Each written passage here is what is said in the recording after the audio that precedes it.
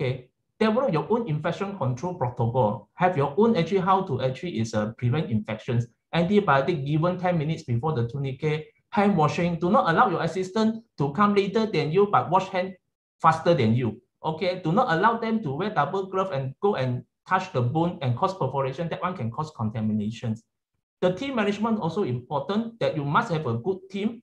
Try to have a same team member so that when you do the operation itself, it can shorten your OT time. And you know, team itself can kill off the sterile equipment or safe productive environment, cause your OT time even more uh, longer. And sometimes even they give you a, a wrong implant, even worse. For the post-operation, I think the two aspects that I want to emphasize is the pain control and VTE prophylaxis and follow-up evaluation and reflections. TKI is painful procedure. So as a surgeon, we really must know our painkiller uh, uh, uh, uh, choices, multimodal pain management, and also know the uh, side effect. So tweak your uh, femoral component orientation, make a 3D rotation to it, so it's the tibial cut. So the considerable axis. But what normally is, your distal femur is in some sort of valgus of 5 to 7 degree, and your proximal tibia is around 2 to 3 degree varus to the joint line. And I would like to quote this paper, which has been quoted the most in arthroplasty, I would say, the paper by Bellemans, who, uh, who found that even the young adults, 32% of males and 70% 70% of females are constitutional varus of more than 3 degree. Contrary to this, in knee arthroplasty, we aim a zero degree, or we try to aim in a zero degree or up to a three degree plus minus.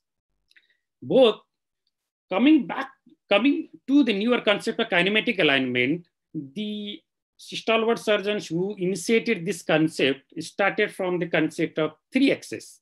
One is the axis on which the tibia rotates. Second is the axis on which the tibia flex. And one is the axis on which the tibia flexes. The flexion of the tibia is around the trans, transverse axis, which is at the center of the femoral condyles. And the flexion of the patella is 10 millimeter anterior and proximal to the axis of the flexion of the tibia. And both of them are parallel to each other. And the rotational axis of the tibia is perpendicular to the joint line.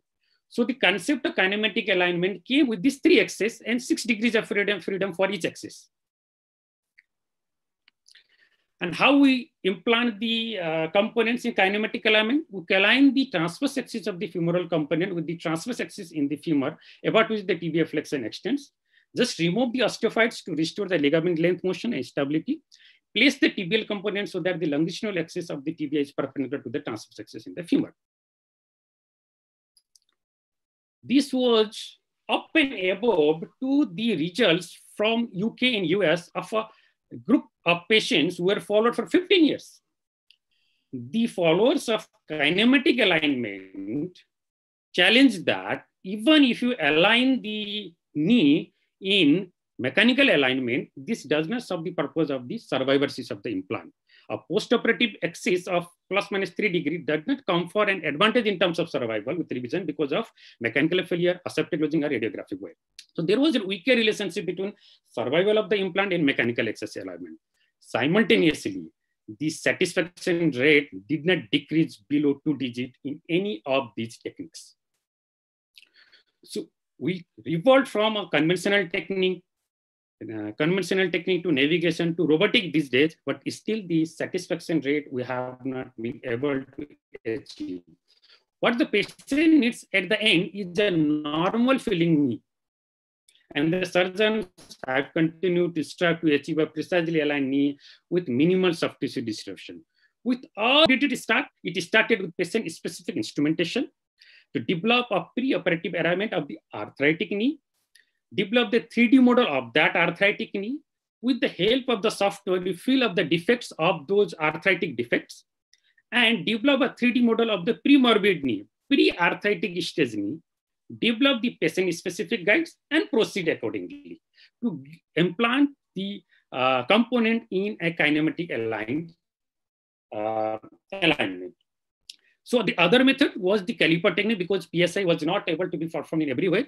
When this method, what is done is the thickness of the bone resected is being replaced by the thickness of the condyle of the implant. So how it is done? For example, in a distal femur Uh, resection, if you have a wear of around two millimeter of the cartilage, we add up the thickness of the blade, which sums up to be two plus one, three millimeter, and the thickness of the femoral condyle is 9 millimeter. So how much you have to resect the bone? You have to resect 6 millimeter of the bone so that it can be replaced with the 9 millimeter condylar prosthesis to give it, to give it a native knee. Similarly, the posterior condylar is also cut in a 9 millimeter of thickness according to the implant and implanted without considering the transepicondylar axis. Same goes to the tibia. You align the varus valgus alignment in the anatomic varus means the premorbid varus. You attain the slope the slope of the normal cartilage, I would say the other cartilage, unwound cartilage, and the rotation comes in a way that you draw elliptic, elliptical, uh, uh, the ellipse of the onward cartilage, draw axis of that of that uh, onward cartilage, and you try to reflect in this parallel to this axis. The component is aligned parallel to the axis of the onward cartilage in the lateral condyle. So you take care of the varus valgus alignment, take care of the slope, and take care of the rotation as per the rotator knee. And recently, many, many, many people are doing this with the navigation, is you can guide a navigation or you can be guided by the navigation to attain an alignment in a pre-morbid status. So what you actually get at the end? You get a knee just like seeing like it is in varus. You like see in the back, and it is done. Uh, the joint line orientation may not be orthogonal to the mechanical axis, which is the kinematical alignment. So has this kinematic alignment been able to fulfill the purpose today? If you see the paper from the, you know, the follower surgeons or uh, the, or the, or the strong follower surgeons, Howell et al., in 222 knees, the five-year survival was 99% and that carried out to 98.5% at 10 years. Similarly, a comparative study of 18 kinematic alignment total knee arthroplasty um, acting mechanically aligned knee in healthy controls, the knee kinematics of patients with kinematically aligned total arthroplasty more closely resembled that of normal healthy controls than those with mechanically aligned. That means the kinematics of the knee after the surgery were also as like of the normal in the individuals. Another study from Calliess et al., they compared 100 mechanically aligned TK with 100 kinematically aligned TK they found that they were able to restore the pre-morbid flexion extension in the patient's function weight overall better. And the result from Dossett et al., the patients in kinematic alignment TKA group had better pain relief and function as compared to the mechanically aligned TKA group in our randomized control study. Another study from COR in 2030, they did the measurement of all the total knee arthroplasty done, done by uh, kinematic alignment. They saw the tibial component in, in a range of 1.8 plus minus 2.6 degree. Knee alignment was 3.4 plus minus 2.1 degree and limb alignment, overall alignment was 0.9 plus minus 2.7. In all these three groups done by kinematic alignment, the mean Oxford score and WOMAC score were similar in all these three groups. Excuse me, one minute left. The, uh, if you see the first CRNPS um, uh, group, the forces in the MCL in kinematic were lower than those in mechanical alignment in both the CRNPS in instance phase and the deep knee conditions. Whereas those on the lateral collateral ligament did not show any difference between the two. If you see this study of 24, 24 and 23 patients in kinematic and mechanical alignment, there was no difference in longitudinal migration of the tibial component between the two groups at two years. Now here is the twist. The results were good, excellent up to two years. Then after two years, and at two years, there is no difference in the function of the patient done by PSI kinematic alignment.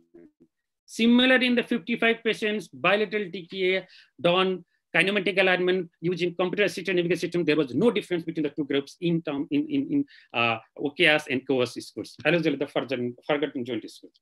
This particular paper in 2020. Now, this was from the same author who proved that, who, who, who got the Ranawat Award in 2016, saying that the two years, there is no difference between the kinematic and mechanical alignment. And these are the authors strict and they found the same no difference at five years as well. Excuse me, time is So where are we? Yeah. So where are we in 2021? Definitely the interest of surgeon is increasing towards kinematic alignment. There is a, just a new technique. Everyone is thinking, let me try it but does it really equal early work in my patients? Difficult to say. Many people are doing for research purpose, and some people are doing for a patient demand, and manufacturers are competing to make it uh, the uh, newer jigs. So literature till date, I just want to conclude by saying that the results are not inferior to mechanical alignment. The results are compared to mechanical alignment, and the superiority is still a question. So the number of Have flourished very few years, over few years. There are agents in early years. The failure rates uh, are comparable with the mechanical alignment. There is no difference at two years then after. So I would like to say it is early to comment on the superiority. Thank you for the kind attention. Okay, thank you for the very interesting presentation, Dr. Deepak. Since the orthopedic knowledge and research is uh, very dynamic, uh, the kinematic alignment is a relatively new surgical technique for implanting total knee components. Now, because the time is very tight, so we go straight to the next presentation. I'm glad to welcome Dr. Khalid Al-Sheikh, who will present periprosthetic fracture around TKA. Hello, everyone. Hello. Um, may I have a the uh, I'd like to have the uh, sharing option, please, to share my screen. Okay, perfect. Excellent. Does everyone see my screen now? Yes, I can see. Excellent. So uh, just for the sake of time, I'm going to go ahead and uh, run through the talk. Uh, my name is uh, Khalid Al Sheikh. I'm a, an assistant professor at King Saud bin Abdulaziz University uh, for Health Sciences in Riyadh. I'm pretty honored to be part of this elite group. Um, so with regards to our topic today, gonna, I'm going to present about prosthetic distal femur fractures. Uh, in terms of definition, what are periprosthetic distal femur fractures or periprosthetic fractures around a uh, total knee joint? It's a fracture of the femur or tibia occurring within 15 centimeters uh, from the joint line or five centimeters from the intramedullary stem. Periprosthetic uh, total knee arthroplasty are increasing increased number of total knee arthroplasties done worldwide. Distal femur fractures around total knee is the is by far the most common, and the incidence in the United States is about uh, 300,000 per year. In terms of the incidence of uh, specifically of distal femur fracture along total knee arthroplasties, goes all the way from 0.3 to 2.5 percent. It's definitely more uh, in revision implants. And uh, proxim with regards to the proximal tibia and patella, it's uh, far less. What are the risk factors? Uh, absolutely poor bone quality, whether it's due to increased age, osteoporosis, diabetes, obesity, uh, steroid use, rheumatoid arthritis, or sex uh, orientation. The uh, neurologic disorders are definitely uh, a risk, a patient-related risk factor, whether Parkinson's disease, epilepsy, cerebral palsy, polio, or myasthenia gravis. Mechanical risk factors include the presence of revision implants, specifically stems, uh, the presence of loosening in a total knee, uh, malaligned total knee, screw holes, uh, which uh, create stress risers, and stiff, a stiff total knee uh, arthroplasty.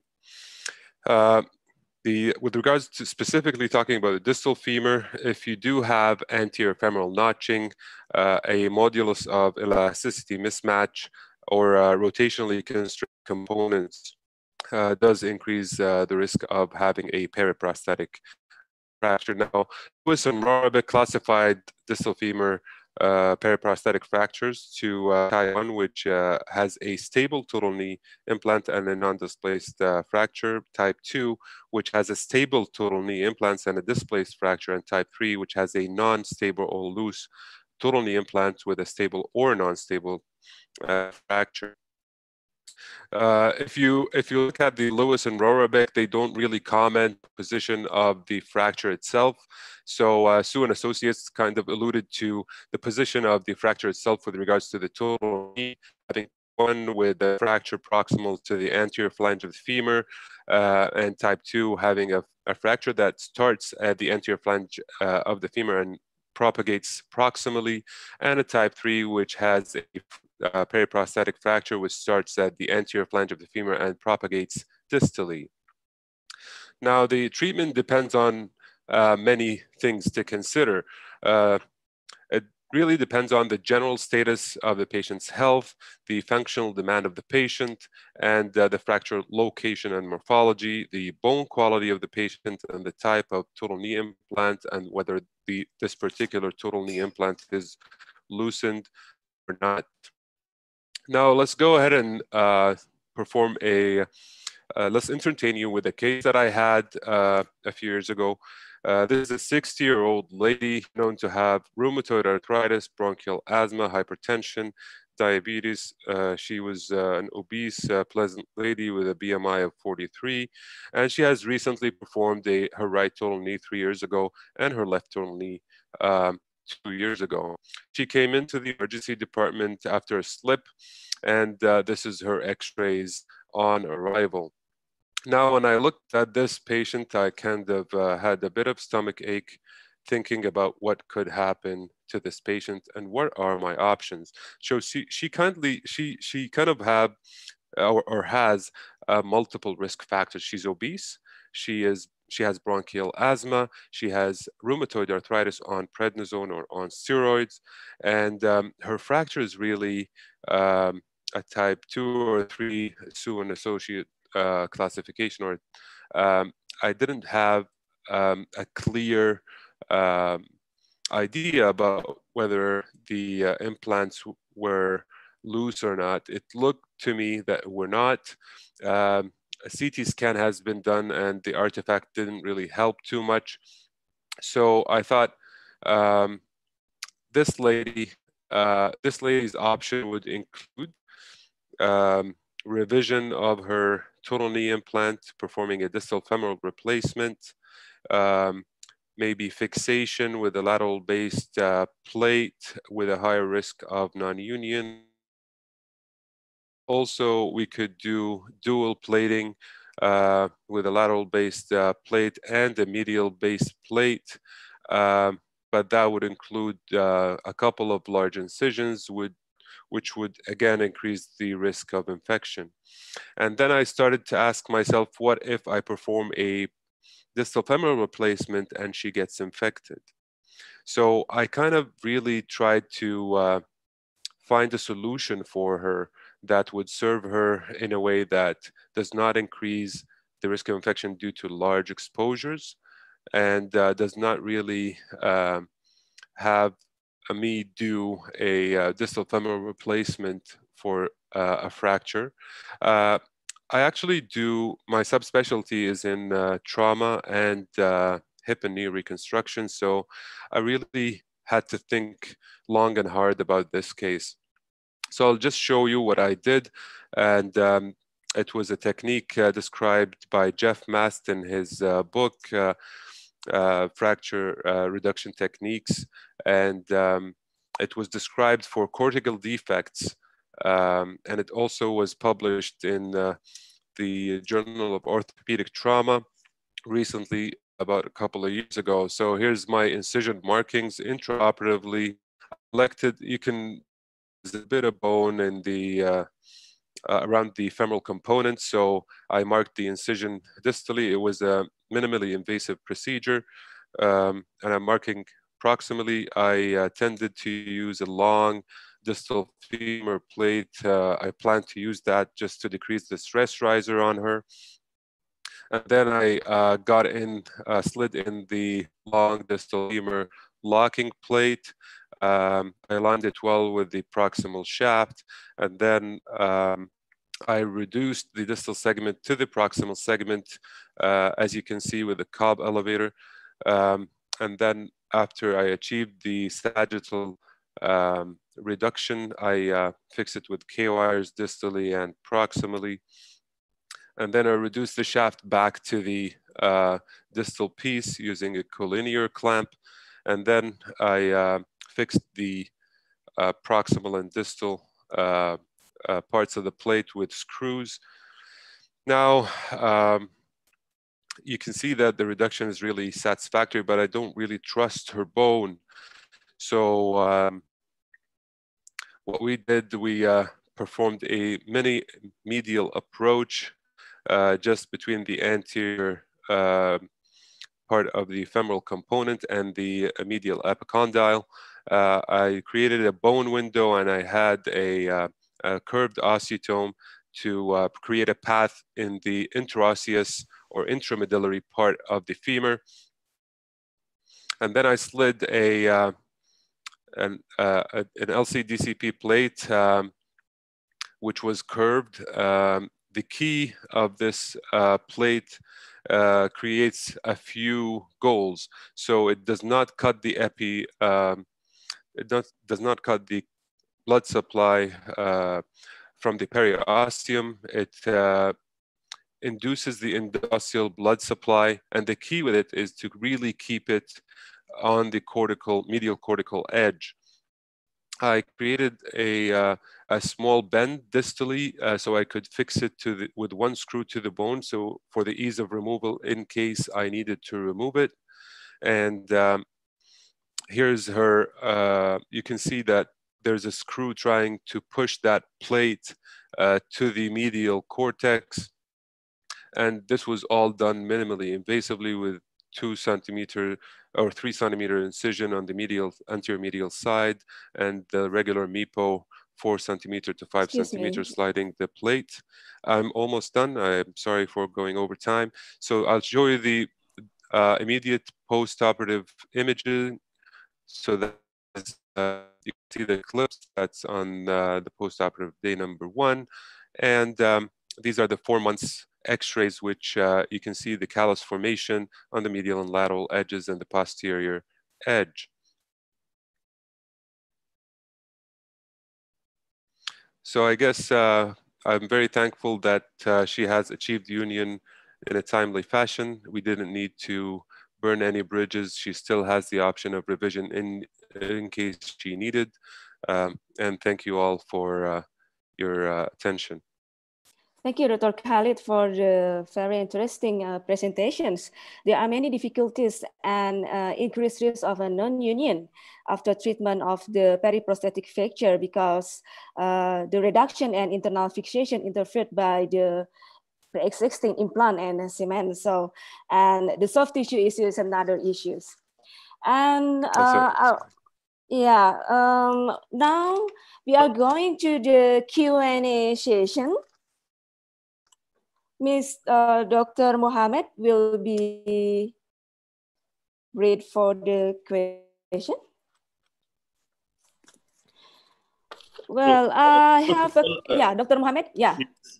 First of all, uh, I would like to thank you, Khalid, for uh, the nice presentation. I have a quick question for you to start with. Sure. Um, so, did you find any difference between uh, the PS and CR uh, in terms of rate of fracture because uh, as you know, the CR femurs, uh, we have more bone uh, reserve than compared to the PS. So did you find anything about this? Well, and uh, I have done a few CRs. The vast majority of my cases are PS knees. Uh, I uh, cannot tell you with certainty whether there's a real difference with regards to my patient cohort, but I definitely, if I had a fracture, such as the one I showed, I would rather to have a CR knee in to be able to preserve bone and uh, be able to at least use uh, retrograde nails, uh, to be honest, uh, thinking from the uh, trauma perspective. Okay. Because uh, I, I read recently paper which stated that the PS it has like 10 folds more, more risk of fracture comparing to the CR. So it does make it does make uh, sense because of the modulus of elasticity as well, because it's higher in a PS knee, so it increases the risk of uh, periprosthetic fracture. That's absolutely correct. Great comment, Mohammed.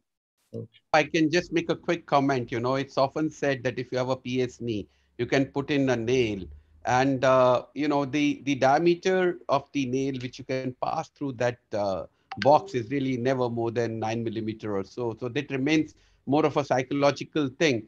And then the other people who have even gone on to say that if they have a CR knee, they'll use a Midas Rex and cut a uh, cut a, a, hole in the CR knee and put in a nail. But I think uh, I agree in my experience in rheumatoid patients, particularly with flexion deformity, uh, the PS knee is dangerous. Small bones, osteoporotic bones, if you use a PS knee, you run a very high risk of fracture, particularly by the designs which have a peg, femoral peg in addition to the box. Know, your design did not have uh, uh, pegs with the with the box, but then there are certain implant designs uh, which uh, have pegs in addition to the box, and they really compromise the poor osteoporotic bone in a rheumatoid. So they are at a very high risk if you use PS in that. I agree with uh, Khalid there. So Rajesh, sir, I have a question for you. If somebody yeah. has notched the distal femur while doing surgery, so what preventive measure he can take for uh, preventing the future fractures? So uh, one, uh, one, thing is that, you know, a, a, notching which is one millimeter or so, it doesn't really matter. This patient, uh, which uh, was shown, uh, had a significant notching, but try to avoid putting cement there that causes bigger problem. Some sometimes people have a tendency to put up some uh, cement underneath. Uh, if it was a significant notching and you are really scared the ideal thing would be to put in a femoral component with a stem. Now the problem is that there are very few uh, designs which give you a stem in a primary knee. Uh, the uh, the pfc knee by uh, johnson and johnson is one of them. Otherwise you can just put in a graft you know make a sliver of graft and put it there and make sure that you know the uh, the you may have to a little anteriorize put in a graft and then hope for the best. Uh, you can give the treatment for osteoporosis. We often give for rheumatoids who undergo uh, the knee replacement. But then the ideal thing if you ask me if there's significant notching and you wanted to avoid you should put in a stem Okay, that's the best way. So, yeah. what, what's your say for prophylactic fixation by a plate during the time of surgery? If you're not available, there is no uh, stem available with the implant. Uh, it may be a little overkill. You know, the problem with the plating or the nailing in osteoporotic bone. Now we are talking about osteoporotic bone, and you were you have shown a beautiful demonstration. That's exactly what I would have done. Not the intermedullary plate, but the plate goes right till the base of the trochanter with one screw even in the neck that's how we operate all our periprosthetic fractures. I think that's a great message there. So if you're putting in a plate, you'll have to go and span the entire length. If you put in, uh, even with the femur, with the stem in osteoporotic bone, you have a stress riser at the tip of the stem. So always think stress risers in a weak bone, right? And if I have to, uh, if in a very porotic bone, more than once, I put in a femoral cortical strut wired it in place rather than a plate. But if you want to plate it, if you feel that you need a plate, you'll have to go all the way up if the bone quality is poor. So, thank you, thank you, sir. Okay, I have a few questions to you. So uh, one one the first question is where did you get that plate that is pre-bent that was pre-bent proximally or did you bend that to engage that no. screw in the neck? No, I did bend it, to be honest. Uh, the distal femur uh, locking plate comes in straight at the shaft, but I, I had to rebend it to get that screw to span all the way to the neck. Okay. And, and that, that's a newer thing, but I have seen the 3.5 medial plate. We used to put uh, either TENS or the Enders nail uh, on the medial side. So that was one of the newer thing what I have seen. And how many screws will you accept engaging the distal cortex while putting a plate? the distal uh, component. And the lateral distal femur plate? Yes, uh, while uh, putting while treating a periprosthetic fracture. Yeah, I, I, would do minimum of three to four. Okay. Minimum of three to four. I wouldn't accept uh, less than that. Um, I think it's very important to consider that uh, the distal segment needs to be well fixed, and uh, the addition of the medial plate is to create a box. from the trauma literature, we know that you have to have the to span the whole femur and you have to have a good distribution of your screws uh, to be able to use the plate in the stiffness that you want because it is a stiff plate as we all know. So uh, the addition of the interosseous medial plate gives it just a touch more stiffness but not too much to create non-union Totally agree with you. So uh, I have question for Dr. Deepak uh, concerning the um, the alignment. So do you advise any kinematic alignment in severely osteoporotic uh, patient? There is a recent paper from BMC musculoskeletal disorder. Now, since the outcome of kinematic versus mechanical alignment are similar, they have come up with new advice that if you try to do a kinematically aligned knee and to give a result and to uh, see the result, try in a knee which is just like a AMOA, early AMOA knee and non-porotic. Okay, exactly. see because of yes, because of if you put a component in such a position and the uh, and the loading in the knee goes in that that way, you may have uh, to uh, see some failures in near future regarding periprosthetic fracture and the early tibial collapse. Exactly, this is what I recommend no. Okay, totally agree. Thank you. Uh, Mr. Chairman, is there anything that you will refer to us? Um, I don't see any more questions, but uh, uh, how are we with time? I think, uh, are we? Oh, one and a half minute left. One and a half minutes. So I think yes. I'll quickly uh, take this opportunity, being the chairperson and taking the liberty. I think all the speakers need to be congratulated. We had some great messages there. We started with the with the fact that the uh, the approach doesn't matter, your technique matters, and respect for soft issues matter. Then we went on to see that familiarize yourself with the procedure before you go on to operate and don't hesitate to ask for help. Then we came to know that kinematic alignment does not give great results in long term. So be careful when you choose, learn it from the experts. The biggest apprehension which people have is that trying to cut the tibia in varus. If you overdo it, then the varus tibia will fail. So be aware of the uh, pitfalls in the kinematic alignment and remember that you're not gaining too much. And then we had a beautiful illustration of a periprosthetic femoral fracture with an intermedullary plate, which were very well done, showed all the correct principles and the concepts. So I thank take you, this opportunity to thank you, thank Dr. Muta, and thank all the speakers uh, for their excellent participation and excellent presentations. Thank you very much. It has been a great session. Thank you. Uh, so looks like we answer all the question in perfect timing. Thank you very much for the participants, for the speakers, and for the great committee for Dr. Jamal. Thank you very much and looking forward to see you again for the next meeting, Asia Pacific Orthopedic Association. stay young, stay safe, and see you later. Bye-bye. Thank you, Dr. Thank you. Thank you, Dr. Muta. Yeah, thank you. Thank you. Thank you. Bye-bye. I think with this, we end the session first. It was of knee.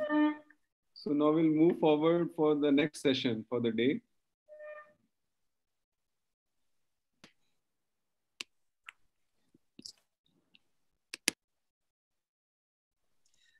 Uh, hello, moving now from the knee jumping hip. Uh, would like to welcome uh, and uh, uh our chairman, Dr. David uh, Dr. David Choon, uh, he is uh, uh, from Malaysia. He's an immediate uh, past president of the APOA. And I would like to welcome also Dr. Uh, Sara and uh, Dr. Priyanka from India. Dr. Sara, she's an Australian surgeon and currently she is in the Commonwealth Sarcoma and Complex Arthroplasty Fellow at the Royal National Orthopaedic Hospital in London. Uh, Dr. Sara will start now talking about the total hip approaches and bearing surfaces. Dr. Sara? Till Dr. Sara knows her talk, will request the chair. Okay, she has started. Fine. Ali, right? Uh, I work with Professor Ali but different hospital. Okay, so I remember that uh, he is very fond of mini ostomy and small incisions. And is is Sarah there?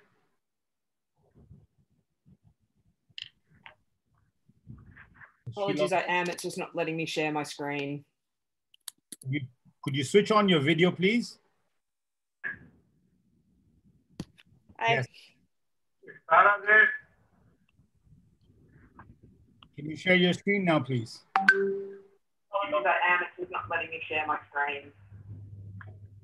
Could you switch on your video, please? I, Can you share your screen now, please? Apologies, I am. It's not letting me share my screen. Uh, we can, we can see you. Kindly unmute yourself. We can see you. I, I think there is some mismatch between her voice and video. I think. Yeah. Yeah. So.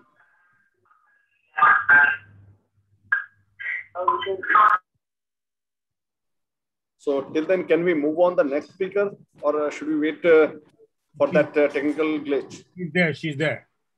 Okay. I apologize, it just wouldn't let me um, share the full screen. So um, my talk today is just briefly on the approach associated with hip arthroplasty um, I've got no conflicts of interest that I need to declare. So currently I'm the um, sarcoma and complex joint arthrop um, arthroplasty fellow at the Royal National Orthopaedic Hospital. Sarah, can you please be a bit louder? Sorry, is that better? Thank you. Beautiful. Um, so today I'm just going to speak briefly about the approaches and then the choice of bearing surfaces that we utilize for, I'm focusing on primary hip arthroplasty here. Um, and in Australia, what we've uh, recently uh, gone through all the literature and data about comparing the three major sources of approaches. They don't get further broken down in most of the literature compared to anterior versus lateral versus posterior if you're going to go through uh, large sort of studies at this point in time. And certainly, whilst I understand that there's complexities within each of these, if we look at them philosophically, uh, it helps look at all of the data. So this is the 2019 data that was the most recently or very recently published data from the Australian Joint Registry that looks at our propensity to use predominantly posterior approach and then broken down into anterior and lateral approach. So I'm just going to have a look at also our decision making. So you'll also notice that predominantly we utilize the posterior approach um, in our heavier patients.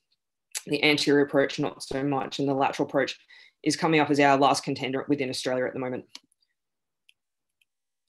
So looking at, at the overall outcomes, it's a case of our major four criteria for failure modes of failure are infection, prosthesis dislocation, fracture, loosening, and we looked at leg length discrepancy as well, but it's not something that uh, is really a driving decision maker in terms of your approach. Um, what you do notice is that early modes of failure, particularly in your anterior approach, was in the top left-hand corner, uh, tends to be fracture.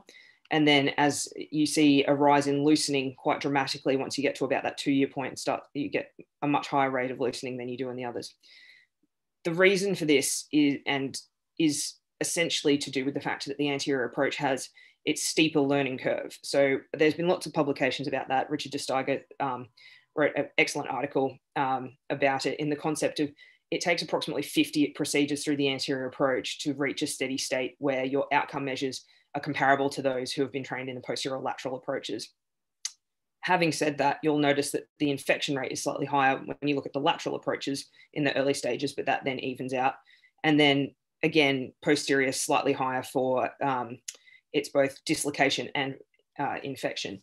So when you go through this literature, it's a bearing up the differences in the surgical techniques and working out which particular risks you're willing to take and what is familiar in your hands. So looking at this, this is particularly for fracture. And as I said, it really highlights the steepness um, of that early mode of failure. This has got to do with the fact that predominantly when you're considering um, the anterior approach in this setting, the learning curve, the fact that your visibility is excellent of your cup, but it's a minimally invasive technique with, generally speaking, with minimal exposure of your proximal femur the thought of this is that predominantly within the learning curve and then continuing on is the difficulty of uh, your access and then your cho choice of implants. Obviously, some people get around this by utilizing their image intensifier on the table. And as you get more familiar with their te technique and as the uh, instruments that we have available to us have advanced, we have seen that you know there is some improvement in that, but it will be borne out in the literature over the next few years. So again, looking at revision for infection. Now, um, my experience with the anterior approach is that there is more damage potentially to the proximal soft tissues when, particularly when people are learning the technique or when uh, it's in the early phases of that, or you, have had poor patient selection. So larger body habitus, um, even if you tape adiposity out of the way, that, that tissue up in the groin area is particularly susceptible to it. However, that's interesting, not really what we see borne out in the data set what we see is a higher rate of infection um, for both your posterior and your lateral approaches. So dislocation, as you can see, predominantly um, your posterior and your lateral approaches have a slightly higher rate, but it's not truly significant compared to your anterior in this setting. Um, this is one of the driving factors that the, the marketing side of things will encourage you to say that there's a lower risk of dislocation. However, it's also the mode of dislocation. So obviously, um, we do see dislocations in the anterior approach and they do tend to occur anteriorly. I think having spent several months researching through all of this when I was looking at the direct anterior approach, I think the key things for younger surgeons is what are you familiar with and where you are on the learning curve. It's all about your patient selection. It's all about good mentorship. It's all about exposure to um, what you're trying to achieve. So, adding on to that, what extensile techniques are you comfortable with? If it's a simple primary arthroplasty in a fit, healthy, uh, well body habitus patient, you can choose whatever you're familiar with. If you're looking at the complexities of needing increased exposure, they are still available within the anterior approach, although lots of people say that they're not. You'd have to sweep down into a lateral distally. You have to be comfortable with an ASIS um, um, osteotomy to get that more proximal exposure if you need it. It's again, you know, the posterior approach, you can sweep it up into your cochlear back, or you can extend down into a true lateral. With a lateral approach, uh, you get excellent much better, much better exposure to the acetabulum and proximal femur than I was expecting. I was predominantly trained with posterior and anterior as, as a trainee. However, where I'm working now, uh, we do an anterolateral approach, uh, which is partly because of the training situation that they have there and exposure, but also because of the amount of sarcoma work we do. Sweeping up into the pelvic region is quite common. I think you also need to consider the tools that you have available to you. So, are you familiar with the equipment and can your um, service providers, the hospital, the reps provide you with on table options, off table options, instrumentation?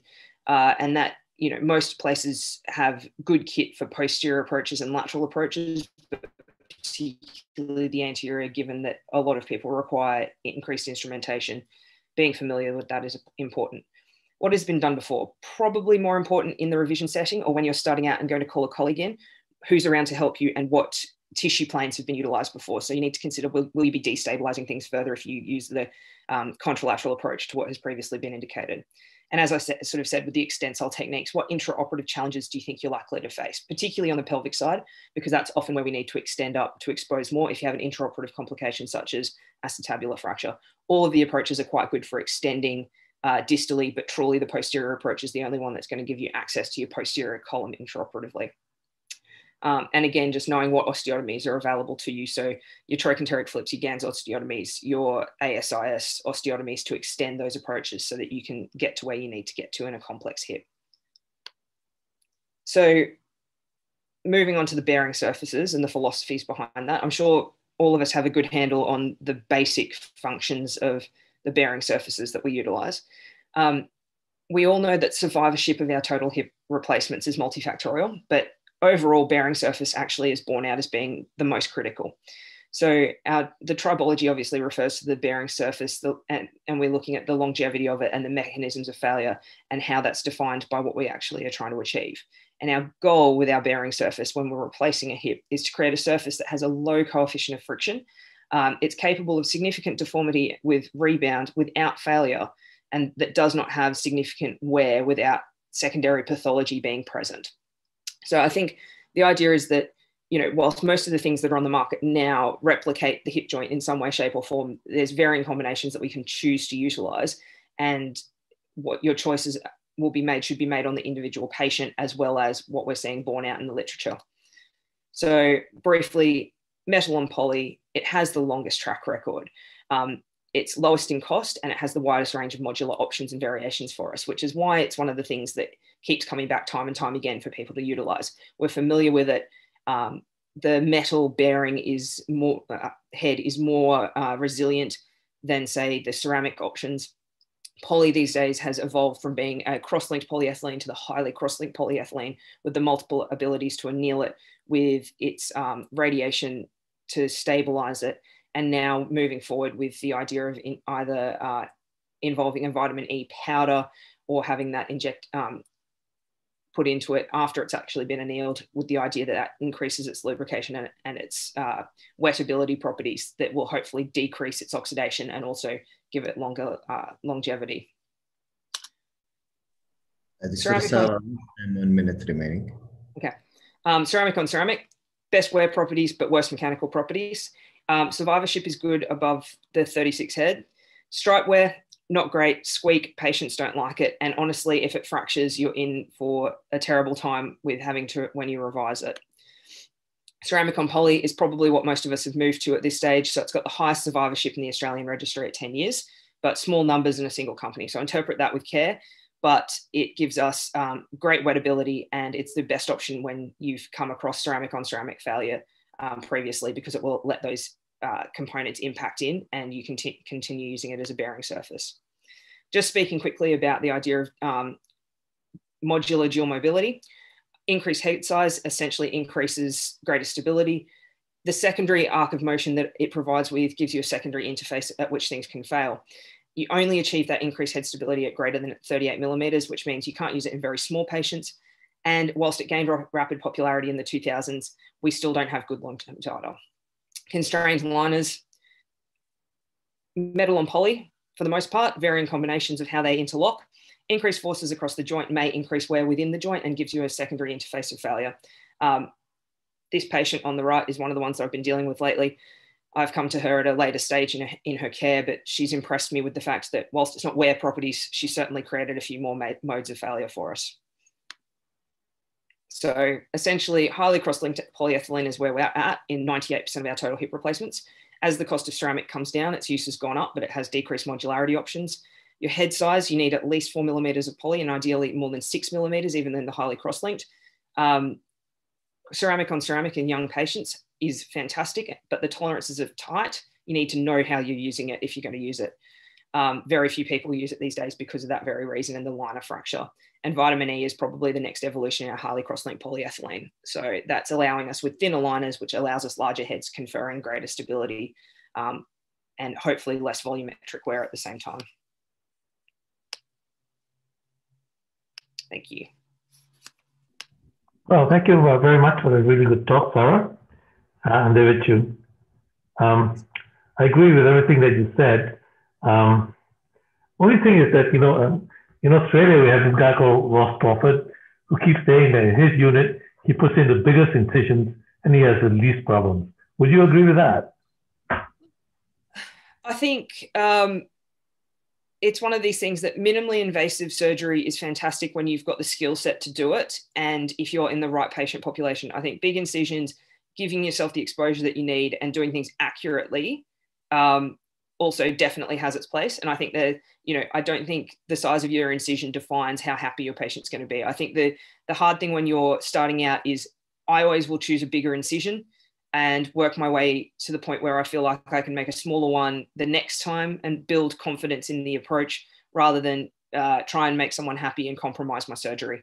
You know, it's it's that always that rule as well of the first thing you do if you can't do something well is make a bigger incision, see better, get do what you're doing. You know, make sure you can see what you need to see. Um, so, wounds heal side to side, not end to end. I love small incisions, but I think it's critical that we get the actual implants right. Thank you. Uh, Mohammed, are we due to for our next speaker now? Pardon? No, just asking Mohammed. Ah. Hello, Priyank? Yeah, Dr. Priyank here.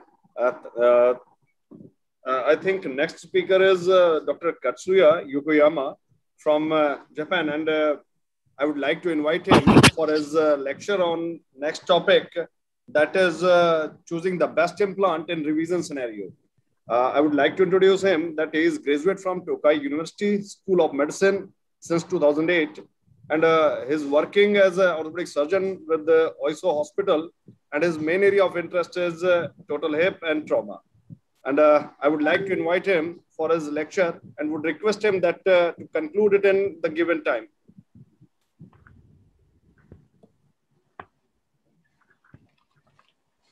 Uh, thank you for giving me the opportunity to make a presentation. In recent years, the results of THA have shown that losing and dislocation are reduced by the use of large diameter femoral heads, and that wear is reduced by the use of crosslink polychain liners. However, as the number of THA procedure performance increases, the number of patients required has also been gradually increasing. The evolution of bone loss in the acetebra and femur may be important in preoperating planning for revision and predicting the progress for revisions. Evolution by simple X-ray are fundamental. However, CT imaging and 3D CT reconstruction are also found to evaluate the site and amount of bone loss. Also, there are various classification systems to evaluate bone loss, the EOS classification and the Paprosky classification for the acetebrum and the femur and well now. Uh, in general, the Paprosky classification for the acetebrum does not require reconstruction for type 1. The type 2, uh, the cup is placed in a high position or medial uh, superior bone loss is filled with chip cancellous bone or bone graft. 2B should be replaced with bulk bone graft or meta augmentation. 2C should be reconstructed with impact bone graft or bulk bone graft and plate. 3A, a combination of bulk bone graft, metal augmentation, and impact bone graft are used to fill the bone loss with additional plate or gauge used as needed. 3B, uh, special attention is paid posterior column reconstruction. The cup should be a cementless cup if it comes in contact with the original bone or a cement cup if not. The reconstruction response in Paprosky classification for the femur is to use cementless stem for type 1, 2, and 3A. However, if it is 3B or higher, the use of modular stem and magna stem should be considered. Impact bone graft with cemented stem is also used for type 3B or greater bone loss. Our hospital also follows the Paprosky classification for treatment planning. In Paprosky type 2 acebral reconstruction, a KT plate is used in combination with bulk grafting collecting from the area. The KT plate is using in combination with bulk bone graft. Uh, ah, no. The KT plate is a cross-shaped plate with a hook on the upper rim of the obtura at the distal end, uh, screw fixation pallet at the proximal end. For the femur, uh, modulus is mainly used as a cementless according to the Paprosky classification. If the bone loss is extensive, cementing of the stem using impact bone graft is considered. Here, we present a patient who underwent revision at our hospital. The patient was a 78-year-old female who complained of right hip pain, which had persisted for one year. The patient past medical history included diabetes, uh, rheumatoid arthritis, BMI 30 kilogram per square meter, and ADL at the level of use of one cane. The patient was diagnosed with right hip osteoarthritis Kellgren Lawrence stage 4 from plain X-rays and was admitted for the purpose of surgery. The surgery was performed using a posterior lateral approach. A G7 dual mobility cup was uh, used for the acetebrum, and a connective stem was used for the femur. At the time of surgery, the center of the acetebrum was lost due to limbing, caused by poor bone quality of the acetebrum. However, a cementless cup could be pressed and screw fixation was performed. The patient could bear their full weight after the surgery. Nevertheless, two weeks after the surgery, right hip pain increases and plain X-rays were taken as the displacement of the cup into the pelvis was observed. Revision was considered. Uh, a diagnosis of Paprosky classification type 2C was made from CT image take for pre-operating planning and 3D CT reconstruction. The surgery was performed using a posterolateral approach as a, in, in the previous surgery, and the cup was removed and in iliac bone was corrected. The iliac bone corrected and beta TCP atypical bone were used in combination. And the bone loss and the upper border of the acetabulum were transplanted. The acetabulum was fixed to the teardrop using a creative plate, after which a cement cup was used for the cup. Full load training for therapy was started two weeks after surgery. As of one year after surgery, the cup was not being displaced as observed via plain X-rays, and the patient's ideal is independent with the use of a single cane. In terms of surgery of revision, there have been many reports that the revision rate is 20% or less in 10 years. It have been reported that the shorter the revision from the initial surgery, the higher the risk of revision. Moreover, it has been reported that the rate of revision due to dislocation increases in patients with discrete activity, and the revision rate increases with uh, increases infection risk or BMI of 30 kilogram per square meter or higher. There are the conclusions. For revision after THA in our hospital, impact selection is performed according to the Paprosky classification for the acetabulum and femur in pre-operating planning. Even in the patient case, we experience the period from the initial surgery the, to division was short. BMI was 30 kg per square meter and the infection risk rate was high. However, the division was not necessary even one year after surgery, and the result were also considered favorable. Thus, the sufficient selection of implants for patients who will undergo revision is considered important in possible preventing revision. Thank you very much.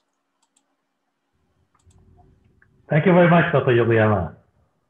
Just a question. You know, in Japan, your number one indication for hip replacement is acetabular dysplasia, which means really in most cases, although not, not every one, you're starting off with a small acetabulum. And I have the impression that when you, you try to get a much bigger uh, femoral head in or femoral or, or acetabular cup in, you're going to end up with the problem that we see on that case that you showed, where you overream uh, the acetabulum, resulting in either rim loss or central bone loss. Um, um, so, but in the old days, everyone did it with cement, and I, I would imagine that now almost everyone just does a cementless cut. Um, what is your experience with this?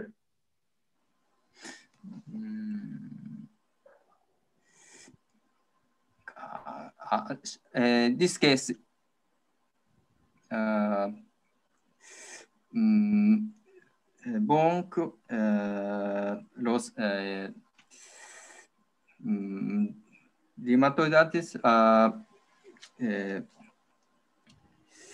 uh, bone quality uh, loss. Uh, the oh, yeah. So you said it's because of the rheumatoid arthritis that the quality of the bone was not very good. Is mm that is that what you're saying? Uh, I will answer. Yeah, but yeah, okay. But it's number two, way, way down the list indication for uh, total hip replacement in Japan. Like almost, I mean, most top, most most uh, speakers from Japan would say that it's maybe um, 95% or 90% acetabular dysplasia. Anyway, we need to move on. So, guys, are we ready for the next speaker?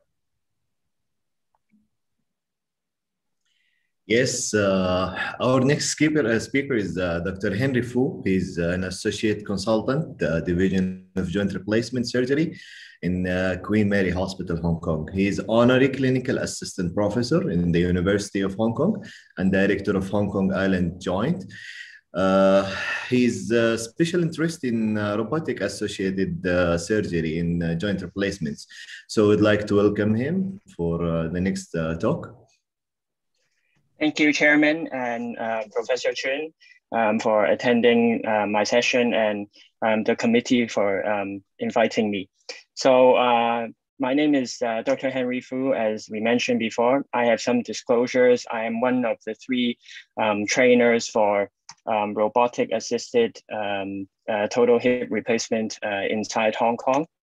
And I'm from the University of Hong Kong the, uh, Faculty of Medicine. And these are the two hospitals I work in, Queen Mary Hospital and Duchess of Kent Children's Hospital, where we perform 350 joint replacements per year in each of these hospitals.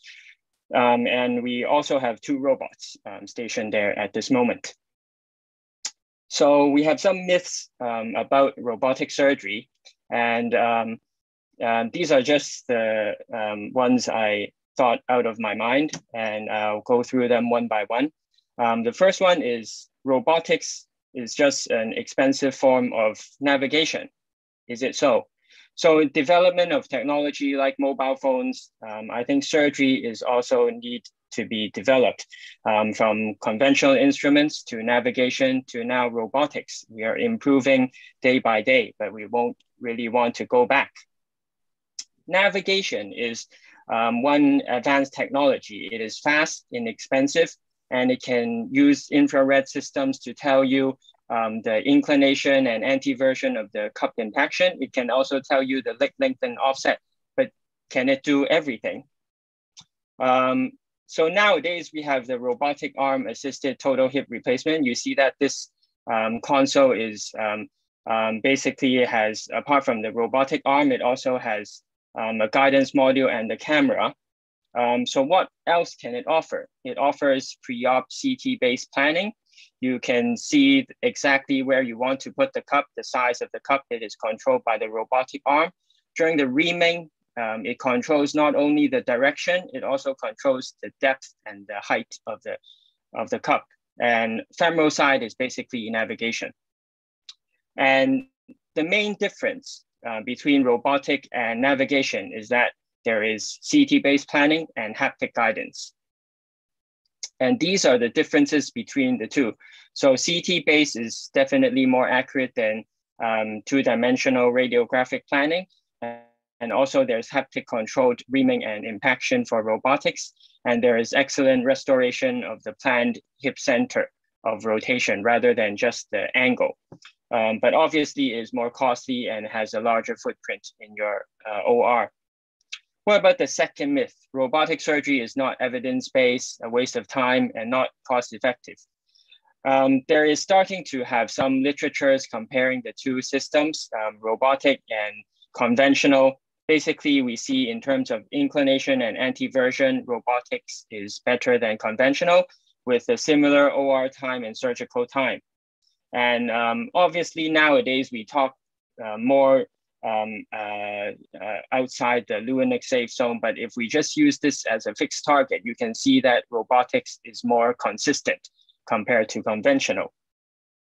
And um, if we look at the planning of the uh, surgeon and the intraoperative cup placement in terms of acetabular component and also femoral component and combined anteversion um, using a CT-based study. It is basically um, uh, very comparable and reproducible. And in terms of functional outcome, they're starting to have some longer term follow-up, um, uh, minimum five years in this study um, published in the Journal of AAOS, um, saying that robotics has higher um, scores. And how about costs? Um, there are some studies that talk about robotics um, being more cost effective, um, mainly saving costs in terms of lower risk of dislocation and revisions. So let's talk about uh, our experience in Hong Kong. We started to do um, robotic um, uh, uh, total hip last year and two year experience just total hip wise, we did um, around 83 cases. And um, these are the learning curves. So um, all these 50 cases were done by myself, and you can see that there is a learning curve phenomenon of around nine cases. Um, average time nowadays is um, one and a half hour, but this is talking about skin to skin time from incision to the last suture closing up the whole wound. We, uh, in terms of the outcomes, we had one bumped array, one cup displacement after verification, one patient died of unrelated causes, but um, note that within these um, follow-up cases, we had no dislocation, no fracture, no loosening, and no early reoperations. Um, looking at our own data, we find 96% within the Lewinnek's safe zone. And in terms of the acetabular component and femoral size sizing, um, compared with preoperatively, acetabular side is more consistent. Femoral side, most of them were within one size difference. So the third myth is that experienced surgeons don't need a robot and they can do everything. But sometimes we have difficult cases like this. This is a AS patient with a fused hip. And you can see even with our very experienced surgeons, sometimes um, things do happen um, like this, requiring fixation. But if we have the robot, we can have a more accurate planning you can see on this CT scan, we have a very accurate cup planning. Intraoperatively, we can see where the landmarks are, but then we can use navigation to help us do a navigated in situ neck cut, uh, avoiding cutting into the acetabulum. And then we can just put in the reamer without seeing where we are.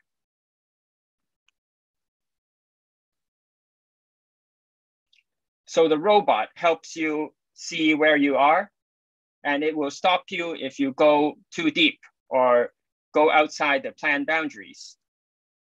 And um, after reaming, it is just a pool of blood. You cannot see every anything inside, but if you clean it all up, you can see the acetabulum come back like this. And uh, you can verify the position of your cup and the uh, inclination as, as well as the version. And postoperatively, you can see the X-ray on the right compared to the pre-op planning, it is very consistent with a good functional outcome of this patient. In terms of these difficult cases, it can help you do the neck osteotomy and identify where is the true floor of the acetabulum without having to use um, any fluoroscopic guidance. Another difficult case like this with um, um, previous acetabular fractures, plates and screws all around, most of the time, um, conventionally, you might need to remove some screws, but luckily, if we do the CT scan, we can find a very narrow margin that we can put in the cup exactly where we want it to be without touching any of the screws. This is the plan.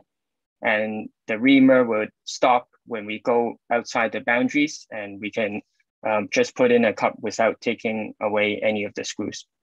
High dislocation is another good indication, especially coupled with this one with previous femoral osteotomy and uh, with a significant leg length discrepancy.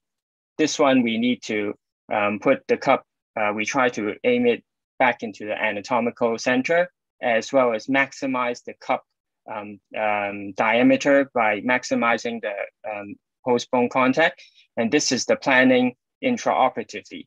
Um, although the bone contact you see still is not as optimal as the usual total hip, but that's already the best we can do. And intraoperatively, basically, we can't really identify a lot of the landmarks, but the robot will help us identify. You do the registration, as well as the femoral side, we use 3D printing technology to help us do a derotation and shortening uh, osteotomy. And this is the patient at six months uh, postoperative.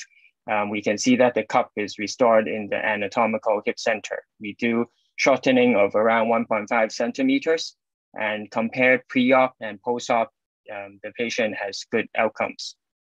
Complex cases, we do quite a number in Queen Mary Hospital um, uh, using this technology.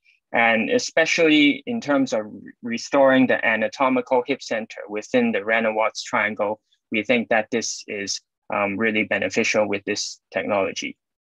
Even if we compare the surgeon's experience with uh, a surgeon who just picked up using the robots, we can see that actually um, for surgeons uh, who just picked up the robot, it is already uh, more accurate than a surgeon who is very experienced with manual posterior in terms of hitting the surgeon's target. And even during the learning curve, there was um, no um, uh, compromised uh, surgical time and complications. Time, time, time. Stick to time, please. Okay, uh, the last one is robotics are bulletproof and can replace the hands of surgeons. Not necessarily anything uh, that can go wrong can go wrong. Examples of failure like bump array, unsatisfactory registration, checkpoint error, or robotic arm failure or computer display error can always happen. But there are um, different ways you can ask the rep to help you and um, uh, go through these steps, but rarely you need to convert to manual, but always be prepared. So with enhanced planning, you can see that uh, robot has its advantage and also constraints during your reaming. So um, in conclusion, I think robotic total hip is a useful tool for surgeons and in particular when managing um, complex cases um, like these. With that, I thank um, my colleagues and um, the committee for selecting me to give this talk. Thank you very much. Hi, Henry. Thanks for the talk. Thank you. Thanks also for, for all your help with the journal and your your review of our articles in the journal. That's been very useful over the years. Um, Thank you, Professor. Nice to see Peter Chiu and uh, Yan Chun Hoi in those pictures of yours. Um, I hope they're well. But you know, uh, Hong Kong has uh, some fame in the treatment and the and uh, management of patients with ankylosing spondylitis. And I certainly remember that paper that Peter Chiu and W.N. Tang wrote in the Journal of Bone and Joint Surgery to do with the fact that actually placement of the cup uh, and the alignment of the implants in an ANK patient is considerably different from that of a normal patient. So um, what do you do in terms of uh, the ANK cases? Uh, yes, very good question. Thank you, Professor Chun. So um, in terms of the ankylosing spondylitis patients, we look at the preoperative um, pelvic x-rays, and we usually do take some standing long films to see their um, pelvic tilt as well. And um, Professor Chiu has published an article talking about the obturator foramen ratio um, to um, determine the rotation of the pelvis uh, uh, before the operation. So if we think that the um, obturator foramen ratio in terms of the height uh, is significantly larger than the width of the obturator foramen, um, then uh, we know that the pelvis is significantly rotated. In these cases, we usually decrease the anteversion of the cup and also decrease the inclination angle um, uh, of the cup when we um, put it in. Um, so for the robot, for standard cases, we just set 40 degrees of inclination and um, 20 degrees of anteversion.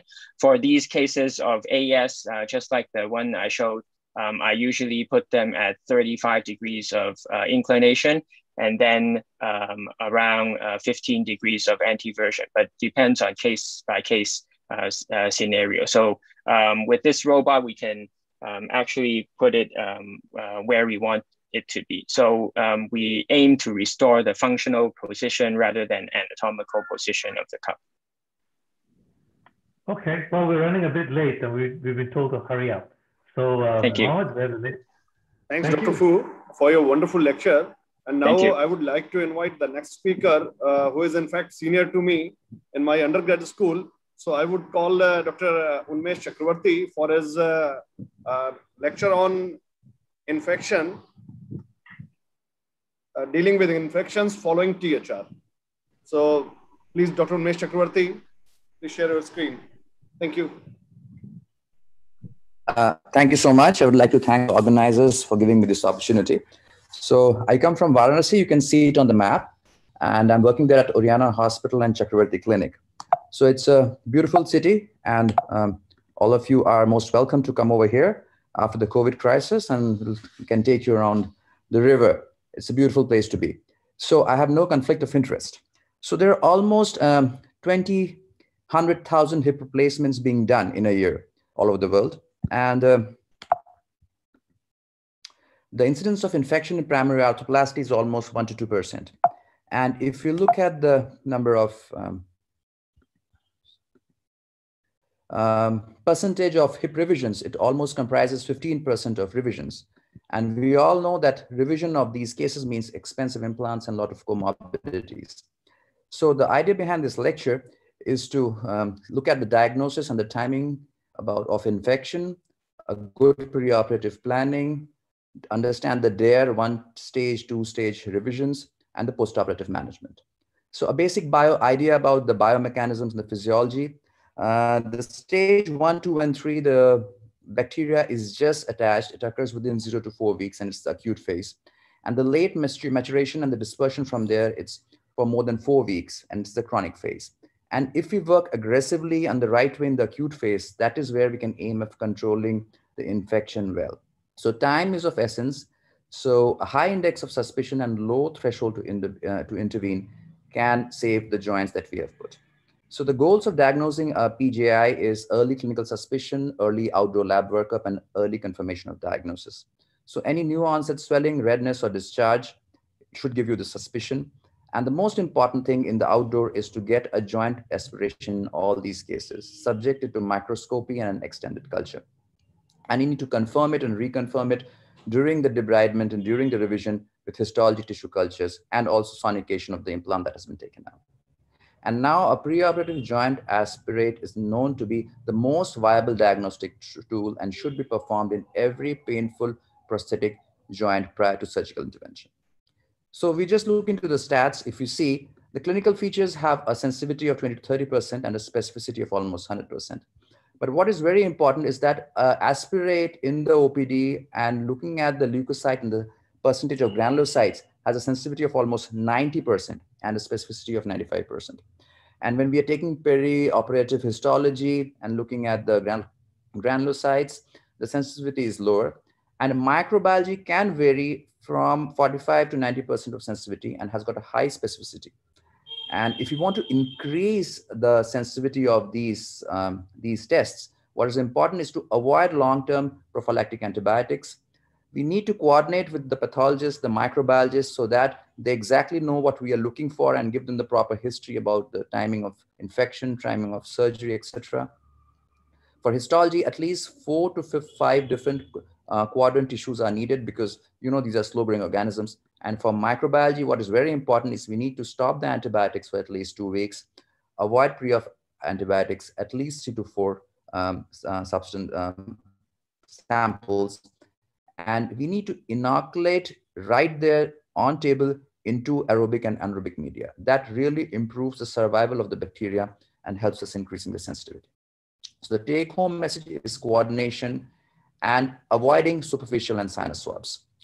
So uh, after infection is confirmed, the goals are an early intervention, reconfirmation of diagnosis, radical removal of all biofilm and dead tissue, avoid devitalization, and a proper bioactive antibiotic in proper dose and duration. So the three words, a bioactive antibiotic, proper dose and duration, they're very important. Now, we need to tell the patients and ourselves understand what we are going to do. If bad prognostic factors are there, we need to be very careful. So difficult to treat infections are caused by pathogens which are resistant to rifampicin, ciprofloxacin, and fungi. If there is bad bone, bad soft tissue, and loose prosthesis, it's a bad prognostic factor. And if there's a vancomycin or fluconazole resistant organism, maybe it is not amenable to revision and they sometimes needs either explantation, excision arthroplasty, or a lifetime, uh, lifelong antibiotic suppression. Now the work is basically it's an acute PJI. It has good bone, soft tissue, stable prosthesis, not DTT. Within four weeks, we can plan to do a DAIR, that is debridement, antibiotic, exchange of mobile parts, and uh, implant retention. If it is not, it's a chronic or has the bad factors, bad prognostic factors, DTT, we plan a prosthetic exchange. And if we see that there is um, no DTT, no uh, bad soft tissues, there's no fistula, and there's no past history of previous revisions, we can plan for a one-stage exchange. Now, this is a debatable surgical procedure. It has got good results in selected centers like ENDO-Klinik, and it needs a lot of experienced hand, a lot of coordination. Or else the gold standard is a two-stage revision. And again, you need to look at the bad prognostic factors. And if there are bad prognostic factors, the long, uh, the interval for exchange can be six to eight weeks, or else a short interval exchange of two to three weeks. Now, what is DAIR? So there is debridement with antibiotics and implant retention. So ideally 28 days, within 28 days of index surgery or onset of symptoms, it gives you the best results. Since we need to isolate the organism and know which antibiotic has to work, we have to get the cultures. That is why it is best if the antibiotics were off for seven to 14 days. Isolate the organisms at least three to four different areas of culture from four to five quadrants. Exchange all mobile parts, which is very important that improves the result of DAIR. Sonicate the removed parts and uh, just confirm the organism. Remove all internal non-absorbable sutures and remove, uh, replace them with absorbable sutures the one stage exchange, again, stop all antibiotics for two weeks, aspirate and send for extended cultures. Again, if we do not have the organism, we cannot do a one stage exchange. Identification of organisms sensitive to biofilm penetrating oral antibiotics is a must. If the organism is resistant to oral biofilm penetrating antibiotics, we cannot do a one stage exchange because the organism will regrow. Remove all implants completely, do a sonication of all implants for organism, do a radical debridement, send three to four tissue cultures, four to five quadrants. And the important thing is after the debridement is over, everybody dewashes, it is re-prepared. It's like a fresh surgery and the entire team has to coordinate and do it in one go. The standard gold stage, uh, gold standard two-stage exchange, stop all antibiotics for two weeks, aspirate, send for extended cultures for 14 days. It can even be up to 21 days, directly in aerobic and anaerobic vials remove all implants completely, debride, debride, debride. That is the crux. Send cultures, spacers loaded with appropriate antibiotics. We'll cover that in the next slide. Plan reimplantation in two to three weeks. Mm, there's absolutely no role of antibiotic holiday. The role of antibiotic holiday and repeat CRP is gradually going down. We can debate on that. And if there is DTT, bad bone, bad soft tissue, we need to extend the interval up to six to eight weeks before we do a final reimplantation. Now coming on to the antibiotics in the cement, you always have to use a combination of two antibiotics in the cement when we are doing revisions. Uh, the standard is Genta and Clinda. If it is uh, special situations where we have got staph, we do a Genta Vanco or a Genta Dapto. If it is Vanco resistant, it's Genta Linezolid or Genta Dapto, Genta Phospho. If it's a gram-negative pathogen, it is Genta colistin, Genta phospho, Genta miro, and Genta cipro. These are the combinations. And for feast, uh, yeasts, we have Genta amphotericin B or voriconazole. Note, um, the better uh, cements are ones which we get from the industry itself because the preservatives and the combination is right. If you're making on table, it has to be in powder form, not liquid. So I can understand there can be problems with the liquid antibiotics, prefer preferably not exceeding 10% and it has to be hand mixed so that we make it a porous cement and not a vac mixed one. Now, keys to success are isolating the organism. This is a must. There's, there's nothing about it. If we cannot isolate the organism, the revision is bound to fail. So take all the precautions. DTT, bad bone, poor soft tissue, loose implants are bad prognostic factors.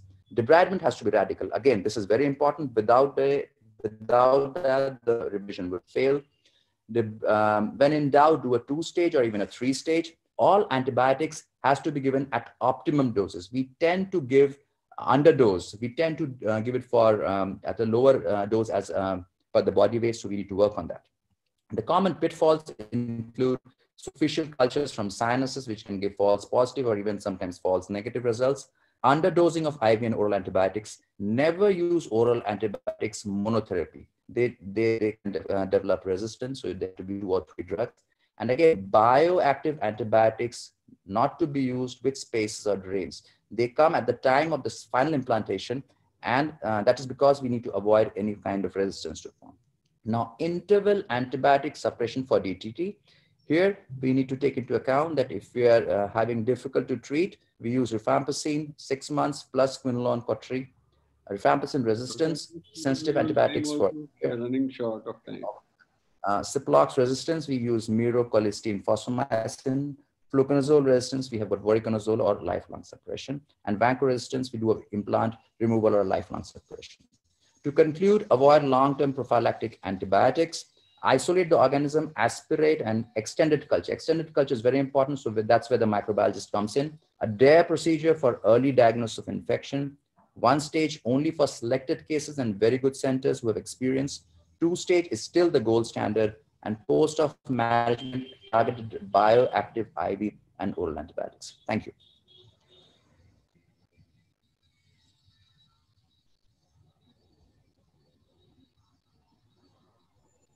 I'm done, yeah. Thank you, Dr. Uh, Shakardi. Uh, uh, useful and informative uh, presentations. Our next speaker will be Dr. Fateh. Uh, he will talk about the initial five years of your arthroplasty career. Dr. Fateh, can you share your screen, please? Um, hello, can you, you, okay, allow me to share. So I hope you can see my presentation right now. So hello, uh, everybody.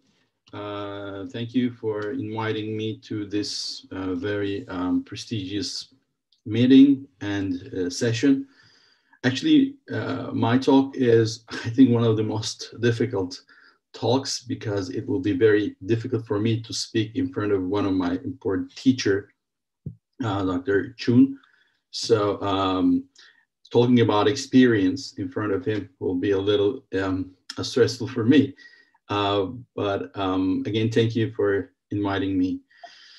So, um, so these are my uh, disclosures. Uh, for uh, th this is a very important graphics, uh, and the, um, the the investors of this um, um, graphics and the um, article had a Nobel Prize in psychology because it's a very, very commonly seen effect, Dunning-Kruger effect. At the very first years of our career, we feel that we can do everything. We have a lot of confidence, but within increase, uh, within time, the, as the our experience increases, we feel that we're not that perfect and we come into a balance within time. So this is very important. Uh, I, am going to talk, yes, about the first five years of, of my arthroplasty career, but it's not only about the arthroplasty. It's a, it's it's uh, valid for every every kind of experience in um, not only in arthroplasty but as a surgeon. So first step is to explore yourself. This is very important as you are aware of your skills and your limits, that will uh, that will carry you to uh, success within time, but not very very quickly. So after being finishing the residency during the five years of my career, I keep observing and learning. This is very important and learning from yes from um, um, seniors, teachers. You always will have teachers. This is um, the SICOT executive committee meeting. They are very important. They have always been very important people for me. And it's not surprising to learn from seniors, but yeah, these are also other uh, teachers from, from uh, all around the world for me. I, I keep trying to learn uh, from those people, but also uh, as, as um, you work with different, different people in different levels in their uh, profession, you can learn from anybody, not only from seniors, but a good observer can learn from everything. And this is possible only with a team work. Uh, so this uh, this was my team in when I was in the United States, and this brings a kind of competition, but a friendly competition, uh, because um, the uh, trying to learn from people around your level is important, but it also it has a competition in it. So these are all uh, my friends from different parts of the world, and I uh, keep learning from them also. Uh, it's not only like a friendship, but keep learning from them. But there should be a limit for that, like learning, but how much learning, because you should not be very uh, brave to attempt to apply what you learn immediately. You should keep observing and see what is going wrong when you uh, when you're practicing. So it should you should develop a feedback mechanism. Um, so language is a barrier, and you, that's the step one in order to in order to exceed this um, um, um a barrier in front of your learning because our job is international it's universal so the language is an important thing here. I used to work in the Rothman Institute uh, from 2013 to 2015 as a fellow. Uh, it looks very shiny and bright, uh, but it's it's not like something like that. It's an imagination. Okay, the photographs in the image is nothing, but this is this was my office. It's a very ordinary office, and this was the lab I used to work. I also work in the OR, but they, they are they look very um, like similar to our places in our countries. Uh, the thing here is the functionality. So the most important thing is what you have at the end of the day. The physical conditions are not everything.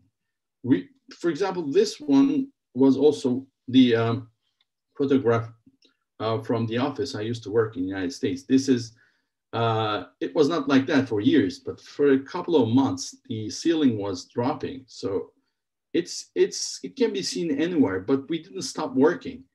So uh, we should not engage our um, successes to the physical conditions, okay?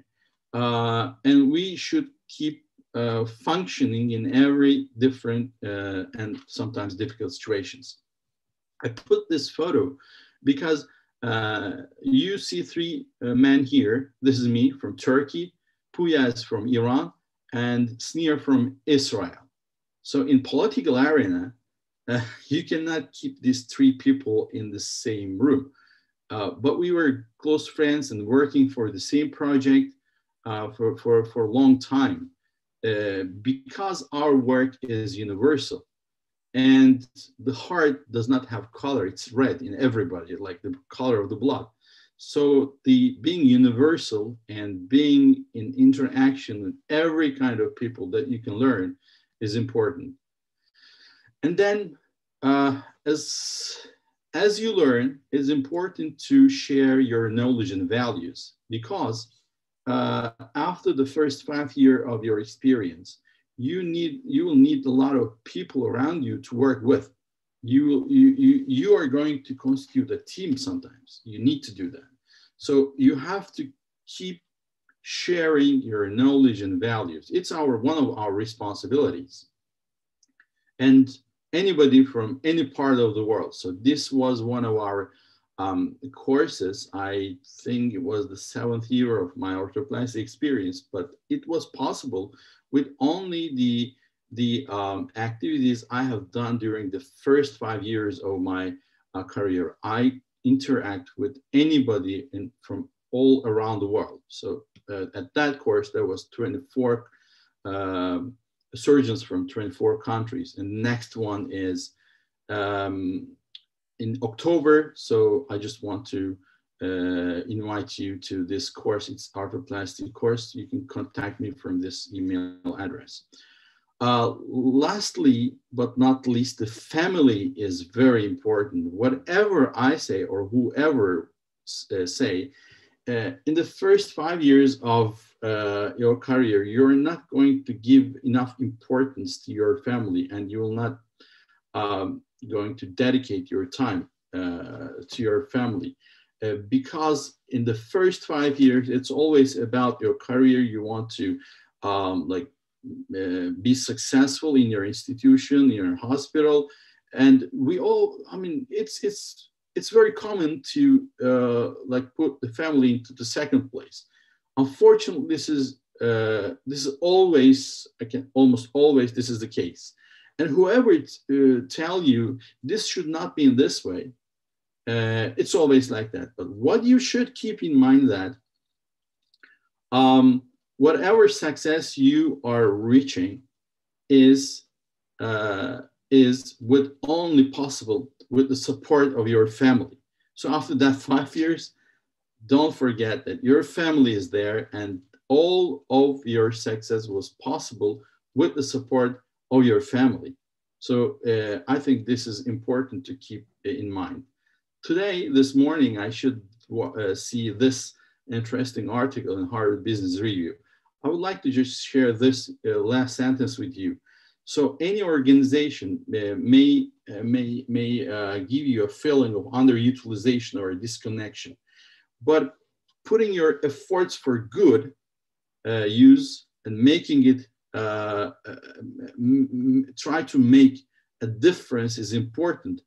And last uh, sentence say that that uh, effort may not get the recognition it deserves. We, we very commonly feel this, but it could bring the satisfaction back of doing the important work and doing it well. And most importantly, at the very last, it will set uh, you up for a better position at a wider, wiser uh, organization. So we should keep in mind that the, the, what we focus on is to make the job right and not to be over brave. Uh, we should be aware of our limits and keep doing the right thing uh, as much as we can. At the end of that long, long years, uh, you're, you're, you're going to be in a better position in a wiser organization. So lastly, I would like to in, uh, invite you for our um, the course in Istanbul and also the Arthroplasty Fellowship Program in Istana University where I'm working. And thank you for giving me this opportunity. Very good well, thank analysis. you very much, I think I have no questions unless there's anything burning because we are 10 minutes late and uh, I think somebody will be on my tail if we continue to waste uh, other people's time. Shahid Noor's waiting to start there. I can see. Any, any burning questions? If not, then I'd like to thank Muhammad and uh, my, my co-host, and uh, thank you very much, gentlemen. Thank you, sir, for being with us and giving your precious time and your tips. And thank you all the speakers and uh, our moderators also, Dr. Priyank and Muhammad, Dr. Muhammad. Thank you for being there. And I think this concludes our HIP session also. And now we'll quickly shift to our last session that is about case discussions. For that, our chairperson uh, is Dr. Shahid Noor and our moderators are Fariduddin Ahmad and Jivan Kim. Dr. Shahid Noor uh, is a premier arthroplasty surgeon based in Karachi. He is the president of Pakistan Arthroplasty Society and a counselor of the Asia Pacific Orthopedic Association. So the screen is all yours. I think uh, Dr. Jivan Kim is here and uh, Dr. Foyduddin Ahmad. Kindly unmute yourself. Yes, sir.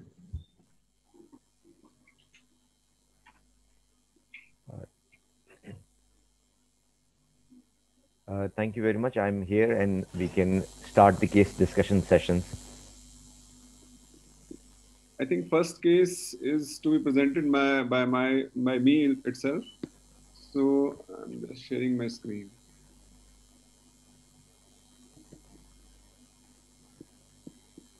So I'll quickly move on to the case because we are running short of time. So this was a complex primary bilateral knee, a 45 year old male, no other comorbidities. He came to me with this X-ray with the severe varus bilateral knee and uh, he wanted a perfect knee. So what I planned, he also he was in constraint of some money. So the knee was very bad with large osteophytes. You can see the in the suprapatellar pouch also there was a huge osteophyte. So what I did was a standard PFC sigma knee. Was not happy with the post-op X-ray, especially on the left side. I had used 17.5 mm insert in this patient as backup TC3 implant was not available. His LCL was a bit lax, but he was happy because he was walking the next day of the surgery. So he kept moving. This was his three month x ray. I could see some sort of lysis around the tibial component in the left knee. And when he came after six months, his tibial component was loose and it was toggled off. He came with pain. So what I planned in this patient as when I opened it up, I was having a backup of TC3. I usually do a DePuy implant. So I was ready with the TC3 implant, but while op after opening the knee, I found that the femoral component was okay. So what I did, I did put a stamp, revised the tibial component, and did put uh, a TC3 insert, a revision insert in the PFC sigma femoral component. So I explained the patient also about this thing and uh, told him that he might need some sort of reason in future also. So this was done somewhat around four and a half years back. It was done in uh, 2017. So this patient was lost in follow-up and suddenly he uh, reappeared after four years with this problem. His left knee was absolutely fine. And now he has a toggle right knee component also. So, but he still somehow he's managing. This is his video, I think. Uh, so this is his latest video. He's walking with the more weight bearing on the left knee. Right knee is a bit painful. He can walk, but he's painful. So what I am planning to revise the right knee also with a stem uh, with two zone, at least two zone fixation on the tibial component with stem or with the sleeve if needed and uh, revising the femoral component also on the right side. Any comments, sir? Shahid, sir? Um, I think uh, uh, people who are trained abroad, uh, for example, from UK and USA, they don't see any cases in USA and Europe. And when you come back to your country, you're faced with a challenging deformity where your clinical skills are not there to deal. And then the logistic problem of having the full inventory of implant. Uh, and I had faced this problem 20 years ago when I came back from England. Um, my advice to all young surgeons would be uh, to understand the principles of correction of deformity. So there are two elements. One is clinical assessment, whether the deformity is correctable or fixed. So a correctable deformity will require less soft tissue release. And a fixed deformity will require more soft tissue release. The second problem is bone loss. And bone loss can be managed in different ways. For example, you've used a bone graft and a screw, but it sh should always be supplemented by a stem. If you had put a stem in the beginning, most of your problem would not have been um, have occurred. The third comment is that you've used a stemmed implant and a TC3 poly on a PS femoral component. So that's a miracle uh, that it has lasted because it's a mix and match that it's a PS femoral component and a TC3 poly. So, and that is going to cause a massive wear uh, and constraint, but still surviving. Um, so that's my little uh, input. Uh, so this is a everyday knee in Pakistan, uh, and whether it be Bangladesh or India or other spaces. So when we train people, it is yes, it is important for them to visit hospital for special surgery and Europe and England. But I think there should be more fellowship center in India and in Pakistan and in Bangladesh where young surgeons from this region would have opportunity to see we do these cases every day. So that's my little comment. Thank you sir. Thank you. Any other comment from other uh, panelists? Dr david are you there? I think he's not there. I'm here like a bad penny. Hi, sir. Actually, uh, you know, this mix and match thing, how, how I, I, don't disagree with it. I do it quite commonly. Um, with this kind of deformity, actually, honestly, I would put in a standard CR uh, implant and, and, and get, get that balance. It would not be an issue for me, usually. But, um, you know, again, in my part of the world, just like Shahid, uh, we, we just deal with this all the time.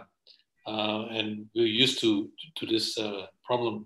In fact, the, the main thing here, if you want stability, if you preserve the posterior cruciate ligament, somehow or other, it seems to stabilize the whole knee. Um, the, the, the big problem you have with these knees here, and why you have to put such a large insert in, is because, hey, you want to take the recommended cuts on the tibia. That's just too much on the tibia. Number two, um, your lateral collateral ligament is incredibly lax. Your medial collateral ligament is incredibly tight. And when you try to balance the MCL to the LCL, you will fail. It's much better to try and balance your MCL to your PCL, and that will give you a stable knee. Uh, if you're going to revise it, then uh, actually since uh, eight, four or five years ago, you could have actually used a metaphyseal sleeve, and those things are incredibly, incredibly stable. So that's what I would have done. Thank you, sir. Thank you for nice comments. Uh, can I add one more comment? Uh, that soft tissue release, uh, and there are osteophyte and there are thick soft tissue attached to the superficial medial collateral ligament. And you have to be able to release that. Uh, conventionally, it had been said to go more distally, but that is going to create more instability. So in these varus knees, uh, you might have to go posterior medially. So posterior medial uh, soft tissue release is the key um, uh, of balancing this knee. And I totally agree with David Choon that you should have a conservative cut on the tibia so that you don't have to use a massive size uh, poly. But uh, people should come to Karachi and uh, visit David Choon and, and in various centers of India to see this happening every day. I mean, in my list yesterday, we had four bilateral and a revisions and two total hip replacement and uh, periprosthetic fracture. So we have large, huge lists and we see it every day. Thank you. Thank you, sir. Thank you for nice comments. So thank you, uh, Dr. Vinit Yadav for nice case presentation. Now I'll request uh, Dr. Ukrit, please present your case. Dr. Ukrit, please. Please unmute yourself. Okay, uh, thank you for my opportunity to present the case. Um, okay, this case is belong to the female, 65 years old. Uh, she has both knee pain for uh, 10 years and 45 years ago, she had uh, crashed by the car and uh, have the bilateral femoral shaft fractures. After one year of treatment with the uh, traditional medicine, uh, she can walk with gait aid, without gait aid, sorry. Uh, but the last 10 years, the pain in the knee was progressed uh, and did not improve by the medication. This is the walk of the patient. Okay, she can walk without gait aid, but she has pain on the knee. Okay. This is the theme of uh, both knee. Um, you can see the OA change of both knee, uh, severe, severe OA, and the deformity of the bilateral femur, like this. And tibia is uh, still good, but the deformity is in the femur. So this is a scanogram of the patient.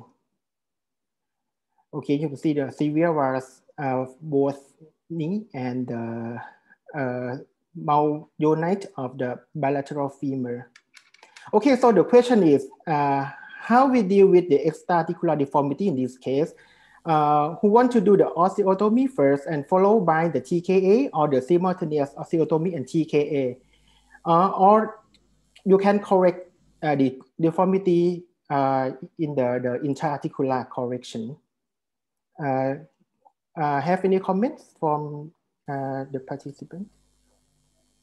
Uh, I mean, you have two options. I mean, uh, either to do a two-stage procedure and do correction either by an intramedullary device or an extramedullary device. And once it is healed, then you can proceed with your procedure. And then you have to assess whether this deformity can be corrected by your intra-articular cut. And a significant deformity will lead to such a cut that your collateral attachment will be involved and that is going to lead to instability and mm-hmm. uh, so you have option of using a navigation uh, and having uh, uh, uh you can use a ps uh, psi patient specific instrumentation but with a significant deformity if the deformity is more near the knee joint then it is going to be more significant. The farther it is away from the knee, the, it is easier to correct by intra-articular cut. Uh, so it is planning, preoperative planning, so that you don't face a problem intraoperatively and postoperatively. So that's my comment. Okay, thank you. Um, this was the second case I did with with CAS, and I will tell you one thing: CAS don't help. It's really pretty useless. You have to do everything by eye and uh, and if you're no good at it, you're just going to get it wrong. but you know, uh, you have to do a lot of adjustments, and basically, it's the same as when we fix long bone fractures. It doesn't really matter what the bone looks like in between. It just you just need to know what the knees needs to do after you replace the, the, the re- replaced it, and you need to get some kind of mechanical alignment going. If you're any good at that, then you'll be all right. If you're not, it'll fail. Okay, thank you, So, Dr. totally, David Choon. totally agree with uh, David Choon. So don't use a technology that you are not proficient in in an extremely difficult case.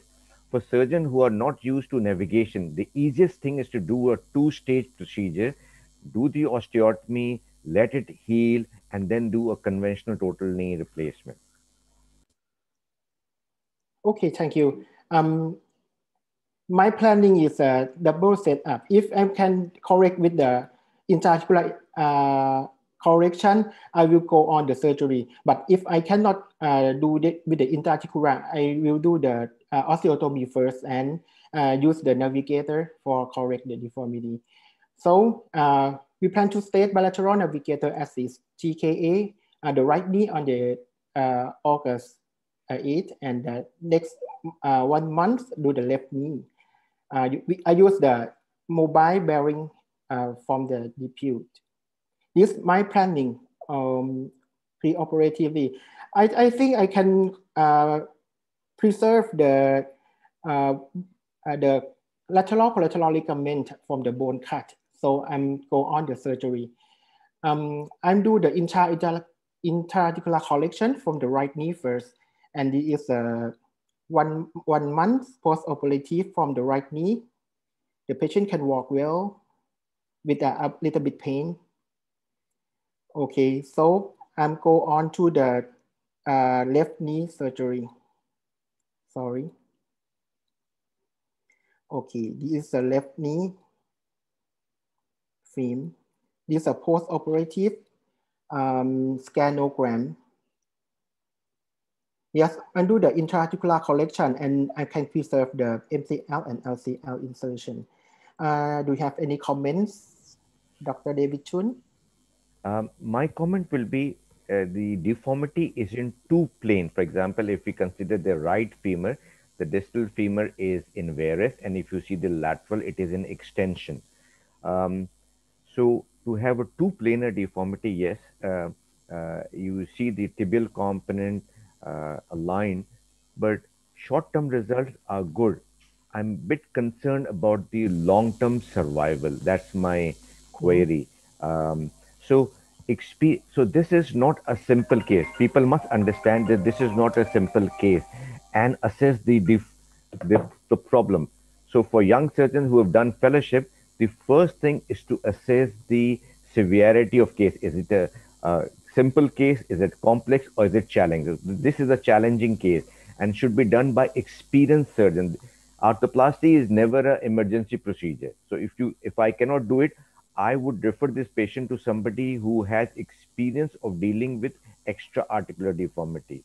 So my comment will be very nicely done, excellent procedure.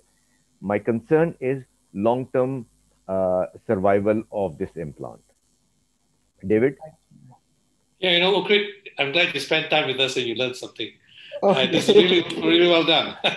um, Thank you, David the, the only thing is that I would say I won't use rotating platform knee because I think, you know, just like uh, Sai Shai says, um, I, I'm just worried it, it's going to cause problems uh, because really with these kind of knees, your ligament imbalance is massive. You know, you, you're making cuts to try and balance the mechanical axis, and as a result of which, your ligaments are all over the place. And again, I would say that you've done the right thing. You use a CR implant, which means that, you know, yeah, you learned the lesson that the CR maintains the, the gap between your distal femur and your tibia. And then your, the balancing of ligaments is easier. If you cut that thing off, you're in deep shit. Mhm. Thank you, David Choon. Um, because of the COVID-19 uh, situation in Thailand, the patient is lost follow-up for a month, but um, I'm asked her from the phone, uh, she can walk well without get it and a little bit pain on the, the, the left knee. Um, but uh, the, the, everything is good. Thank you very much. Thank you. When we do arthroplasty, obviously, uh, experienced arthroplasty surgeons is looking for survival beyond 10 years. And you see preoperative uh, uh, video, there was a lurching gait. And my concern and David concern is same. Yes, two, three months, fine. But if it is going to put a, the PCL is gone and the alignment, yes, restored. But my concern would be long-term survival and early revision of this implant. And then the question will be that do we correct the extra-articular deformity or not? So for young surgeon, for, for the beginners, you must understand number one, this is a challenging case. Now, if you have to do it, the easiest is to deal with deformity. And sometimes you can ask your deformity correction colleague. For example, uh, I have a team. And if I get a periprosthetic fracture, I ask my top trauma surgeon to work with me. For example, if mm-hmm. I have mm-hmm. extensive mechanism rupture, I chip in my sports injury team to help me in reconstruction of patellar tendon or quadricep tendon or other things. So there is no problem is working in team. You don't have to do everything in isolation. It works very nicely in my department. We work as a team. So nicely done. Best of luck. Yeah, thank you very much. Thank you, Great. Now I'll request uh, Dr. Nitesh, please uh, present your case. Dr. Nitesh, please.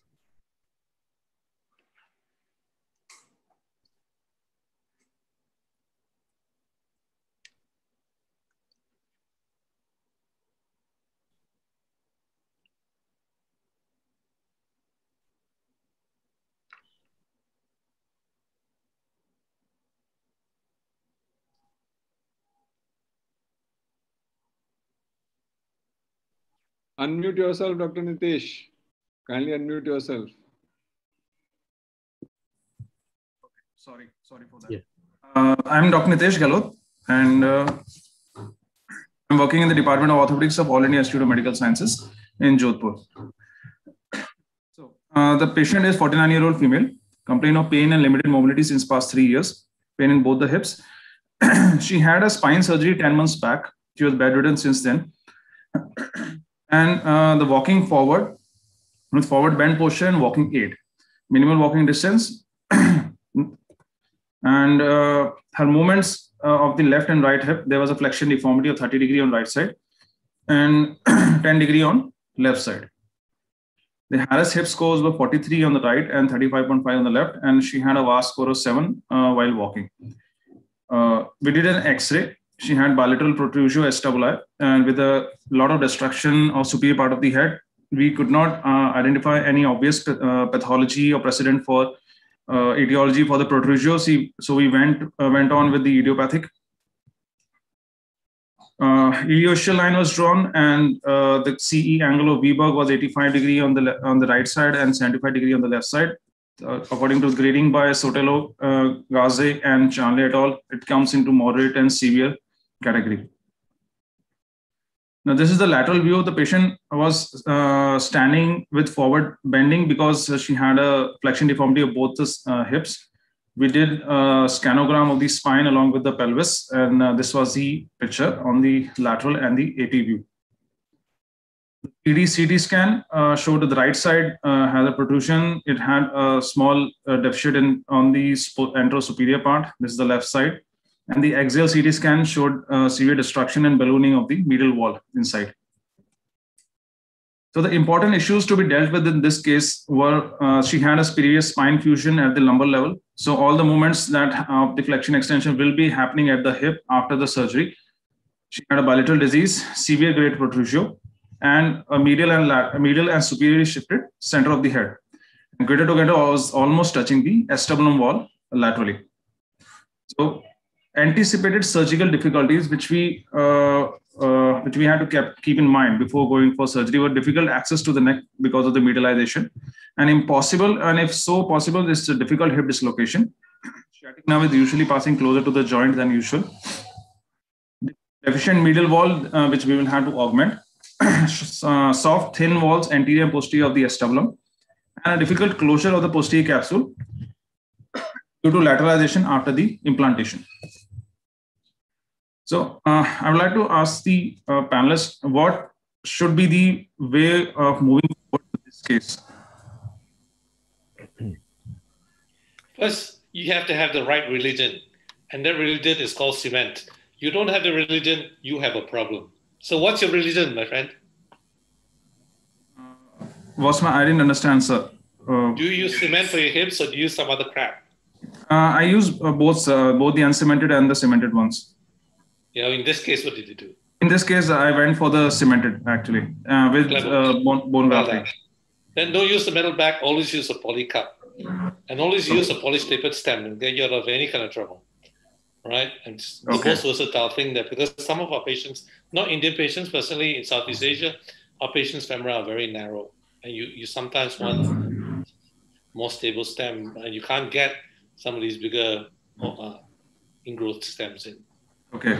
Okay. So my comment would be uh, that anticipate the problem you've already anticipated, and that's the message for the young surgeons that not all bad-looking hips are total hip replacement. You must categorize them that this is a simple, complex, or challenging. I would categorize this for young surgeon as a, a challenging.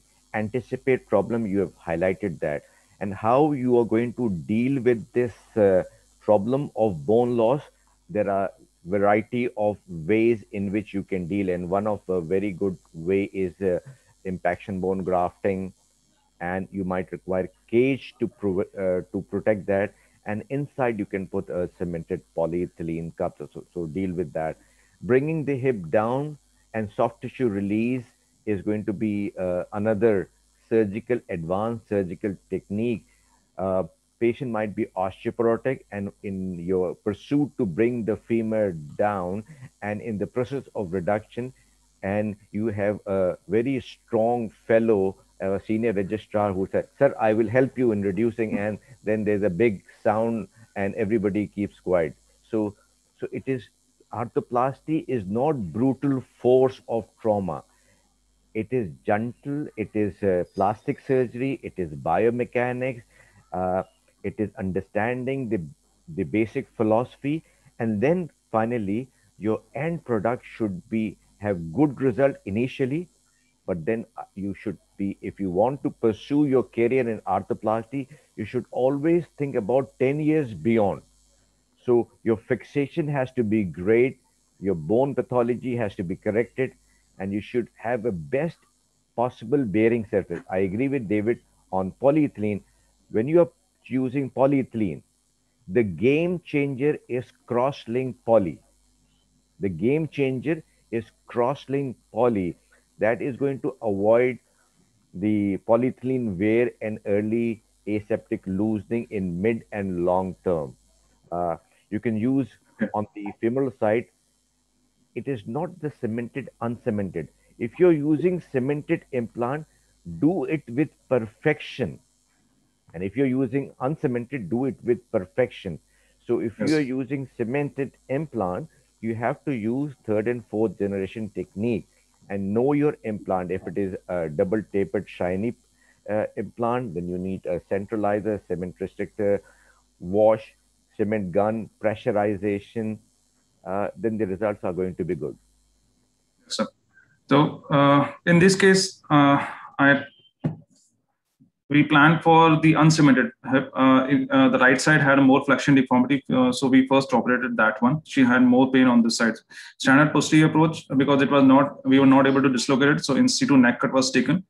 Extensive fibrous tissue in the acetabulum that was resected, and the medial wall was membranous in the antero superior part here. So uh, auto, autograft impaction bone grafting was done by the Exeter technique, and uh, this was the result after the uh, impaction bone grafting. You can see the graft inside and uh, the implant we put uh, 52 mm acetabulum shell with uh, side line uncemented hip. Can we see the final X-ray, Nitesh? We are getting late. Yeah, yeah, sure. So this was the right side with the autologous impaction bone grafting. And after two weeks, we went for the left surgery, same, but this time we were able to dislocate it. And same bone grafting was done and a bit uh, larger implant. And this was on the opposite side. Uh, compared to the uh, pre-operative, we were able to restore the medial, uh, we, uh, do the lateralization of the cup. Uh, we were able to maintain the uh, equalization of the length, leg length. And this was the patient, she was able to stand erect with no pain. This is a recent study which has come out. They have done on more than 4,000 patients. So uh, protrusio acetabular is associated with a lot of complications that, and intraoperative fractures. We have to be careful. Literature guidance is to grade it, check the status of medial wall. Anterior posterior walls have to be checked on CT. Options on the table have to be kept, the cemented, the uncemented, the mesh, and the cage. Because if the good bone grafting cannot be done, then there can be medial wall blowout also. Then in that case, you, uh, you will have to use a mesh. Medial reaming not to be done, and don't over lateralize the cup anything which could have been done differently or which could have been done better in this Nitesh, thank you thank you for getting Thank very you. late. There are there are many ways of dealing with same problem. David Choon would do it in a cemented and do a perfect result, and you've done it very nicely. For the so the message for the young surgeons are there are many ways of dealing with problem. You do it as what you are good in where- and how you have been trained and you can deliver. Don't do it by changing your philosophy by uh, just one workshop or seminar. You have to see it being done perfectly by a surgeon who is experienced in dealing with these complex cases. Definitely, sir. Thank you very much thank you we should move to the next presenter So next presenter is uh, Rajat. Please, please present your case. Last case of the session. Just kindly be quick. Actually, we are running too short of time. We are running too late. Okay, sir. Okay. So, are you able to see me? See my Yes. screen? Yes, yes. So, uh, first of all, uh, thank you to organizers of the APO for uh, for asking me to present a case on THR. So, uh, just I'm from Lucknow, and we are presently hosting the ICON in 2023, and we'll be glad to welcome you all. So, my case presentation is uh, is a 56 year old male with a history of RTA five months ago. He's a laborer by occupation with complaints of inability to bear weight on his right lower limb with the pain, and he's on traction for the last five months. So we get got an X-ray. Uh, the examination showed there is tenderness at the hip. There is global restriction of the movements. There is shortening about one centimeter. The all the systems, other systems are within normal limits, and there are no other comorbidities. So this is the X-ray we got. So can I ask the panelists like how to proceed? Um, assess the patient more radiologically, get a CT scan to assess the bone loss and the column, you get a Judet view and CT Hmm. scan before proceeding. Yes, sir. So, so that is what we did. We uh, unfortunately I don't have the Judet views, but I have the CTs. Uh, so the things do we need to address is we have to address the pain, we have to address the stability, we have to address the motion and the shortening. So we got an CT done. So I have the 3D CT scans. So which is basically showing the both column fractures is there, and it is around five months. And there is some bone loss. You can see as there is some acetabular deficiency. So can I ask the panelists like what what do they prefer in such a case? Do they like to proceed for an osteosynthesis or do, do they wait? Uh, do they straight away go in for a hip replacement in the such cases? As I've said previously, combine the team. I don't do pelvic reconstruction, but I have in my team a consultant who has a vast experience of dealing with pelvic fracture. So combining these two together is not a problem. So you can do a one stage, you can do an osteotomy, you can fix and put a plate on the posterior column and then use the head and do reconstruction and you can use uh, uh, uncemented. So pelvic fracture, sometime if the head is severely damaged, acutely you can do acetabular reconstruction and you can do a total hip replacement. And this same thing can be done here, or you can do a two-stage procedure. Uh, uh, so both of them are possible. But if this case comes to me, I would not do it alone. I would have my pelvic reconstruction surgeon available for me. Okay, sir. So Well, I mean, what the we- thing is, you need to see what you want to do, right? So it, you just take a troch osteotomy, take off the trochanter, take off all the muscular to preserve that, and then you can easily fix them back with all these new devices they have nowadays. That gives you a fantastic view of everything. Then you just put a cage down, use the native femur as a, a impaction grafting or allograft, and, and Bob's your uncle, and you'll, you'll be done in two hours. Okay, sir.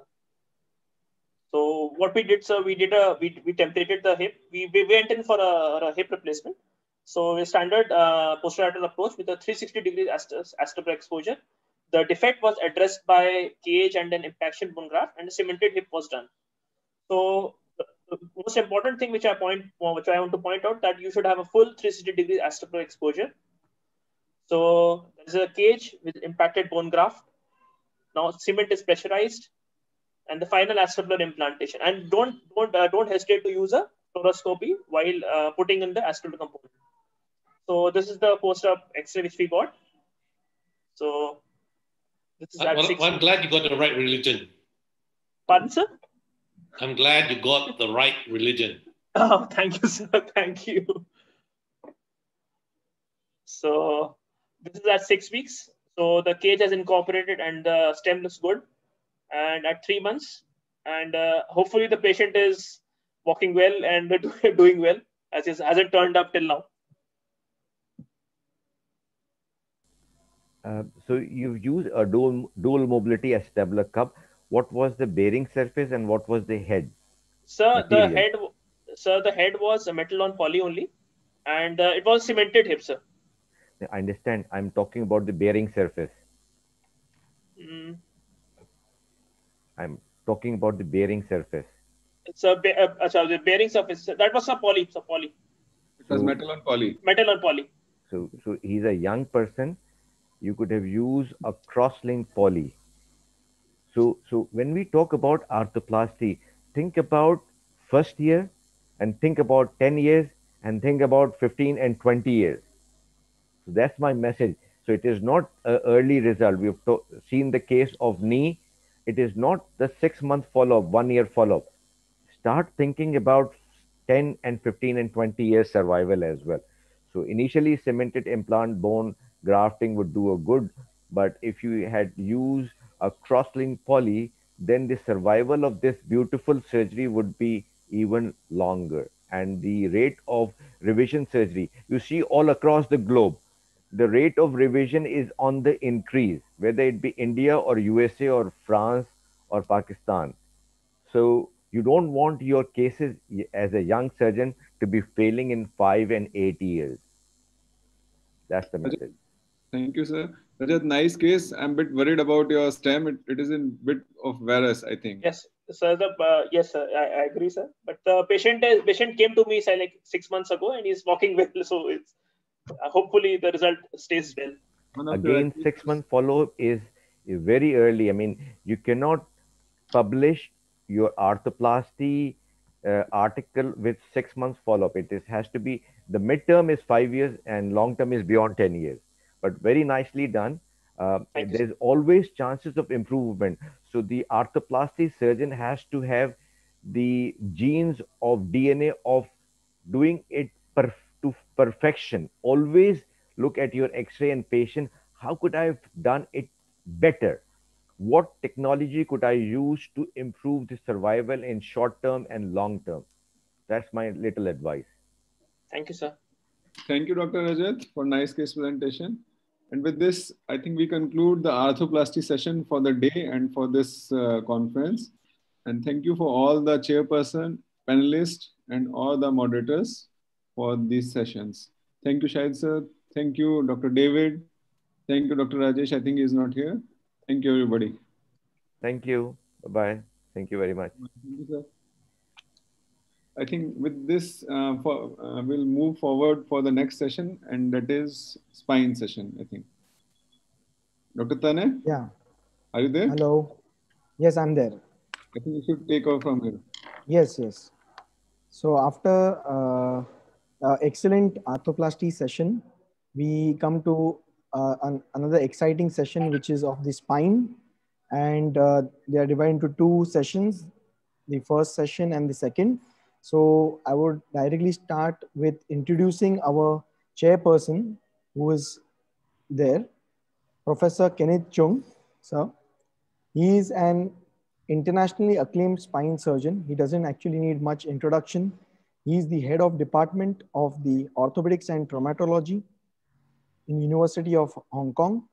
He's been the past president of SRS, that is Scoliosis Research Society, and is currently the editor of the International Journal of Orthopedics. He has a lot of book chapters to his name and publications, and he is associated with big bodies like the AO Spine, and he's been the AO Spine chairman of AO Research as well as Commission. So I welcome you, sir. It's an honor and privilege that you have joined us for this session at the Young Surgeons and to give your valuable inputs to the young surgeons. I also invite the Dr. Pinto and Dr. Vineet Kumar who are here and all the speakers who have joined for the session of the spine. We have six, six, uh, one, two, seven speakers, and I will hand over now to uh, Dr. Vineet Kumar to take over the proceedings. Thank you very much. Thank you, Tanay. So without wasting time, with the permission of the chair, I would like to invite the first speaker for this spine session, Dr. Dong Jiang. Dr. Dong Jiang, kindly unmute yourself and you can begin with your presentation. Thank you for the introduction. I will start the, the presentation. The first definition of burst fracture is, uh, uh, was as follows. Denis redefined fracture by three-column theory. In AO classification, A3 type is incomplete burst fracture and A4 type is, in, uh, is complete burst fracture. I'll discuss about A3, A4 type burst fracture on thoracolumbar lesion from T10 to T L2 or L3. General consensus for management of A0, 1, 2 was conservative and BC type was surgery, but A3, A4 still controversial. Even AO Spine has been conducting research of clinical trial for TL burst fracture management. In AO Spine knowledge from trauma study, experts said, this is a great zone. If I decide a fracture is stable and the patient may be treated conservatively, someone else will suggest surgery based on their experience. Surgery is not as risky as before. There are plenty of reasons for controversy. Spinal cord and cauda equina injury can induce an irreversible neural tissue damage, but consistent conclusion on clinical outcomes are lacking. There are frequent of trauma and combined injury. Burst fracture has various criteria and high level of evidence is lacking. These factors include complex decision making. I will discuss about these contents, kingdom, kingdom of controversy. There are several issues for decision of surgery and or conservative treatment. After post-fracture, kyphosis and the height loss progress. The opinion that post-traumatic kyphosis can be the source of back pain is predominant. In this case, a poor burst fracture shows further collapse without kyphosis there was no aggravation of pain. In contrast, this patient showed further collapse with kyphosis and complained persistent severe back pain. Surgery has multiple advantages. Surgery also showed also resulted in better function, higher rate of return to work, and better collection of kyphosis. Severe kyphosis sequelae may, might need major surgery for deformity correction later. Surgery has multiple disadvantages, such as cost effectiveness and surgery-related complications. There are many articles reported no difference between surgery and conservative treatment. There are also several articles with favor on surgery. For the decision-making for surgery or instability, evaluation of PRC injury by MRI is essential. Because articles reported that AO type A fracture preoperatively was changed to type B intraoperatively. However, in, even if MRI is, is used, it is often unclear whether the PRC is damaged. And in this case, both surgical or non-surgical treatment can be applied. In the systematic review with meta-analysis, it concluded that we did not reveal any difference. Surgical indication. Neurological deficit is widely accepted indication for surgery in current. There is minimal debate for surgery in neurological deficit, except for isolated partial lobe deficit.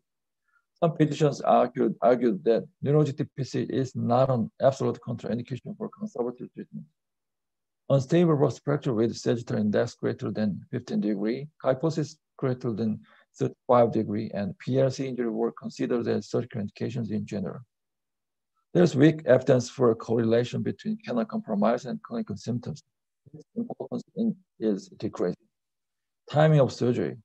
Early surgery usually means surgery within 24 or 72 hours. There is controversy whether early surgery is beneficial for neurological recovery and fracture reduction. Early surgery has multiple advantages. This advantage of early surgery, uh, second hit for multiple injury, higher mortality. Therefore, early surgery is not recommended for unstable patient. The scientific evidence for delayed surgery is weak. There is a lack of high quality studies comparing early and delayed surgery. In summary, early surgery can be recommended for cervical and thoracic spine, but cannot be recommended for unstable patient. Surgical approach and technique. There are several issues. Often conventional approaches has advantages. There are debates for length of fusion and reduction power compared with MIS. MIS technique have advantages for preservation of back muscle and spinal motion, only postoperative recovery.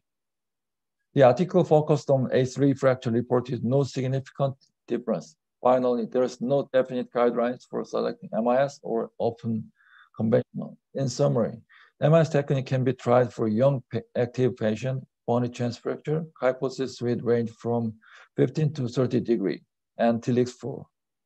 This patient shows A3 burst fracture with TLICS 4. I performed posterior reduction and screw fixation. Here, kyphosis was significantly improved. Anterior approach has multiple advantages and disadvantages of relatively higher risk. This patient shows severe canal, canal involvement and kyphosis. I performed anterior corpectomy and mesh cage insertion. Posterior approach has advantages and disadvantages also for instrument failure and recurrence of kyphosis. Combined anterior and posterior approach can be an ideal method theoretically, but because of operative risk, there are no obvious advantages over anterior or posterior alone. This patient showed a four-type post fracture. MRI and CT showed significant growth and canal compromise. I performed instrumentation followed by posterior fusion without laminectomy. You can see a result of indirect decompression by ligamentotaxis. German Association of Trauma Surgery reported prospective multicenter registry. In this paper, there is no difference in neurological recovery. Combined approach was favorable on correction of deformity, and posterior only approach was favorable on functional result. But there was no limit, but there was limitation due to case matching and different injury severity. For the canal remodeling, there are a wide variety of conflicting results have been reported. In conclusion, no correlation between the degree of canal compromise and clinical symptoms. In summary, tailored surgical approach and techniques are needed according to the patient condition. Post-surgery using indirect decompression could be a general option. MIS pocket and fixation can be an alternative. Fusion versus non-fusion. Instrumentation without fusion shows multiple disadvantages in the past. However, recent research researchers showed no difference between fusion and non-fusion techniques. The segmental fixation with a fusion showed multiple advantages, then it can be an option. This patient showed A3 fracture. MRI and CT showed body loss and canal compromise. I performed proximal screw fixation without fusion, and you can see a successful restoration of spinal alignment and body height. Non-operative treatment. There are several methods for non-operative treatment. The brace is generally accepted non-operative method for stable A3-A4 fracture. A prospective RCT concluded that there are no difference in outcomes and complication between patient with brace and without brace.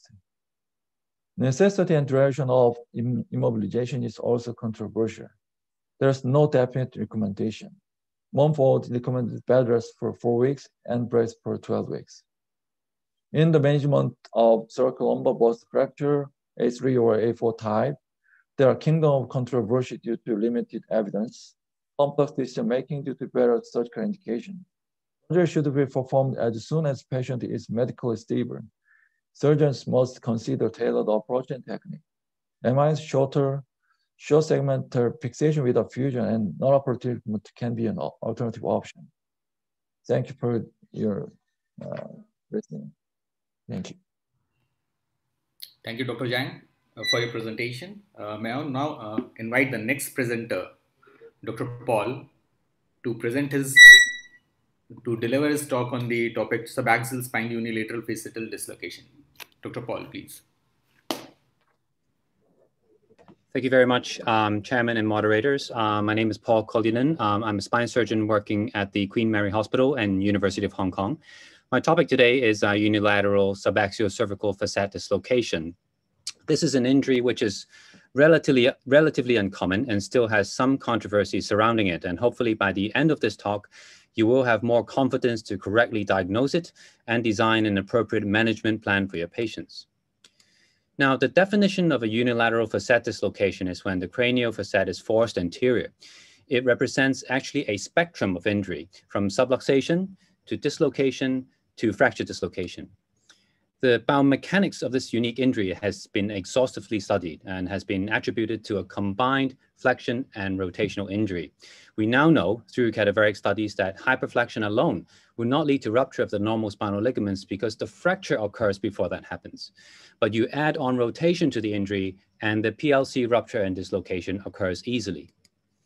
Cadaveric, studies have also shown us that the sequence of failure when such a force is applied to the spine, whereby the ligamentous complex fails first, followed by the joint capsule, then the PLL, and finally the facet gives way. The classification system for facet dislocation is largely a subset of the classifications for subaxial spine injury. Some purely describe the morphology, such as Allen and Ferguson. Some add on a scoring system to guide treatment, such as the uh, STSG classification, and in the AO spine classification, facet injuries have their own category as type F, with modifiers for special conditions such as AS, OPLL, and DISH, so on. So first of all, how do we diagnose them? Well, these patients present to us with neck pain and torticollis. The chin is pointed away from the sublux side and head, head tilted towards the sublux side. And invariably, they will have posterior tenderness and reduced range. In unilateral dissociations, uh, root lesion is more common than a cord lesion. In contrast to bilateral dislocations, unilateral cases typically lead to less than 25% of slip. And on this film, you can also notice that the widening of spinous processes. Now, the bow tie sign is a feature seen on the lateral x-ray, which represents the non-overlapping of the facets at the dislocated level. But this sign, admittedly, is not always easy to outline. Another radiological sign on the AP view X-ray is the rotated spinous process. The way I remember it is, if the facet, for example, the right side jumps forward like this, in this picture, the head turns to the left and the comb of the rooster, which represent the spinous process, points to the side of the dislocation. The CT scan, of course, shows the dislocation very clearly, and you can also see any fractures. And another use of the CT is look for associated fractures of the pedicle, of the lamina, and on the axial cut, you can see the inverted hamburger sign, which represents a reverse placement of the facets. MRI is useful to visualize the soft tissue, and invariably in these types of injuries, you will see disrupted ligamentous complex and facet capsules. And you can also see if there's any spinal cord compression or intramedullary signal change. One main purpose of getting an MRI also is to look for ruptured and extruded disc fragments, which can get pushed into the canal during reduction and can lead to devastating iatrogenic injury. So let's look at a typical case. 27-year-old rugby player complains of sudden neck pain in the middle of a match during a scrum, no neurological deficit. So immediately we can see that something is wrong in C3-4, but what exactly is the radiological abnormality here? So you can see not only is there a 25% slip of C3 over C4, but there's also an abnormal non-overlapping configuration of the facets, as well as widening and displacement of the spinous processes.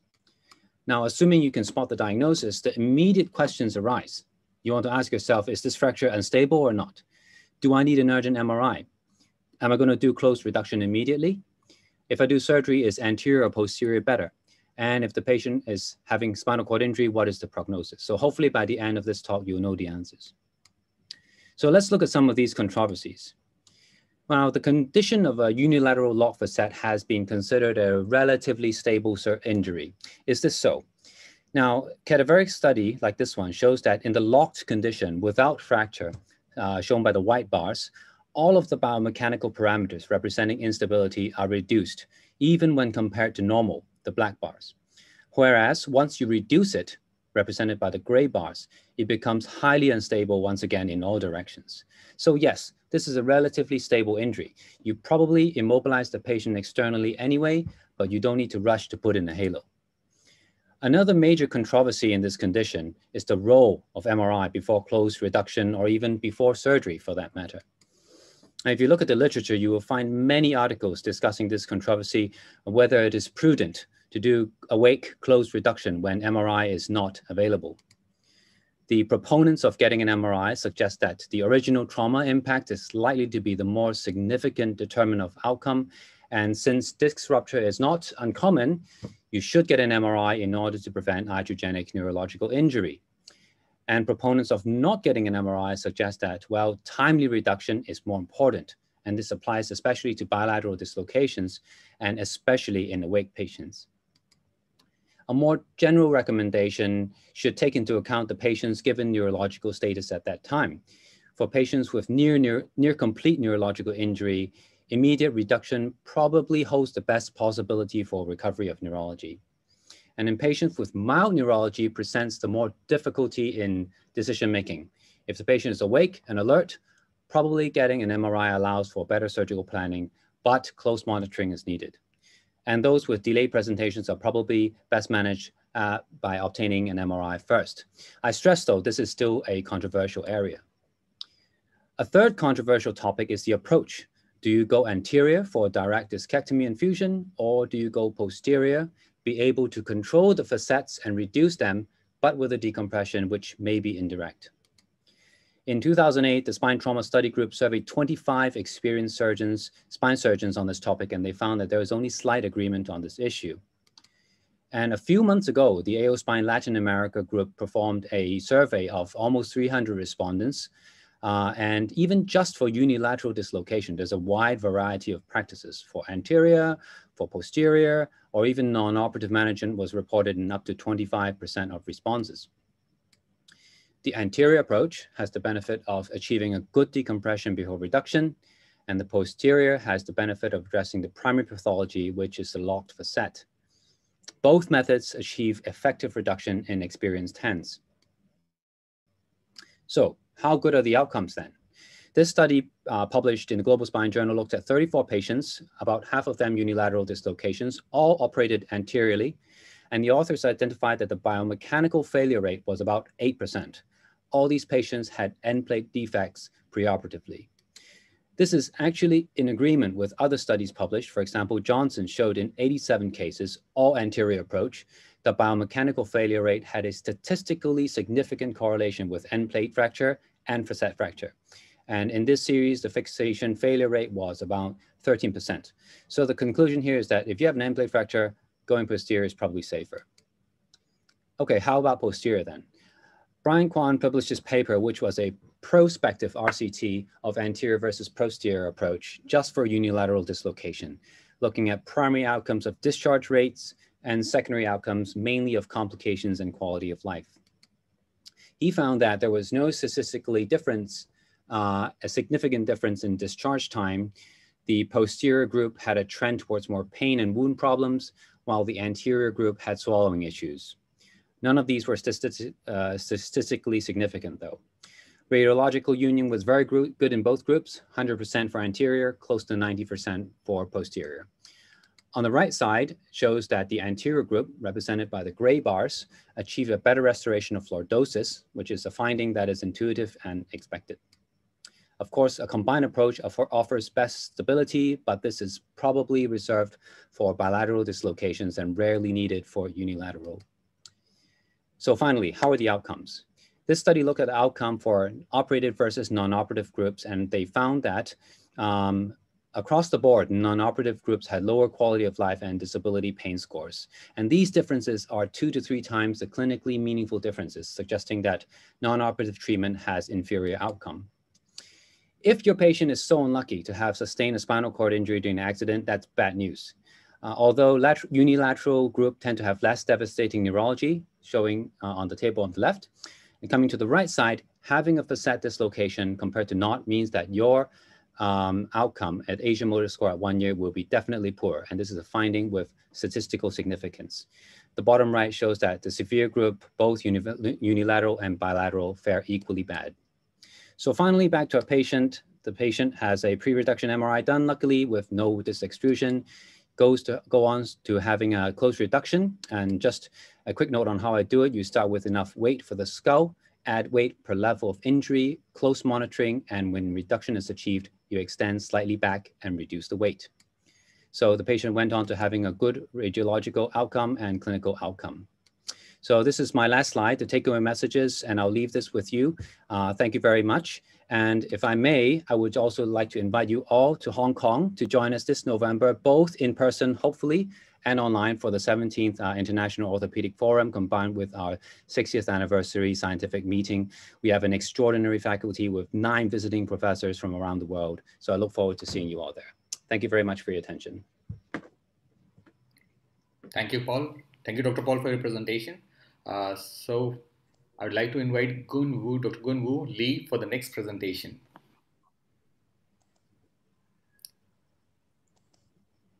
Dr. Wu Lee. Yes. Uh, you kindly proceed with your presentation.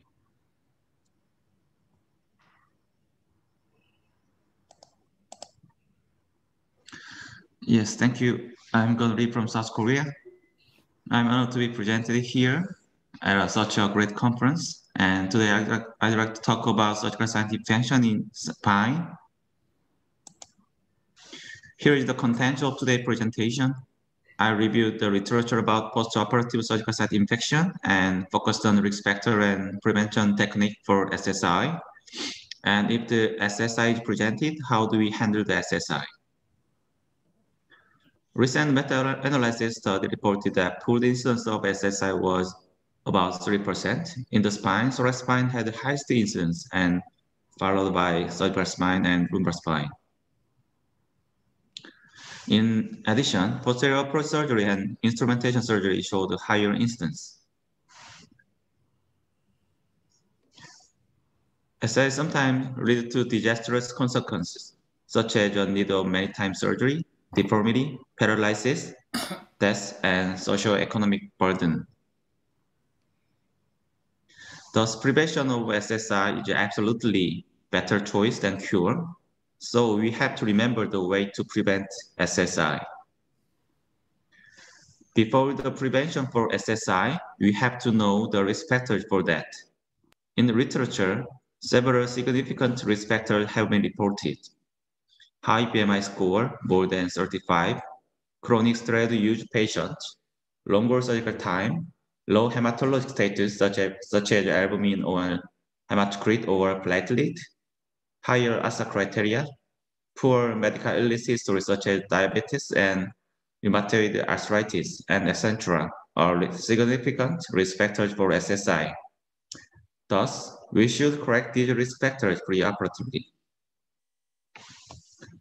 Now I talk about preventive ways for SSI. First, we focused on considering optimization of preoperative nutritional status, serum blood cell count, and we make much effort to do with less surgical time efficiency as possible. Second, many studies have demonstrated that intra-wound vancomycin application can be a great method for reducing SSI incidence. Next, obese and chronic steroid use patients should be considered on the risk.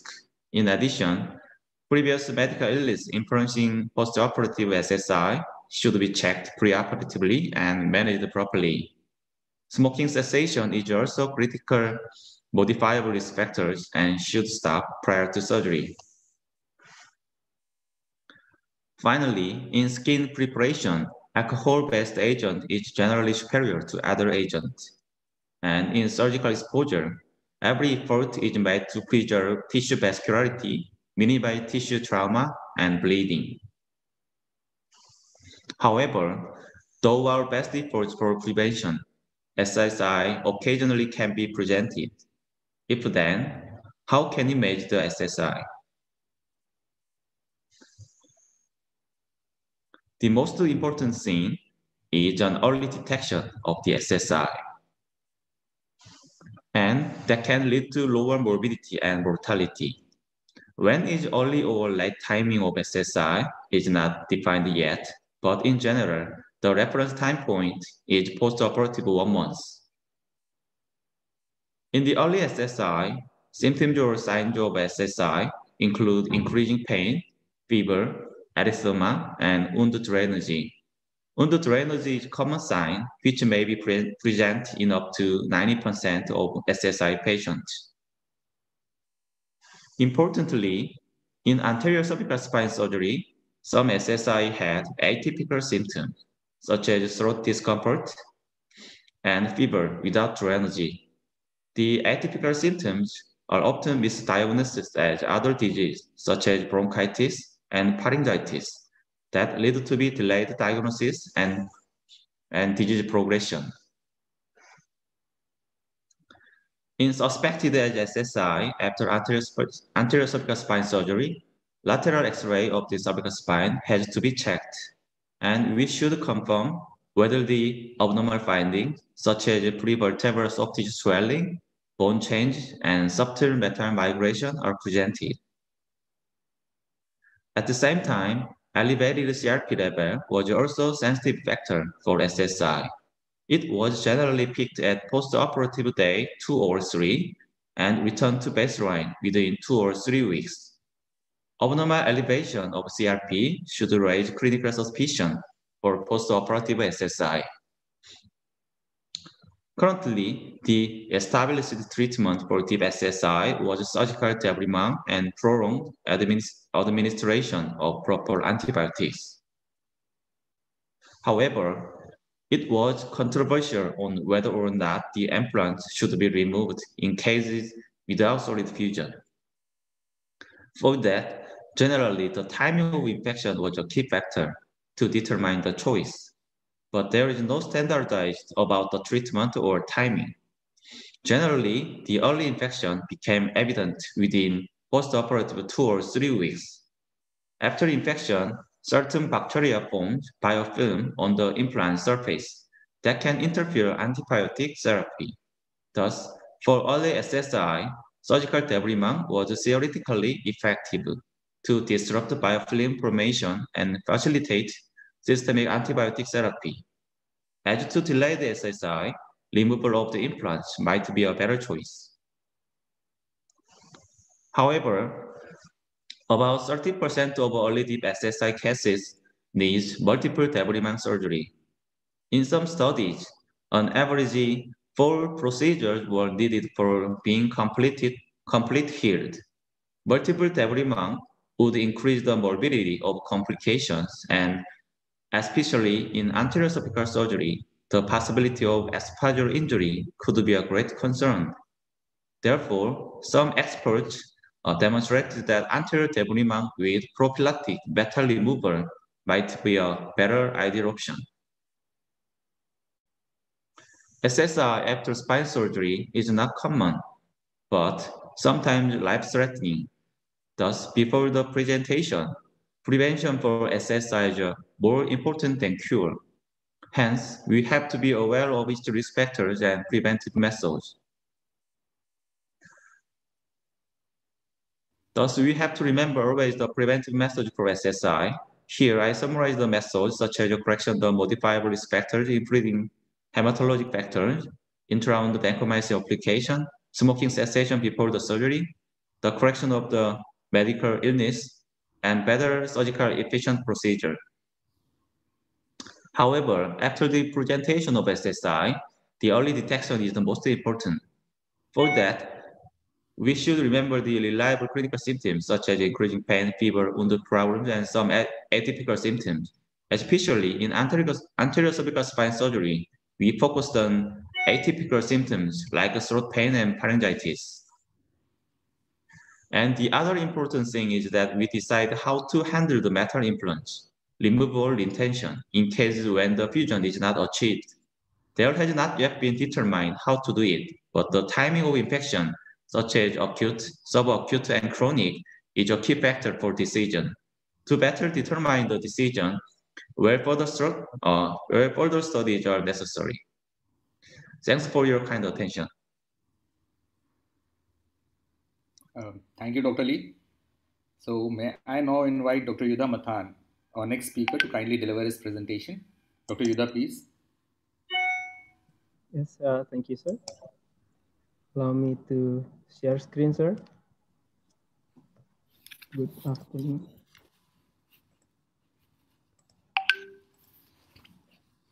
Okay, uh, I'm sorry, uh, uh, is my screen available? Yes, you're visible. Yes. Uh, thank you very much for uh, the moderator and all of the committee for the uh, precious opportunity. Allow me to introduce myself. I'm Yuda from Indonesia. And this opportunity, I'd like to share our experience in diagnosing and management of pyogenic infection in spine. Uh, we are from Yogyakarta, Indonesia. So as an introduction, uh, pyogenic infection is really low actually in compare of in general of osteomyelitis, but the the incidents create severe mor morbidity for the patient. That's why uh, it's necessary for us as a spine surgeon to understand how to manage and how to diagnose this condition. As a risk factors, all of the literature said that increasing life expectancy, immunocompromised condition, and this uh, following condition increase the possibility and susceptibility of the spine infection. Overall now, the improvement of spine care and spine intervention management also bring us to more uh, favorable condition to create uh, pyogenic or non-specific infection in spine. As introduction, uh, basically every infection is infecting pathogen that multiply, that creates host reaction and give us signs and symptoms. So knowing who or pathogens who did it and what that has been damaged will be the basic uh, knowledge to how to manage this condition. So the objective of my presentation will be the objective of recalling this mechanism and how we diagnose and manage this condition. As a case, uh, I brought you the female 49 years old with pain on the back, unrelentless for more than one year, going back and forth to, uh, uh, to previous and other department without any neurological deficit. And then we have a destruction in L4, L5 with pus formation here.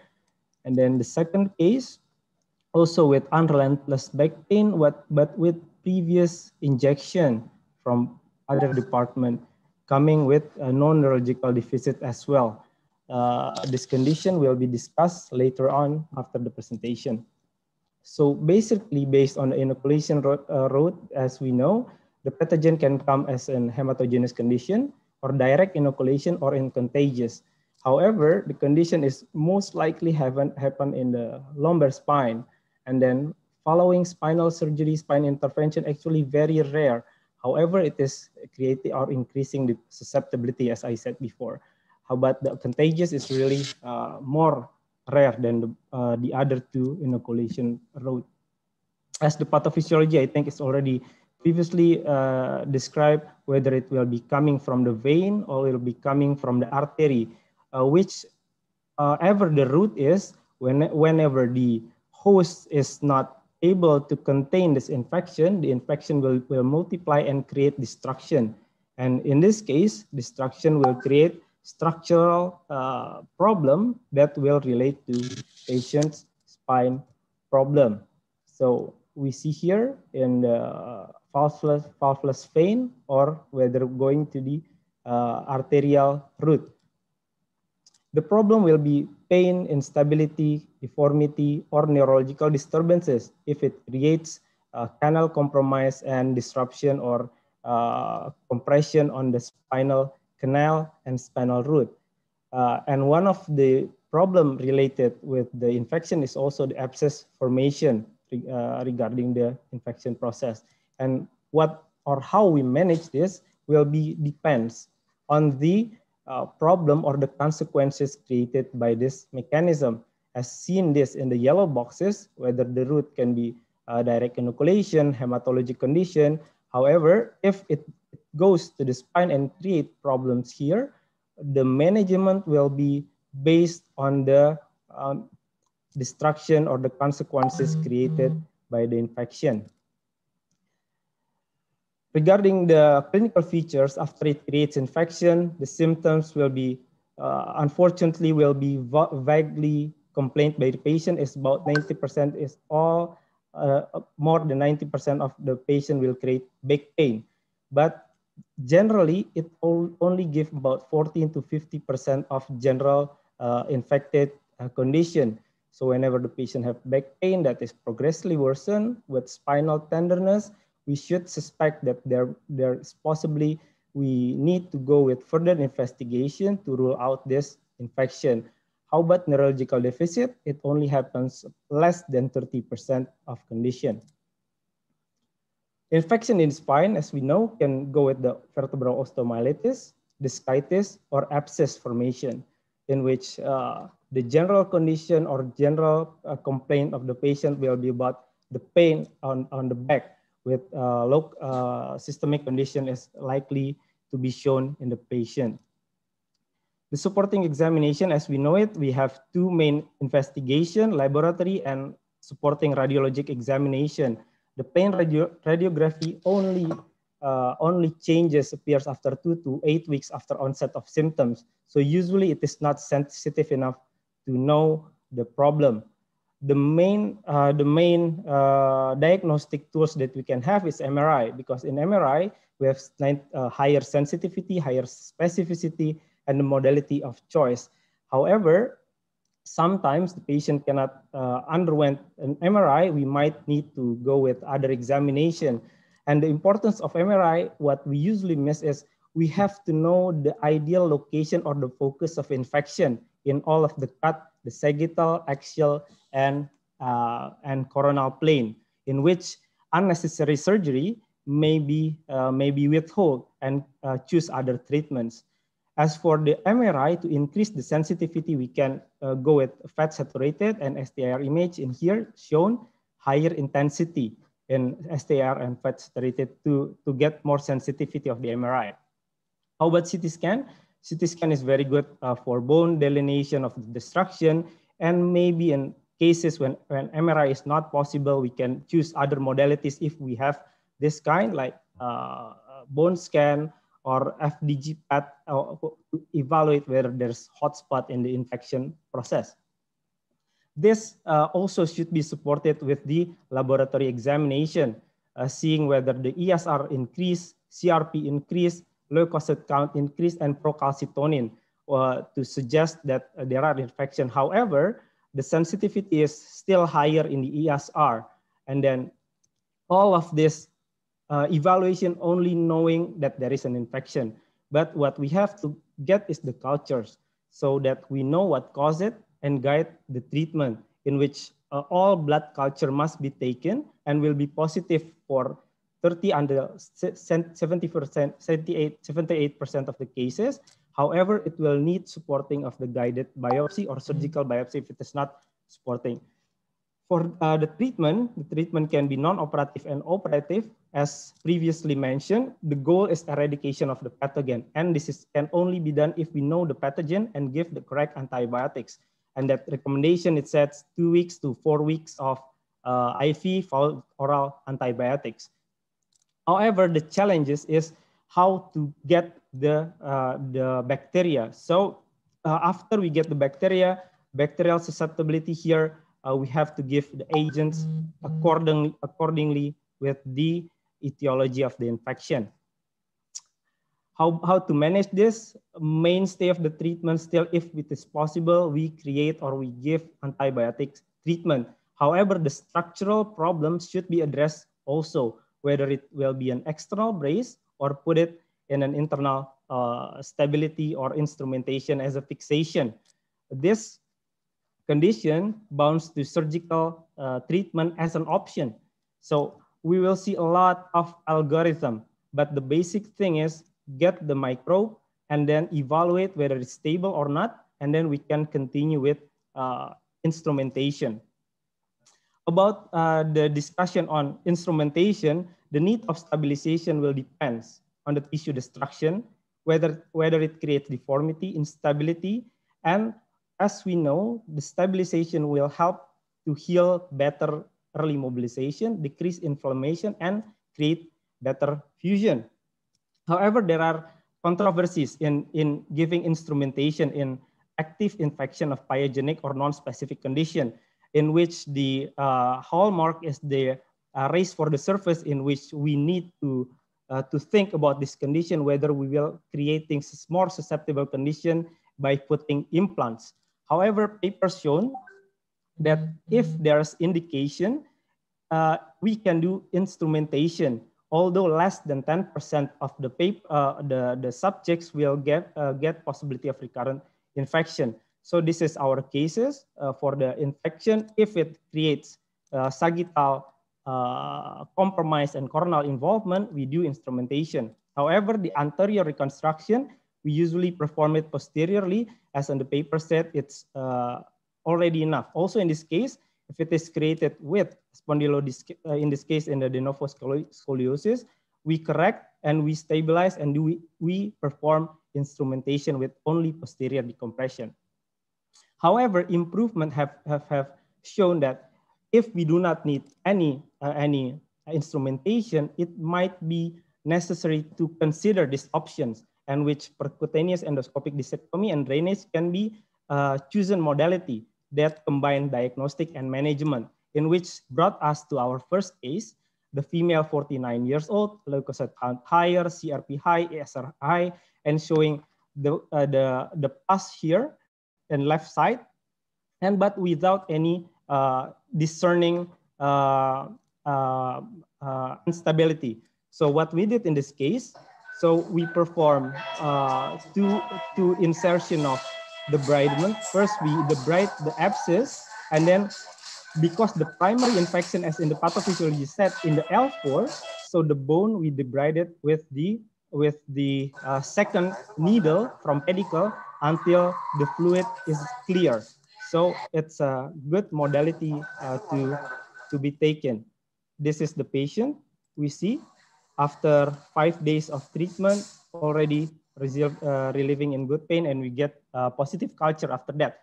The case two is a little bit different, showing the versatility of the, the, the, the, the debridement, in which in this case, we see in the posterior part, there are also um, a sequester. So in this case, we perform sequestrectomy, and in which this also can be considered in cases in which the infection or spondylodiscitis comes to you without any uh, possibility or there's no any structural uh, instability in the patient. So as a summary, a comprehensive, comprehensive diagnostic modality is needed and identification of positive microorganism is essential and this can be uh, combined by doing also uh, management and diagnostic treatment. However, it should be tailored to patients' uh, distinctive pathology based on comprehensive evaluation. So that's all my presentation. Thank you very much for the present uh, for the time. Uh, thank you from Yogyakarta. Thank you, Dr. Mathan. Uh, now I'd like to invite Dr. Chu to deliver his presentation.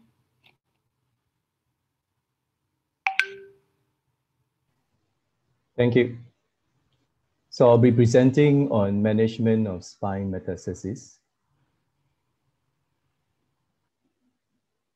So the principle of management, the main aim is to reduce pain, maintain and improve function and prolong life, and it's a multidisciplinary management.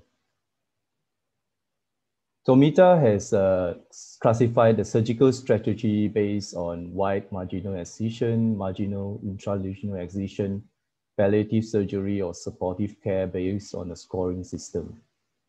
Recent advances in local tumor control with radiotherapy, uh, wide and, en bloc excision are less indicated now because it carries higher mortality and morbidity.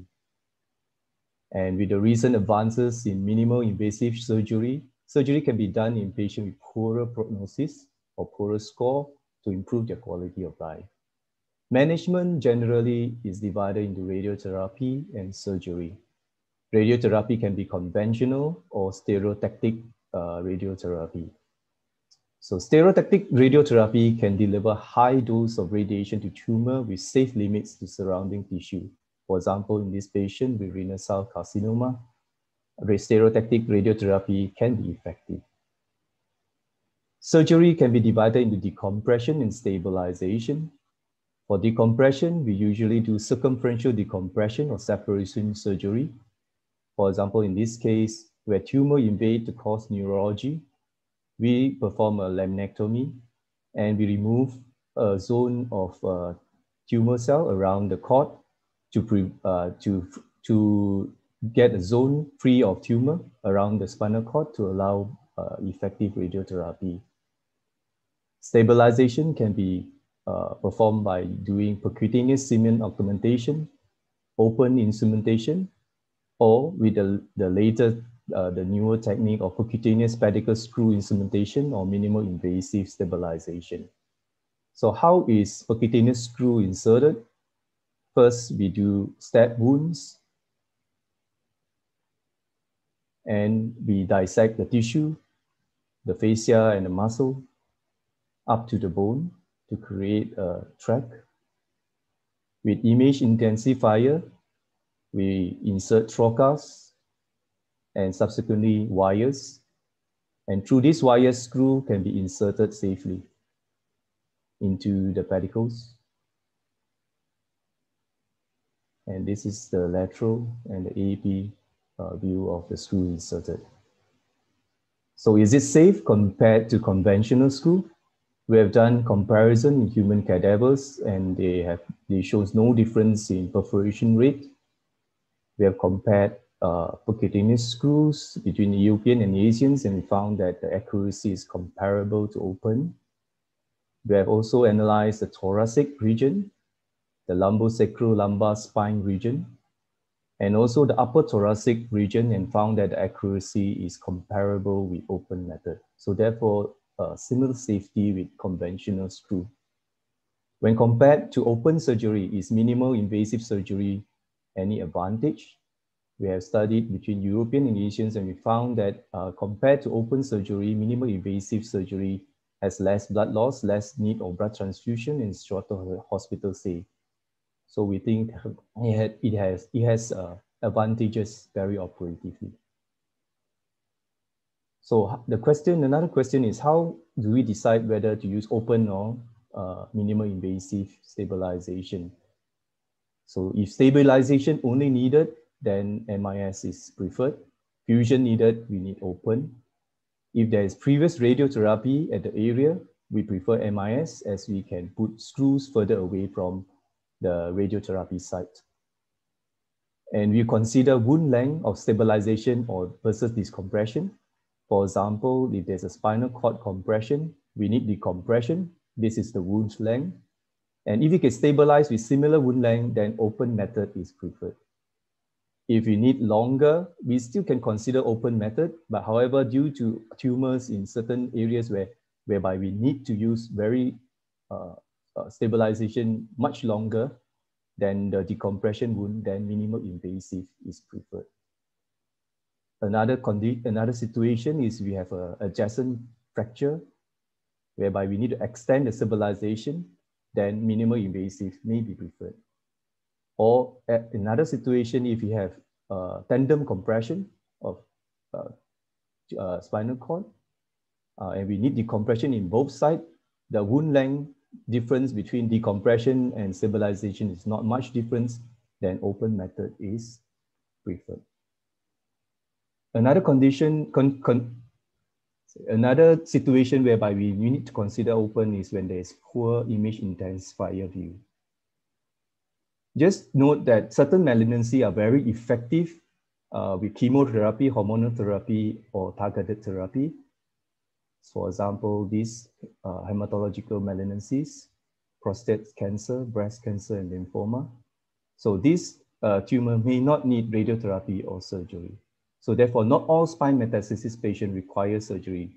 Clinical assessment is vital with the assistance of radiological assessment because surgical complication from surgery involves uh, many, many different uh, problems, which includes infection, paralysis, bleeding, and others.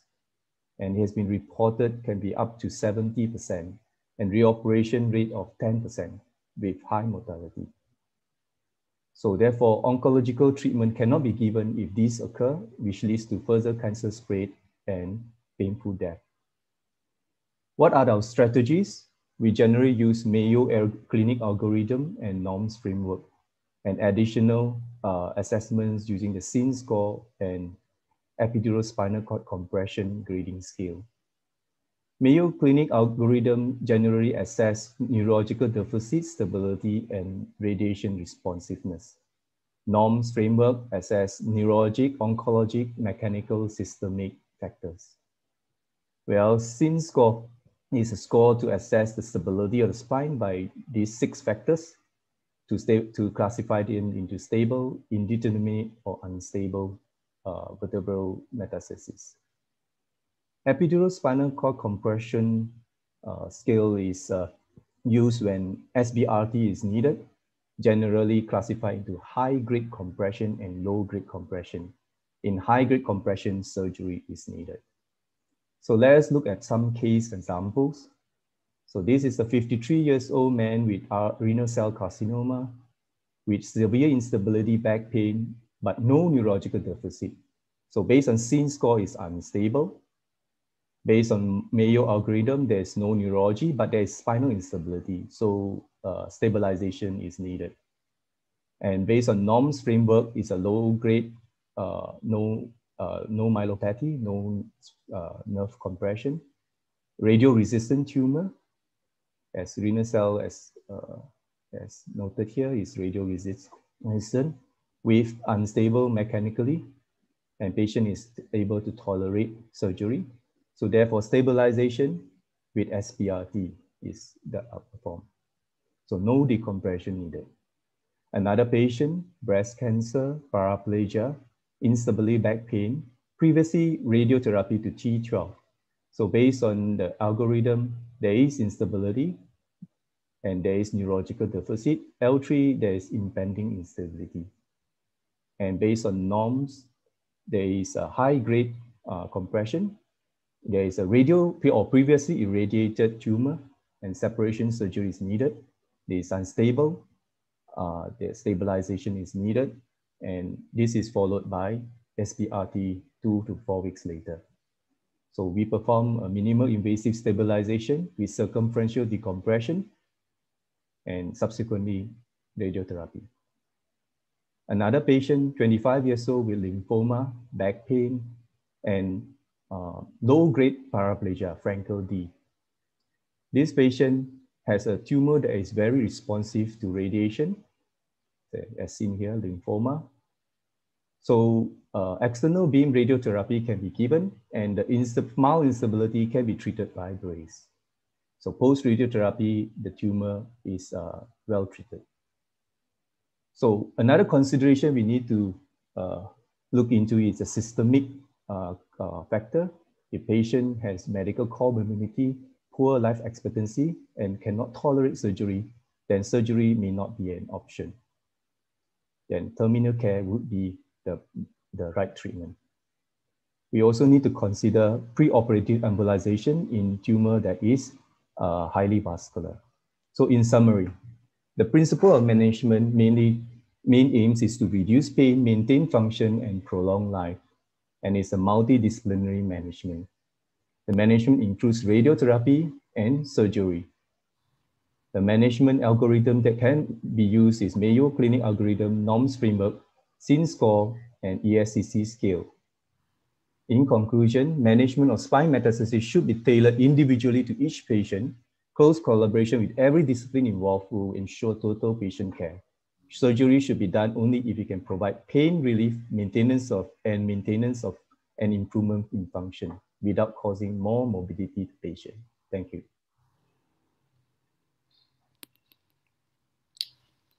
Thank you, Dr. Chi, for your talk. Uh, may I now invite our next speaker, Dr. Aditya. Dr. Aditya, you may kindly unmute yourself and begin your presentation. Yes, sir.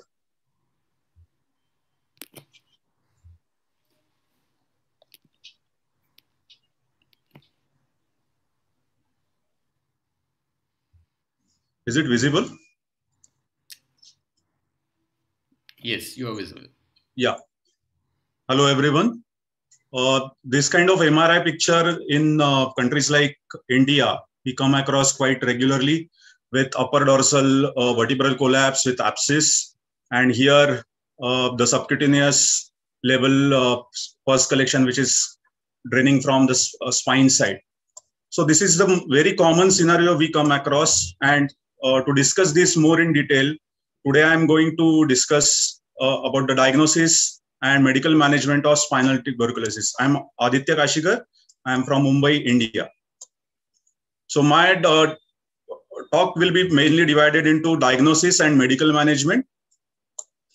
So investigation wise, uh, bloods are important like CBC, ESR. Uh, so the serial CBC, ESR values one can uh, have.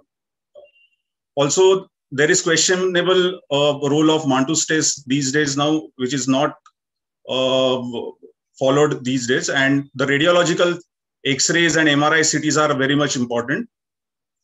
The role of uh, molecular investigations are very much important because they have great sensitivity. The turnaround time is very less. And mainly they detect the resistance in quick time. So the main thing is GeneXpert in this, I would like to highlight. It's nothing but CBNAAT, cartridge-based nu nucleic acid amplification test. It detects uh, MTB DNA in smear negative samples as well. The turnaround time is very rapid. It detects resistance to rifampicin and uh, it helps in uh, MDR treatment early initiation. In smear negative cases also, the sensitivity is almost up to 47.7%. So sensitivity by GeneXpert is 95.6% and specificity is 96.2%. Uh, the result is available in 48 hours and as compared to 35 to 45 uh, days in usual cultures. And mainly, the if at all uh, the bug is MDR1, then we come to know that early. So uh, the role of GeneXpert is basically if negative test comes in this, that doesn't rule out the disease. So uh, empirical treatment still can be started in high clinical suspicion of TB. And obviously, the conventional drug sensitivity, uh, sensitivity test is must. The next one in this is line probe assay, which is a PCR-based test for detecting drugs resistance. Uh, the first kit, kit helps in uh, finding out resistance against rifampicin and INH. And second kit helps in resistance against ethambutol, aminoglycosides, and quinolone. Uh, it is it is useful for smear positive cases, but the advanced second version also detects um, bug in negative samples as well. And WHO actually approves these for respiratory samples only. The turnaround, uh, turnaround time is around 48 hours. It detects uh, drug resistance associated mutation. It works well with high TB burden and detects resistance as earlier uh, said in INH, rifampicin, fluoroquinolones, aminoglycosides, and ethambutol. The sensitivity and uh, specificity is also almost 80, 90% plus. So these tests are highly sensitive because of their short turnaround time and ability to diagnose early resistance. These are quite useful. The next one in this is BACTEC MGIT test, which is Macto, uh, Mycobacteria growth indicator tube. This is a non-invasive, non-radiometric system. It basically detects the oxygen reduction in the uh, culture media. It's more sensitivity. Uh, it, it is more sensitive and efficient and rapid than the usual LJ medium and provides rapid differentiation of uh, Mycobacterium TB from Mycobacterium non-TB, other than TB mycobacterial uh, types tests which you should not be doing are Mantoux test, the gold uh, uh, quantiferon test, and P serology. Because they don't uh, uh, help in detection of uh, TB at all. X-rays are vital uh, in radio when it comes to radiological diagnosis. The X-rays are the first line of investigation it shows osteopenia, end plate erosion, vertebral collapse, and even the soft tissue shadows can be seen with uh, X-rays. Like we can see here, fusiform uh, bilateral paraspinal soft tissue lesion in the dorsal spine. X-rays have some fallacies like 40% decalcification is necessary to see any X-ray changes. Lytic lesions which are less than 1.5 centimeters can be missed. It takes at least three to four months uh, for actual detection of any uh, anything related with TB on X-ray. So the main radiological investigation of choice is MRI because it causes early recognition. Uh, skip lesions can be seen in whole spine screening sequences. It delineates well a good extent of the lesion we can prognosticate by doing serial every three or four monthly MRI. And these days it's considered as a gold standard. So one can see marrow edema on uh, bones, end plate breaks, paravertebral or costovertebral soft tissues. Frank destruction, collapse, abscess can be seen. And obviously the cord compression uh, and intrinsic changes in cord also can be appreciated. So sensitivity and specificity of these multiple parameters are well uh, evident on MRI.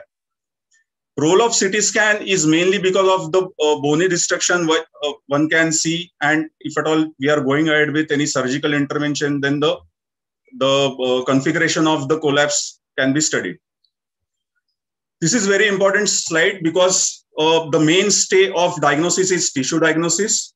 So whether you are doing this by CT guided or USG guided or fluoroscopy guided, one should always insist on doing diagnosis by attempting a biopsy for that lesion. Because obviously with that biopsy, you will be doing the uh, histopathological study and cultural studies, and that will lead to eventually the drug sensitivity pattern.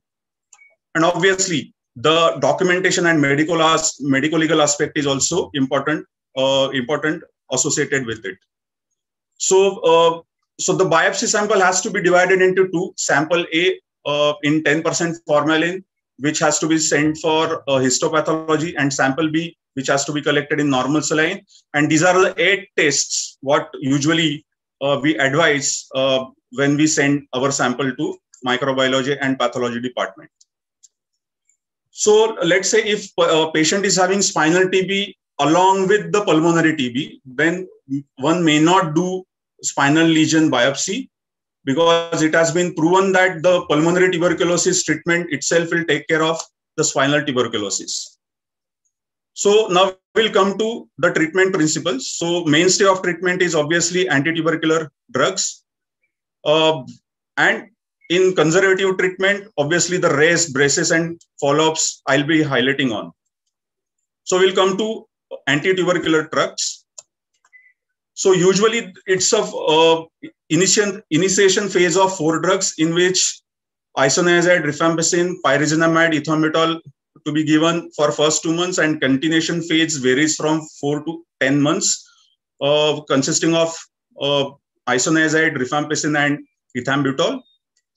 Second line drugs are various with these kind of various drug regimes, drug dosage regimes. So uh, these are the index TB guidelines published in 2016, mentioning same uh, two months of HRZE plus uh, four to 10 months of HRE. All patients required close monitoring uh, of, for development of neurology and uh, serial MRIs to be done every third month. Now we'll come to the drug resistant part, which is very important. So the M MDR TB is nothing but multi-drug resistant TB in which the bug is resistant to rifampicin and INH. The XDR one is, uh, to addition to this, uh, they are resistant to quinolones and second line injectables. And total drug resistance is they are resistant to all sorts of uh, TB, anti-TB medications. So who are at risk at developing MDR TB? So people who don't take their TB medications regularly, uh, who develop TB disease again after having TB medication taken earlier in past, who come from areas of world where drug-resistant TB is very prevalent, and person who has come in contact with drug-resistant TB person already, and obviously immunocompromised status like HIV.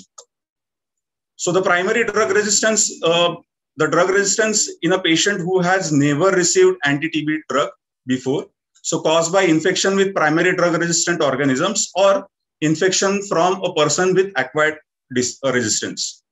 The secondary type is organism all initially sensitive but got resistant to one or more anti-TB drugs later on during the course of treatment. And this is maybe due to non-adherence to the uh, recommended regime or fa faulty uh, prescription by the treating doctor. So, so the it can be a, a multi-drug resistant TB or resistance to only one single drug, or it can be polydrug resistance TB.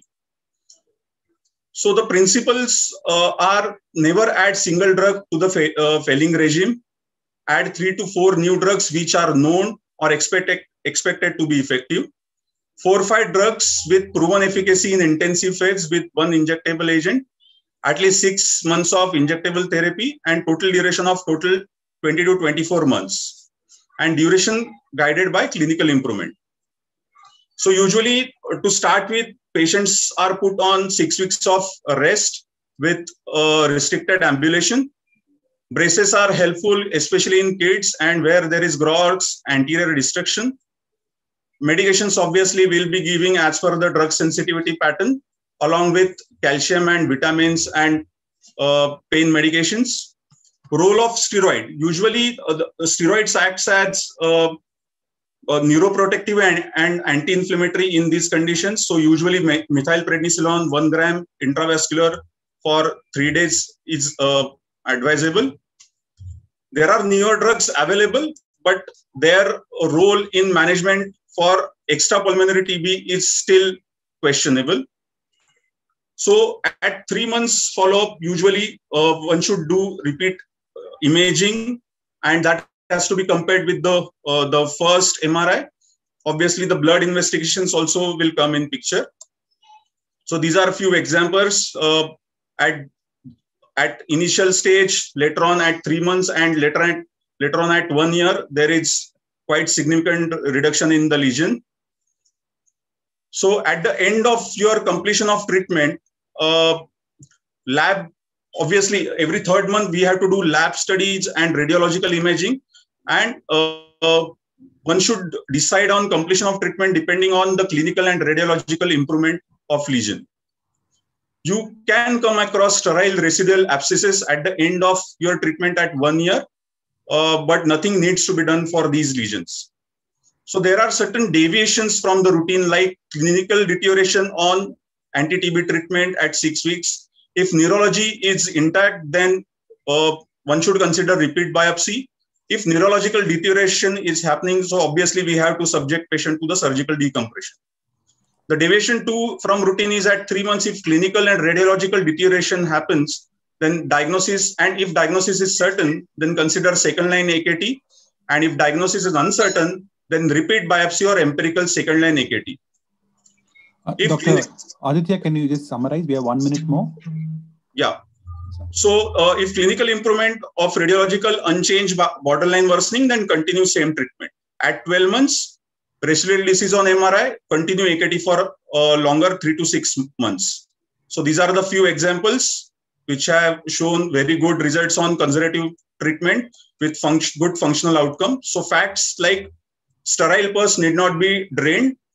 Neurological deficit are not absolute indication for surgery good healing is possible with non-surgical treatment and functional outcome can be very, very well preserved with conservative treatment. So this is the first case where there is complete resolution of uh, TB on conservative treatment. Thank you.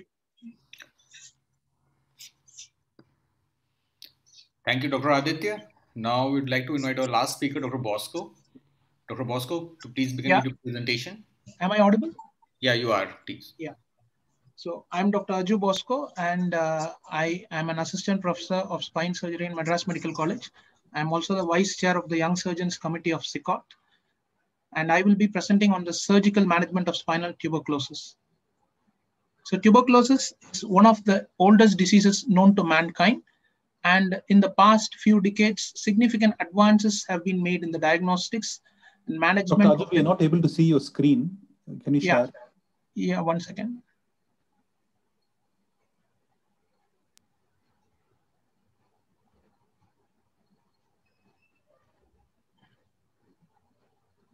Is this screen visible? Yeah, now, yeah, now we Yeah. are able to. Yeah. What's there? Yeah. I'm Dr. Aju Bosco, and uh, I will be presenting on the surgical management of spinal tuberculosis. Tuberculosis is one of the oldest diseases known to mankind, and in the past few decades, significant advancements have been made in the diagnostics and management of this disease. Yet, sometimes the disease behaves in a bizarre fashion, and the course of the disease is unpredictable, and it is a well-known yet unknown disease. And the resurgence of multi-drug resistant tuberculosis and the increase in the population of immunocompromised persons has made this disease a global health burden. So uncomplicated spinal TB is a medical disease. Professor Tuli proposed the middle path regime in which chemotherapy is fundamental for the treatment of disease and surgery is advocated for the management of complications and consequences of treatment. The indications of surgery are non-responsiveness to chemotherapy, clinico-radiological evidence of instability, patients presenting with neurological deficit or at risk of an impending neurological deficit or worsening of neurological deficit or a new onset neurological deficit during chemotherapy, and the presence of deformity. Oga et al. has shown that tuberculous bacillus does not adhere to metal or a biofilm or form a biofilm, hence surgical instrumentation is safe and indicated even in active disease. The principles of surgical management are to achieve an adequate neural decompression, to debride and drain the disease focus, to maintain and reinforce, reinforce the stability of the spine, and to correct the deformity or halt the progression of deformity. The goals of surgery being abscess drainage, disease-focused debridement, and debridement and achieving a fusion with or without stabilization. Tuberculous spondylitis with cold abscess is a common entity. The hallmark is that tuberculous abscesses evolve very slowly over time, causing gradual and chronic compression. They lack inflammatory response typical of pyogenic abscesses. Even large canal, large abscesses causing canal encroachment in a stable spine are well accommodated in spinal TB, and emergency decompression is not needed if the stability of the spine is preserved. In these two pictures, even large extraspinal abscesses like a gluteal abscess or a posterior abscess in the lumbar region can be cured with chemotherapy. The primary management of a tuberculous cold abscess is medical management. And isolated cold abscesses without pressure symptoms or neurological deficit, coexistent instability or deformity can be managed medically. Multi-drug chemotherapy in adequate dose and duration forms the mainstay of treatment. And complete resolution of abscess following chemotherapy is the usual outcome. This is uh, an atlantoaxial tuberculosis who presented with a prevertebral abscess. After nine months of standard anti-tubercular chemotherapy, the MRI shows a complete resolution of the abscess. What is the role of surgery in a cold abscess? Abscesses which are non-responsive to chemotherapy, abscesses in a drug-resistant tuberculosis, abscess causing pressure symptoms, neurological deficit, and associated with deformity or instability are treated with surgery. These are three scenarios, a retropharyngeal abscess from a cervical spinal TB causing dyspnea, stridor, and dysphagia, a psoas abscess causing pseudoflexion deformity of the hip, and a thoracic spinal tuberculosis with mediastinal abscess causing bronchial compression. This retropharyngeal abscess is managed surgically by draining it through a transoral or an anterolateral approach. And the bronch, the mediastinal abscess can be drained, the thoracic spinal abscess can be drained through a costotransversectomy, a lateral extracavitary approach, or a transthoracic approach. Lumbar abscesses and psoas abscesses causing pressure on the skin are usually drained using ultrasound guidance or CT guidance. But in abscesses which are loculated or multiseptate, an open surgical drainage of the abscess through a non-dependent incision is beneficial.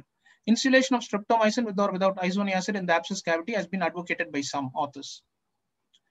An epidural abscess causing cord compression and neurodeficit is treated with debridement, abscess drainage, and decompression with stabilization and reconstruction. This is one such case which was managed and it shows that at nine months after surgery, there is complete hmm. resolution of the abscess. Presence of spine at risk signs along with the cold abscess is a relative contraindication for conservative therapy.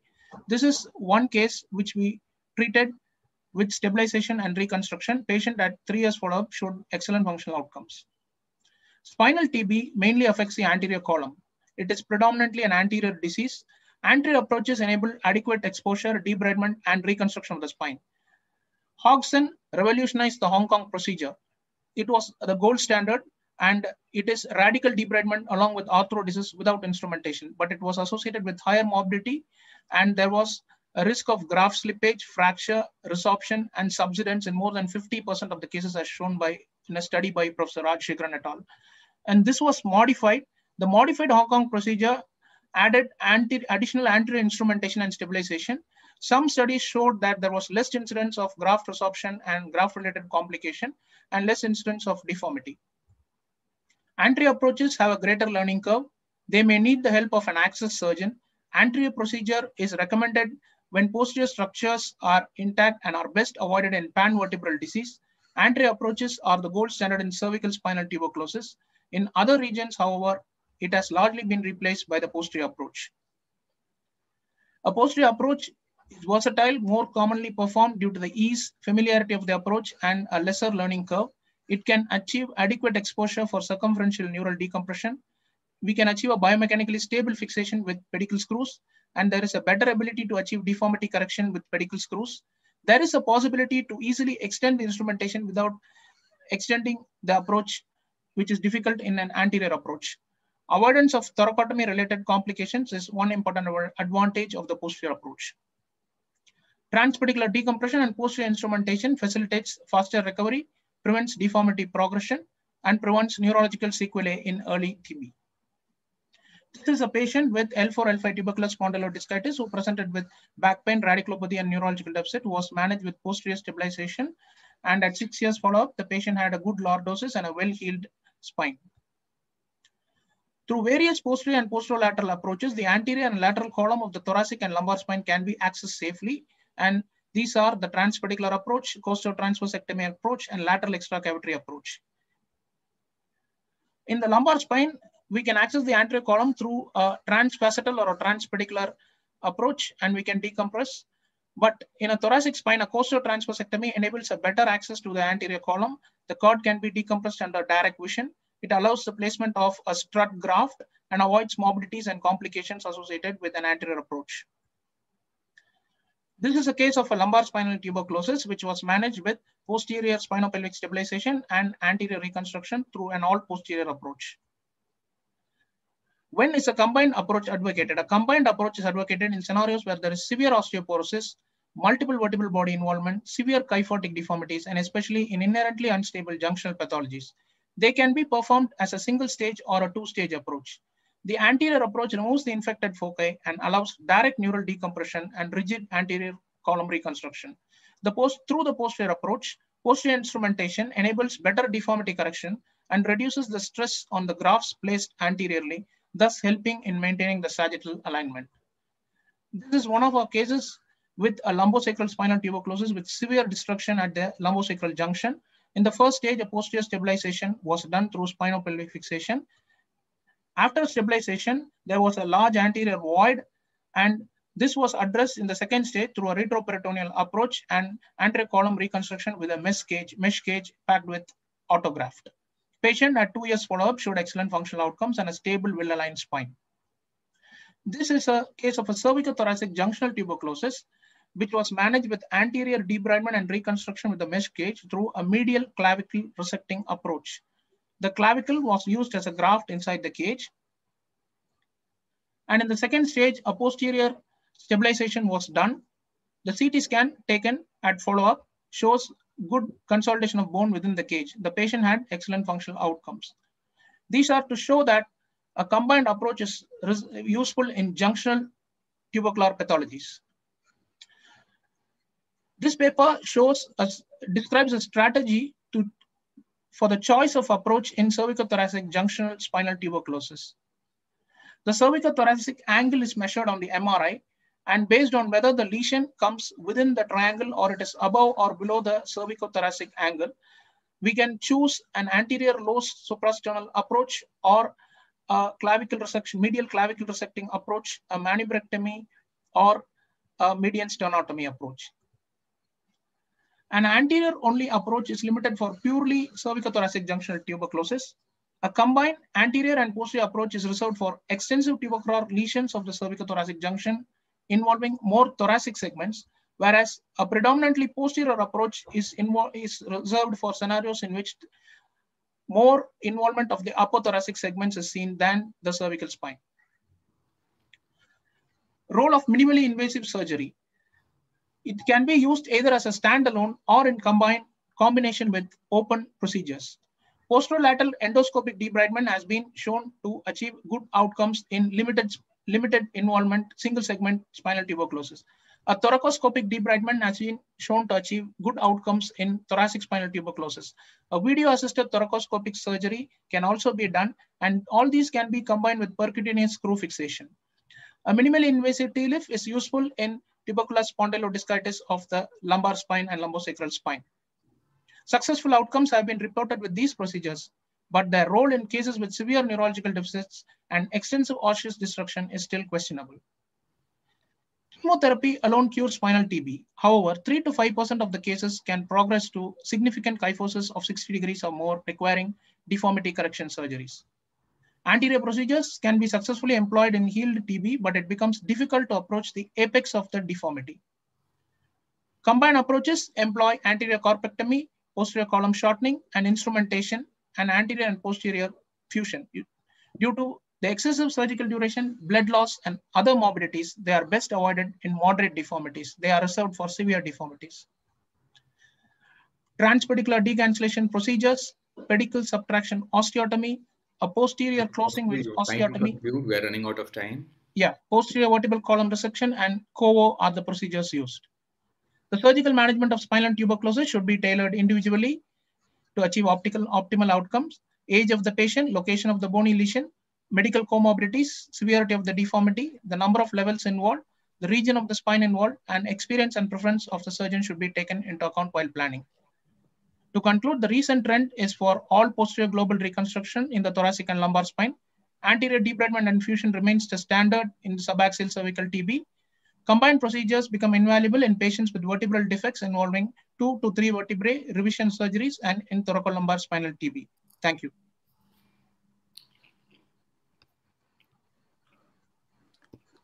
Thank you, Dr. Bosco. So this with this we come to end of this session and uh, over to the question and answer session. So I request all the panelists to kindly put up any questions if there are any. We had a reasonably interactive discussion in our chat box. So any direct question to the presenters? Well, maybe I can ask a quick question. I'm actually to quite, quite a few of you because I think, um, and, and congratulations on all the talks. Um, I think one common theme that I see uh, in many of these talks in controversial area is the use of MIS kind of techniques. Maybe could each of you, for those of you who've talked about MIS, could you tell me what are, when are situations you will not use MRS, MIS techniques? And for those of you who did not mention MIS, could you tell me whether your particular area you think you can use MIS? maybe we can start with Dr. Zhang, because Dr. Zhang talked about using MIS techniques for um, burst fracture reductions posteriorly. But when would you not use it? Mm, uh, thank you for your questions.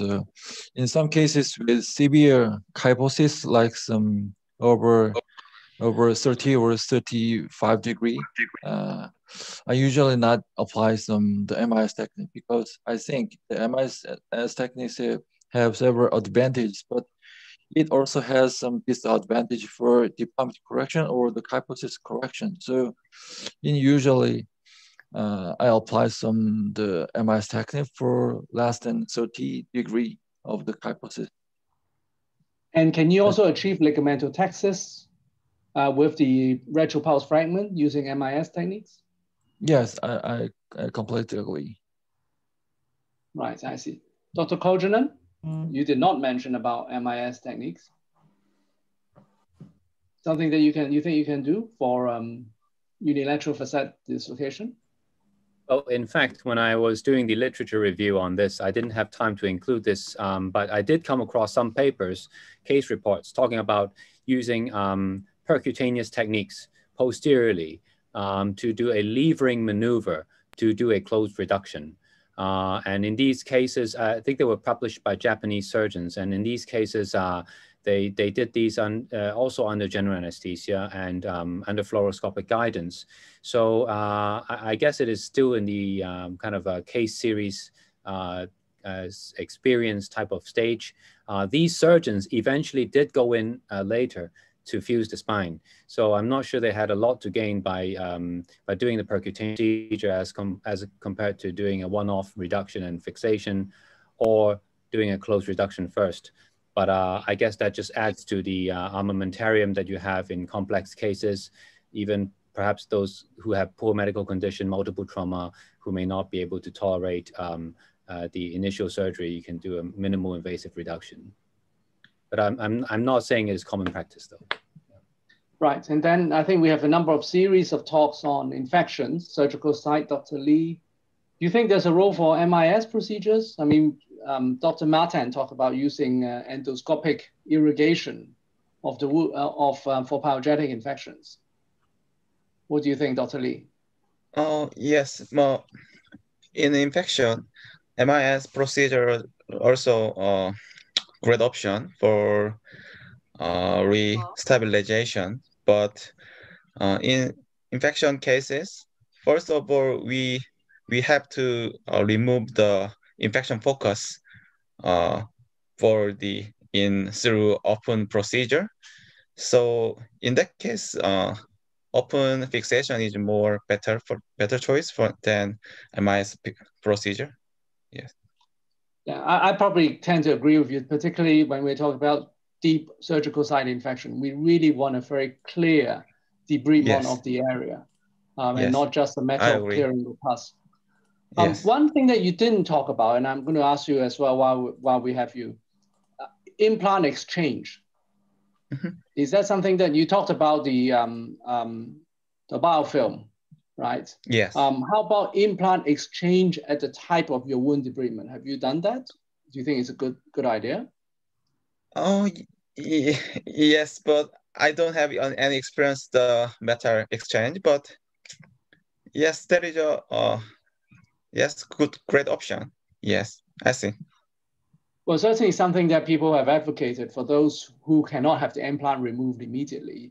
Um, you yes. could exchange the implant and, and um, hopefully remove that um, those that have biofilm. Yes. Um, and then how about the pyogenic in the tuberculous? I kind of asked Dr. Mata this. In TB, he can possibly also consider the MIS techniques. How about um, Dr. Bosco? Is the MIS technique something that you can consider or you uh, have used? No, uh, my, my institute is uh, traditional. It's one of the centers where we, where we studied the 15-year follow-up of chemotherapy. We do open. We don't believe in MIS in uh, tuberculosis. We, we do an extensive debridement and uh, we stabilize when needed anteriorly also. Uh, I, I just described it because I had to cover it up uh, on the topic. So I don't believe in MIS in TB. At least I don't do that. Right. And maybe finally, Dr. Chiu, when would you, you're, I know you're very good at MIS techniques, so when would you not use MIS techniques? Yeah, thank you. Um, so the main thing about uh, MIS is you must be able to visualize the vertebra when you use the image intensifier. So there are certain areas whereby it's difficult, especially upper thoracic region, cervical thoracic junction, uh, or in patients who is very obese, uh, you may not be able to visualize uh, uh, the vertebra adequately on image intensifier. Another group of patients is very osteoporotic patients. So if you cannot see on image intensifier, you cannot put the screws. So that is uh, quite straightforward. Um, another situation that I, as I have mentioned, uh, MIS versus open. If your MIS has no significant advantage over open, that means the wound size is just a little bit smaller, then is you rather go with open. And uh, finally, like what Prof. Uh, Dr. Zhang said, mentioned, if you need to do reduction uh, of a kyphotic uh, deformity or uh, scoliotic deformity, uh, MIS uh, technique may not be adequate in redu reducing these uh, deformities and you may want to consider an open method. Thank you. Very good, thank you. That's all my questions. Thank you, Professor Cheung. And it has been a wonderful participation and a great learning for all. And I think it's over to you, Tanay, for the next session, I think. Yes. after this lovely, uh, wonderful first part of the spine session, we are heading right away to the second session. And uh, I have the honor again to introduce the chairperson for this session. Thank you very much, Professor Chung, and all the speakers for the first session. Uh, really appreciate it. I will be introducing uh, my, my, one of my mentors, Dr. Ram Chaddha, sir. Uh, welcome, sir. Dr. Ram Chaddha also doesn't need much introduction. He is one of the leading consultants in one of the major hospitals in Mumbai. He's been the president of the Associations of Spine Surgeons of India. He is on the editor board of Asian Spine Journal and many other journals. He's also recently been elected as the chief national delegate of Asia Pacific Orthopedic Association. And he gives numerous talks and it's really, really lovely to hear him and uh, have you, sir. And now we can have all his inputs for his this session. And I also welcome the moderators for this session. Dr. Chandra and Dr. Ahmed.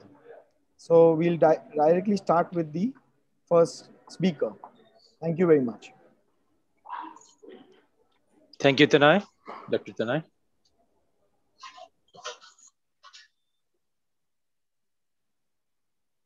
So uh, with the permission of the chairperson, uh, may I invite the first speaker, Dr. Satoshi Maki, and he will be speaking on degenerative cervical spondylotic myelopathy. Okay, thank you for your introduction. Um, I would like to talk about when and how to operate degenerative cervical myelopathy.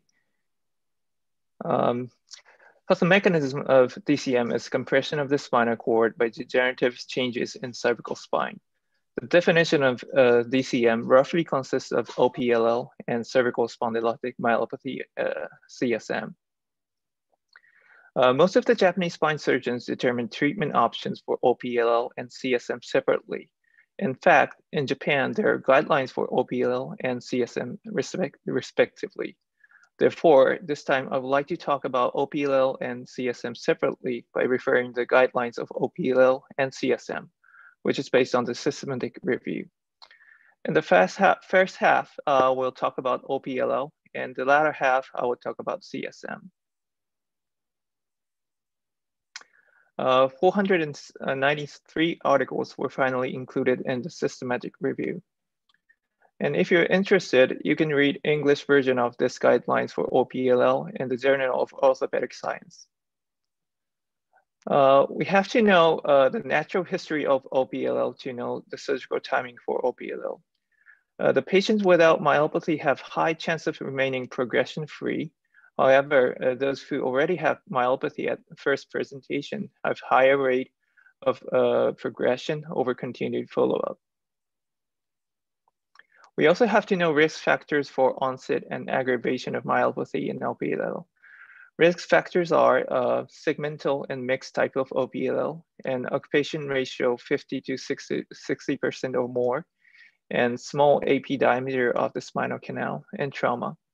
We should carefully observe patients with these characteristics and educate patients not to fall to prevent traumatic spinal cord injury. Uh, indication of surgery and appropriate timing for cervical OPLL. Uh, there's no recommendation for prophylactic surgery for OPL patients with no or mild symptoms. And conservative treatment is recommended for patients with mild symptoms uh, with JOA 12 to uh, 50 points or more. And appropriate time, surgical timing for OPLL. Uh, surgery is recommended for patients with moderate to severe OPLL. And post-operative improvement is poor in severe myelopathy with chair-bounded or bedridden, such as Nurick grade of five or JO score four or less. How to determine surgical treatment options for patients with OPLL. Um, the first clinical question is, is anterior approach recommended for patients with massive OPLL or uh, with kyphosis? A recommendation uh, is anterior approach is recommended for patients with massive OPLL or accompanying kyphosis. However, the complication rate and reoperation rate were high with the anterior approach. The agreement of the experts were about 90% and strength of evidence was weak. And the second cl clinical question is the, is the addition of fusion to posterior decompression beneficial in patients with OPLL? Uh, the recommendation is the it's difficult to make clear rec recommendation for additional fusion in patients with OPLL undergoing posterior decompression. But additional fusion may be useful in patients with K-line negative and high canal occupation, ratio. The agreement of the experts were 66% and strength of evidence was weak. I would like to present the algorithm for determining surgical procedure for OPL in our facility. Uh, first, we look at K-line, and if it's positive, uh, we look at K-line in next flex position. I would like to add some explanation on this. Uh, K-line in neck flex position is relatively new concept uh, which is uh, considered for risk factor of poor outcomes after laminoplasty. Here, uh, K-line is positive in neutral position, but uh, could be negative in flex position. Uh, if the K-line in neck, flex position was positive, we choose laminoplasty. But if it was negative, we go to uh, laminectomy with posterior spinal fusion. And K-line was negative uh, risk. Uh, we look at the uh, risk of complication in anterior approach, such as age or comorbidities. And if the risk is high, uh, we go to LBSF. And if it's low, we choose ADF. I would like to present a case with OPLL. a 74-year-old male present gait disturbance and hand clampness and um, he has past history of radiation therapy for laryngeal cancer, uh, which indicates he's not good candidate for anterior approach. His Jerry score was eight point, and he had a motor weakness below C7 spinal segment level. His x-ray showed uh, he has OPL in his cervical spine, and MRI showed max maximum compression at uh, C4-5 level, and intermediary signal intensity change at the same level. CT myelography showed K-line positive in neutral position and K-line negative in flex position. Uh, we performed C4-5 laminectomy infusion and the postoperative outcomes are good so far at one year after surgery. Um, please be noted that the procedure I chose is not the only correct answer, but I don't think uh, the laminoplasty for this patient yields good outcomes. Next, I would like to move on to the CSM. Uh, 480 papers were included in the systematic review. Uh, the natural history of CSM is almost same as OPLL uh, surgery is necessary in moderate to severe and progressive CSM cases. And in mild CSM cases, the progression is not frequent, but once it progresses, uh, the prognosis will be poor. And how to determine surgical treatment options for patients with CSM. Uh, the first clinical question is, uh, which is a better surgical treatment for CSM, ADF or laminoplasty? recommendation is there's no clear, clear recommendation as to whether ADF or uh, laminoplasty should be performed for CSM. ADF may be uh, more suitable for patient with kyphosis and large anterior compression of the spinal cord. Laminoplasty may be more suitable for mouth-level lesions, uh, which is uh, more than uh, three levels or more. Uh, agreement of experts are 100% and strength of evidence was weak. The second clinical question is, is, is the addition of fusion to posterior decompression beneficial in patients with CSM? Uh, the answer is it is difficult to make clear recommendation to add fusion surgery to patients with CSM who undergo posterior decompression. Agreement of expert is 56% uh, and strength of evidence was weak. Um, there's no algorithm like OPL well, when deciding on the surgical procedure for CSM and it must be decided comprehensively. Uh, we should uh, determine based on number of levels involved and presence of malalignment, which can be resulted in post-op kyphosis and risk of complications in ADF. Um, please note that uh, the number of stars are based on my impressions only. Uh, I would like to present a case uh, with CSM. A 60 year, 68 year old male uh, presenting gait disturbance and hand clumsiness. And his JOA score is not, uh, nine, and he had motor weakness below six, six uh, spinal segment level. Uh, his X-ray uh, revealed that a local kyphosis of 20 degrees uh, from C3 to 6 and MRI revealed compression at C45 and 456 uh, and uh, C67, and intermediary signal change at C67. Uh, we performed C47 laminoplasty and fusion from C3 to C7. The post-op uh, outcomes were satisfactory, maybe due to his long duration of symptoms. I think anterior surgery is another option for this, this patient, but uh, we had better avoid laminoplasty for those patients with uh, kyphotic alignment. Um, now I'm wrapping up my talk. Uh, the answer to uh, when to operate patients with DCM for uh, patients with mild symptoms uh, with JOA score 12 to 15 scores or more, uh, these, uh, for these patients, uh, non-surgical treatment is indicated. For patients with severe symptoms and progressive disease, surgery is indicated. Uh, K-line is a useful indicator for selection of surgical procedure for OPLL. And we should decide on surgical procedure for these uh, CSM comprehensively, looking at a number of levels and my alignment and comorbidities. Thank you for your kind attention.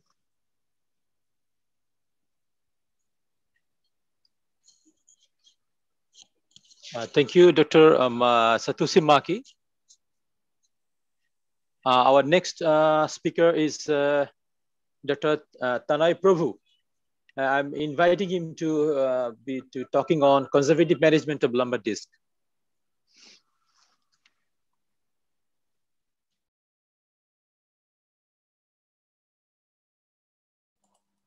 Dr. Than mm, yeah.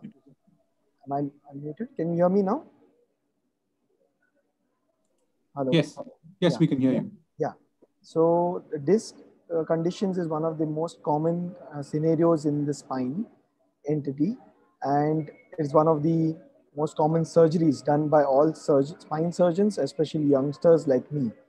But we must know the role of conservative management in the lumbar disc prolapse, which I'll be speaking about. Let's go to a case scenario of a 41 year old female presented with sudden onset left-sided radicular pain since two days. Left-sided straight leg raising was 40 degrees and S1 dermal hypoesthesia at the left side.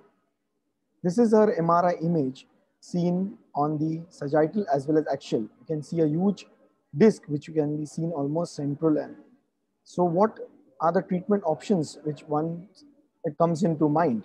Would you like to do an open discectomy, a conventional microdiscectomy, discectomy with fusion, and the latest trend is the endoscopic discectomy. But you must also keep in mind there is one more option that is conservative management. And that's what I'll be speaking about. You can see this lady almost after almost more than a year doing all range of movement very well, as well as her straight leg raising was completely fine. This is her MRI in the baseline. And then after 14 months, just over a year, complete resolution done in the sagittal. And this is the second, which is in the axial cuts. You can see complete resolution seen. Let's see another scenario. Another youngish lady who is a 40 year old female having a similar huge juicy disc as we call it. This time it is central and little bit posterolateral lateral on the right side after almost close to four years, this is complete resolution. She can do all range of movement. Similarly, we conserved her. Straight leg raising test was complete, but still on MRI, you can see this ghastly looking picture. But as my mentors and my teachers have always taught that we must clinically evaluate the patient, don't go by just the MRI. So we must correlate and then take a wise decision. So the, always the question is, when do we conserve, when do we operate? And I will be speaking about the conservative part and my colleague later will talk about the surgical part. Just to go through the epidemiology is usually in the age group of 30 to 40 years. Males are commonly affected than the females. Most common level being 4-5 and followed by 5-1 because of the mobility there. Posterolateral type is the most common type. There are various uh, etiologies and from uh, awkward posture to lifting to accident to slouching and even a sneeze or a huge cough can cause the disc to pro prolapse out. The pathophysiology is known by ON is, is the extruded disc and the degenerate material which impinges on the nerve root. The nucleus pulposus is an immunogenic which induces the inflammatory response and chemical reaction and that is why it produces radicular and pain syndrome and radiculopathy. These are the stages of discs which are degenerative, prolapse, extrusion and complete sequestration in the last stage. Usual locations of the disc, it can be central as well as it can be posterolateral, which I told you the common. The other one is the foraminal and the far lateral. In the future slides of the MRI, I will just show it in detail. The common investigations as we go are the x-rays. We must see how the alignment is, see the osteophytes. Sometimes if it's a chronic disc, you can see a uh, kind of a cap around or calcification seen posteriorly over the disc. See whether the disc space is increased or decreased. If it's a settled disc, then it will be decreased space. This is the normal and we can also see the spondylolisthesis, retrolisthesis, which must be kept in mind, whether it is in front or backwards, and the levels, seeing the height of the pedicles as well as the movements.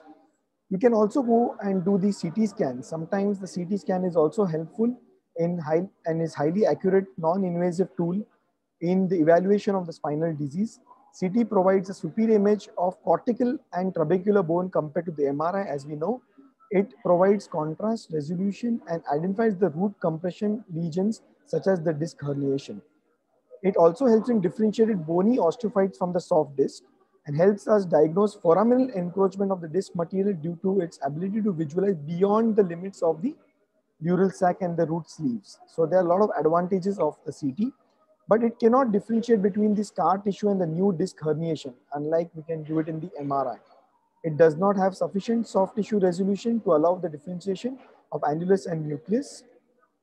MRI is the gold standard in visualization of the herniated disc material and its relationship to the neural tissue, including the intrathecal contents. This is just a diagrammatic picture. Most of us know this is the normal MRI on the left, and this is the herniated disc. You can see how it looks in the axial view, the foraminal areas, spinal canal. This is the disc herniation. As I said, mostly it is central or mostly posterolateral. This is the central herniation. This is the paracentral and far lateral. So sometimes you should not miss out those on the MRI, which is far lateral. In my practice and always taught by my teachers and mentors, we must always do a whole spine screening. Sometimes some etiology and some kind of things can be also seen in the dorsal as well as in the cervical region. So I recommend all of you all to do a dedicated part as well as the whole spine screening in all your patients. Other diagnostic test, electromyography is done SSEPs are done. They are to rule out the peripheral neuropathy. Uh, positron emission tomography can be done in few cases. So broadly, the treatment in any disc is conservative. Either we give after that the block or injection, that is the epidural, and of course the surgical, which my next colleague will be speaking more in detail about. I will be speaking about the conservative part. In our practice and even mine, majority of the disc prolapse respond very well to conservative management sometimes i even see when the patients come to us that he's almost surgical and i feel like you know and after a few days of rest patient is actually much much better. So resolution of the first disc prolapse takes place almost 75% patients in over three months of time. This is mine or our protocol where we do a complete bed rest for two weeks 22 out of 24 hours just for eating toilet and getting up for bath. It can vary from surgeon to surgeon. After that we recommend to do little walking and then physiotherapy once the patient is better. This is the complete bed rest in your whatever comfortable position in supine or on the side, preferably not on the stomach because it causes pressure in the abdomen. These are the simple physiotherapy exercises like bridging, knee hugs, pelvic lifts, extension control, hamstrings, and the knee rolls, which can be done. taught by a physiotherapist. Go stepwise, go slowly from first gear to fourth gear. Don't do all exercises at one time. These are the different exercises which we do. Once you're better while walking and exercise, that is the best form. But if in case there is some small disc and it's not surgical, patient is not yet getting better, we can try the epidural block or steroid in some specific patients. This can be a combination of Kenacort with uh, the local, which can be easily done in the operation theater under C-arm guidance. This is done commonly by the orthopedic spine surgeons as well as nowadays pain management specialists, anesthetists also. So you can give this role of for epidural steroids. So to conclude in the end is prognosis what we see is extruded disc or the large disc herniation as well as sequestrations have greater tendency to resolution or they become better than smaller herniation. So you see in the earlier picture which I showed you, many times you feel that that is a surgical, but those are the common ones which resolve. But the small fragment sitting in the foramen or far lateral, they are the one who are the troublemakers. Recurrence of disc uh, prolapse can be prevented by proper exercise regime after taking good rest, avoidance of stress at the lower part. Most of the people become much, much, much better and they totally, completely resolve. So we must always try a conservative line of management as much as possible, at least in my practice and many surgeons and my mentors have taught to get this disc, which is so huge, to a complete resolution in the sagittal and axial as I showed you. Thank you so much for a very patient hearing. I will be happy to answer some questions in the end of the session.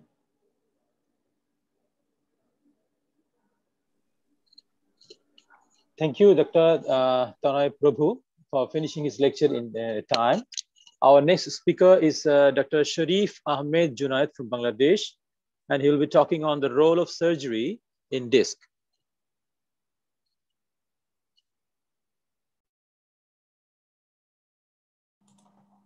Dr. Sharif, kindly unmute yourself.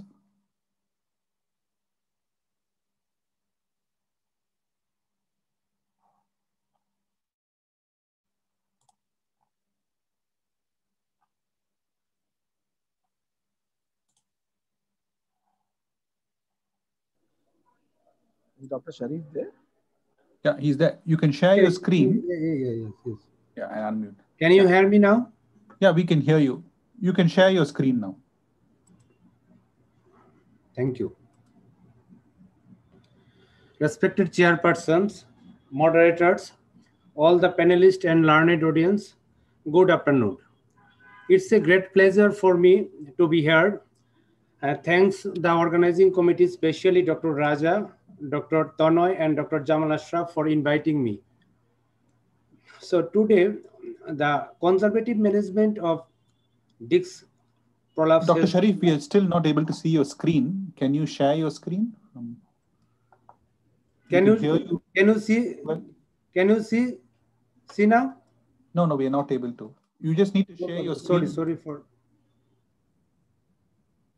just a minute, just a minute. Sorry, sorry.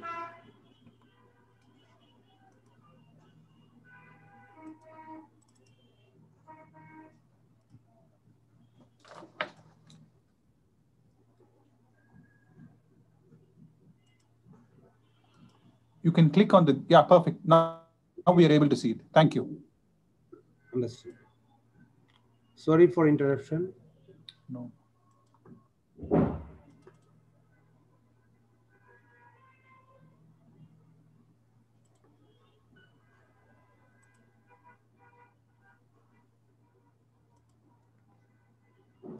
So is it clear to you all? Hello? We're waiting, we are waiting for your presentation to open. We can see your screen. We just need to see your presentation. Can you see, can you see now? It's Hello? still not open. It's still not open. We can see your desktop screen with all the Just a minute. What's the problem?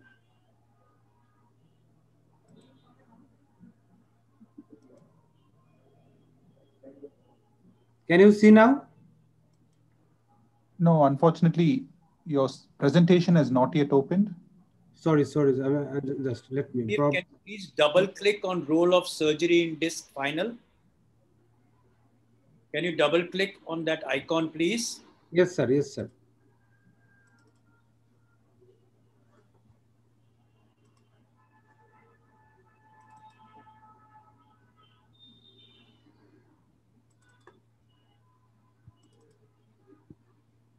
So is it open now? Not yet, sir. Just a minute.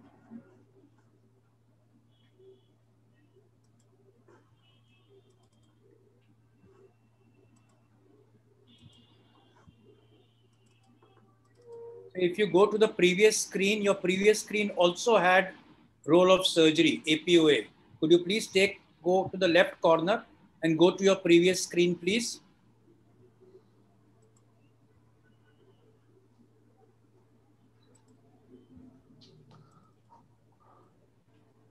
Can you now we, Yes, perfect. Please go ahead. Okay. Sorry, sorry for interruption. So thank you, Mr. Chairperson, moderators, and learned audience. So let's start with the case. So this is a case of 33 years female with a history of seven month low back pain radiate to the right lower limb. She had also intermittent pain over the last three years. On, on examination, her straight leg rising test was positive and her neurology was normal except a hypoactive right Achilles reflex. And at that time, as she had a symptom of seven months and it was not improved, that's why she was advised for operation. But unfortunately, she denied due to some reason. And I'm sure if the same patient presented to you, some of you may advocate for operation and some of you may still convince to him her for conservative treatment. So let's see. So after one year follow-up, uh, surprisingly, this was completely resolved and she was almost pain-free. So disc surgery, though it is the most common operation performed by the spine surgeon, but there is always a controversy regarding the best modality of treatment. And majority of the disc prolapse can be treated by conservative means, uh, but sometimes surgery may be considered only as a last resort or if a patient has a significant neurological deficit. So a randomized trial on surgical versus conservative for lumbar disc herniation, it is clearly shown there is no significant difference over a period of time of two years between conservative versus operative treatment. Rather, operative treatments allows only early mobilization and early symptom free. But question is, how long should we wait? And what is the chance of resolution of disc herniation in that particular case? Let's see. In a systematic review of probability of spontaneous regression of lumbar herniated disc, it is clearly shown that sequestrated and extruded discs has a higher tendency to resolution in comparison to disc bulging and disc protrusion. Though it is resolved, but rate of complete resolution of herniation is again still very low. That is only 43% for sequestrated discs and 15% for extruded disc. Again, this spontaneous regression symptoms can be resolved within a mean time of 1.3 to 1.34 months, but radiological resolution may take longer duration, on an average 9.27 to 13 months. So whenever a patient presented to you, if it is a contained disc, you can advise him for surgery because early surgery can give him or her a good result. But in case of non-contained we, we should always try for conservative treatment. And Dr. Prabhu has all, already discussed very nicely this. So regarding indication, if your patient presented with Cauda-Equina syndrome or rapid developing neurological deficit or severe neurological deficit that starts within 24 hours, it may require immediate decompression. But the patient if the patient have failed conservative treatment or intractable pain or persisting slight neurological deficit, or the patient has a tendency to threat of chronification. In that case, you can do it on elective basis. And you have to carefully look, very careful, um, look carefully whether there is any signs of red flag. If any of the signs of red flag is present, you must consider it as, as an urgent and should refer immediately.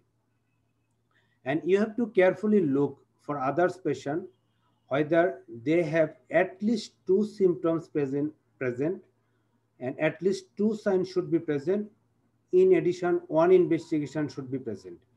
If these two symptoms, two signs, in addition to one investigation is positive, you can consider him or her a patient for surgery with a very good outcome.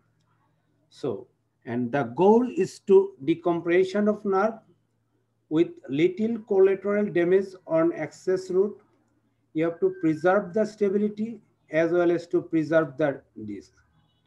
And in, this can be achieved either by open discectomy, endoscopically, or standard microdiscectomy whatever the procedure, the outcome is almost similar. And you have to carefully, you have to look very carefully whether the exact the pathology is. Is it the posterolateral herniation? Is it the central? Is it the far lateral or foraminal or lateral disease? So if you once fails to recognize the exact pathology, then you cannot expect a good outcome. So now next question is what determines the outcome? So it is the duration of the preoperative nerve compression. It is the duration of the preoperative acute low back pain and duration of the preoperative time out of work. The more the duration of the symptom, the lesser the chances of recovery. If your patient is presented to you within a three to four months of symptom, you can expect a good result whether if the presentation is delayed, say for four to six months, positive result cannot be achieved. Again, the important things is at the time of presentation, how much deficit with the patient present to you. If the patient present with minor deficit, and if it is presented less than three months, uh, with a very good outcome. But if the presentation is more than four months, still there is incomplete outcome or no outcome at all. And if the patient have severe deficit, say for motor power 1 to 2, and if in that case, you have to judge the patient very, very cautiously because delaying in treatment can unfavor the outcome. So in that particular patient, if it is presented within a 35 days, there is a good, good outcome. And if it is more than 70 days, uh, worse prognosis. So next question is whether to fuse or not to fuse. That's a very relevant question. So if the patient presented with a massive disc herniation like this, or patient presented with a segmental instability, maybe the anterior slip greater than 3 millimeter or local kyphosis greater than 5 degree on lateral axis, you can consider him or her for a fusion. But again, study also shows there is no um, difference between the conservative as well as fusion. And the most frequently we have to confuse regarding the how much amount of disc should we remove whether it is limited or aggressive. Answer is, if you do the limited discectomy, there is it requires shorter time, shorter recovery, but there is a more chances of recurrence. But if you do the aggressive discectomy, though there is chances of little recurrence, but there is always chances of prolonged pain. So The most important things is when not to operate. So you have to select the patient very carefully, whether this patient has clinical and radiological discrepancy. That means clinical and radiological correlation is mandatory.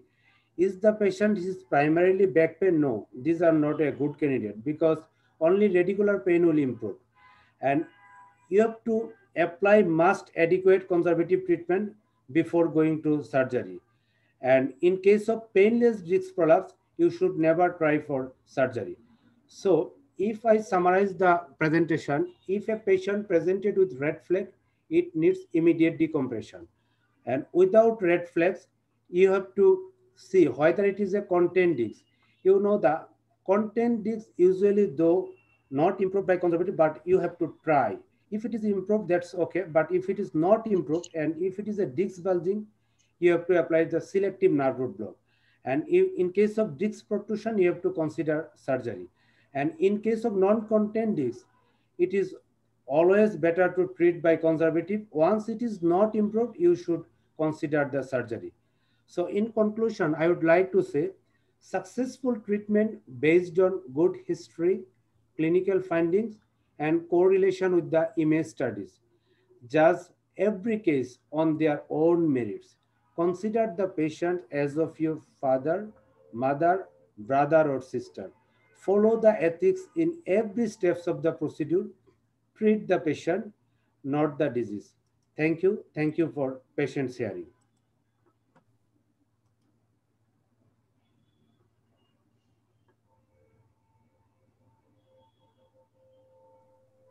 Thank you very much, Dr. Sharif Ahmed Junaid.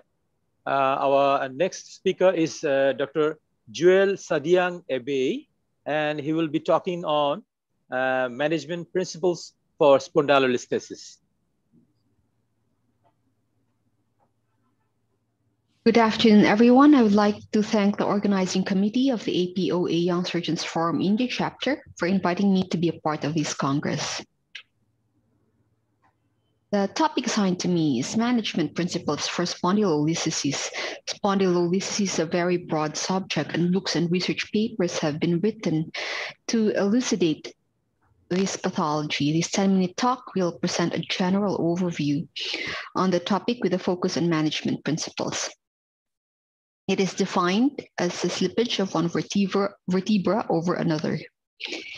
In the oft-cited uh, landmark paper of Wiltse, he classified spondylolisthesis into five different types. Now, dysplastic is congenital dysplasia of the upper sacrum or the neural arc of L5. Because of this dysplasia, there is um, insufficient strength to withstand the forward thrust of the superincumbent body weight and the last three um, lumbar vertebra gra gradually slips forward. The pars interarticularis may remain unchanged. If it remains unchanged and the ring is intact, the slip cannot exceed more than about 35% before there will be pressure on the cauda equina. There is a strong her hereditary element in this type. Now, the isthmic type is um, the basic lesion in this uh, type is the pars interarticularis.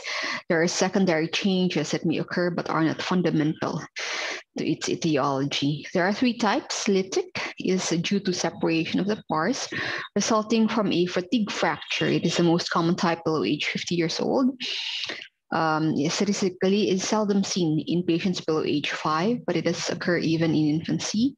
At the end of the first year of school, the incidence is 4.4 uh, percent. Flexion, extension, and twisting motions are all probably important in producing the stress fractures, but extension is the most important. Subtype B is elongation of the pars without separation. It is fundamentally the same disease as subtype A.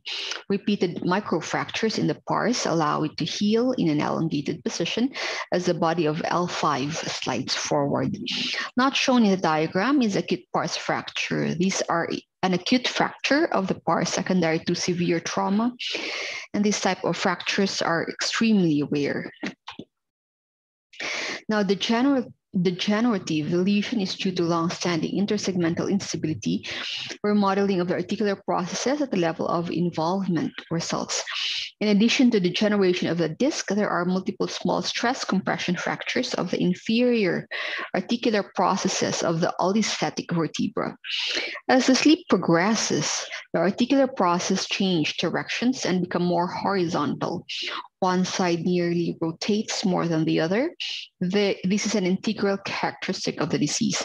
The typical hourglass deformity seen on the myelogram is due to rotation of the upper vertebra with displacement of the pedicle.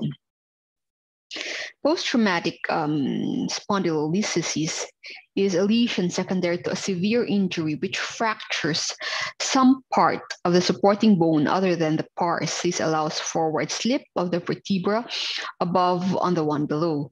Unlike the acute isthmic fracture, an isolated pars fracture is not present, and this slip occurs gradually. Not shown on this slide is um, pathologic fractures. Because of local or general bone disease, the bony hook mechanism, which consists of the pedicle, the pars, the superior and inferior articular processes, fails to support the forward thrust of the superincumbent body weight. And forward slip of a vertebra of on the one below it uh, uh, occurs. Now we have the Meyerding classification, which is based on the superior end plate of the vertebra below the sleep vertebra into four equal quadrants. Alignment of the listheast or the sleep vertebra in relation to the divisions in the end plate below determines the grade. Slippage between 0 and 25 of the end plate below are grade 1, between 25 and 50 are grade 2, between 50 and 75 are grade 3, and between 75 and 100 are grade 4 anteriorly sleeped vertebra that descend anterior and inferior to the end plate below are classified as five or spondyloptosis. So given the benign natural history of low-grade spondylolisthesis, non-operative interventions should represent the mainstay of treatment. As the natural history studies have shown, there is no role for treating asymptomatic low-grade spondylolisthesis. Even most high-grade lesions can be treated uh, conservatively at the, at the start. So treatment options for low-grade spondylolisthesis in children uh, include pain medications, bracing, activity restriction, therapeutic exercises. Uh, the treatment focuses on pain management, although prevention of further slippage may be a consideration as well. Non-surgical management, pain control can be facilitated in some ca cases with NSAIDs, acetaminophen, in conjunction with activity modification. For patients presenting with radicular or neuropathic pain, we can use gabapentin, pregabalin, or amitriptyline, which are effective in diminishing the symptoms related to nerve root irritation. At times, stronger pain medications such as tramadol or narcotics can be given especially if there is severe pain at rest. But typically, activity modification and over-the-counter pain medications or anti-inflammatories are adequate to improve the symptoms. There are other these are other modalities that can be used to um, to improve the symptoms. Physical therapy it is a central part of initial treatment.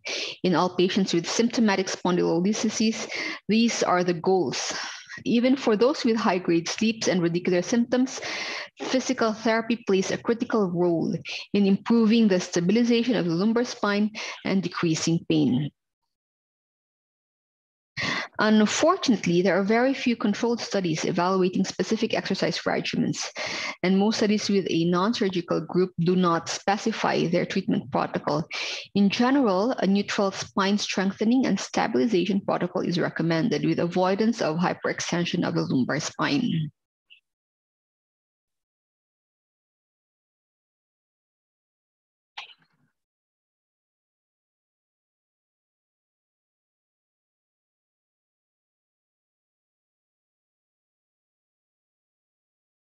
In 2003, McTimoney and Micheli proposed management recommendations for a first-time diagnosis of low-grade spondylolysis and or spondylolisthesis. Once diagnosis has been established, the recommendations include a Boston brace at neutral without lordosis for 23 hours per day. Additionally, the patient should work on uh, physical therapy.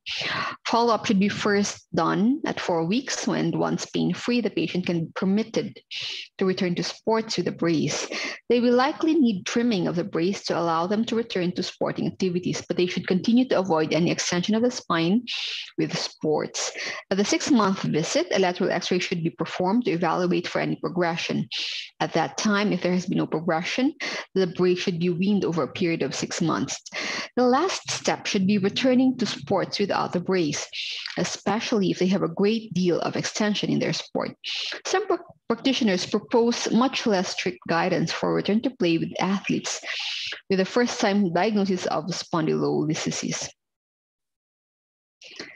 There are multiple surgical techniques in a surgeon's armamentarium to address spondylolisthesis, some of which are the following repair of the pars. Uh, in order to have a have a good outcome, it is uh, very important to have a careful patient selection in offering a spondylolysis repair. Few factors influence the decision to repair the pars, namely duration of symptoms, adequacy of non-operative treatment, concordance of pars injection with temporary symptom resolution, the age of the patient, segmental instability, lumbar disc health, and unilateral or bilateral involvement.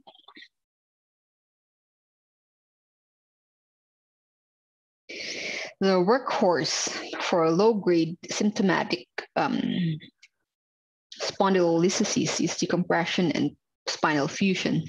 This is a case of a 50-year-old male presented with many years of mechanical low back pain, now has persistent bilateral L5 radicular symptoms, refractory to NSAIDs, physical therapy, and epidural blocks. He was treated with an L4, L4-5S1 decompression, posterolateral fusion using iliac crest and local bone graft, AP and lateral radiographs showing a grade 2 isthmic spondylolisthesis, T1 and T2 sagittal MRI images showing the L5S1 spondylolisthesis with modic changes and a degenerative disc at L4, L5. T2 axial view showing pars defect. Two-year post-operative AP and lateral radiographs following L4, L5, S1 shows solid posterolateral fusion. Uh, Dr. Jill, your time is up. Uh, TLIF. This is a 55-year-old male present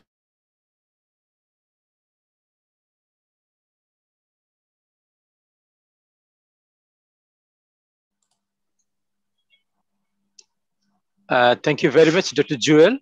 Uh, her time is up. Our next speaker uh, is uh, Dr. Sh Shinji Takahashi, and uh, he will be speaking on conservative uh, management of osteoporotic vertebral fracture. Thank you for introduction. Thank you for the moderator, chairperson, and organizer to giving me the great opportunity my topic is conservative management of osteoporotic vertebral fracture.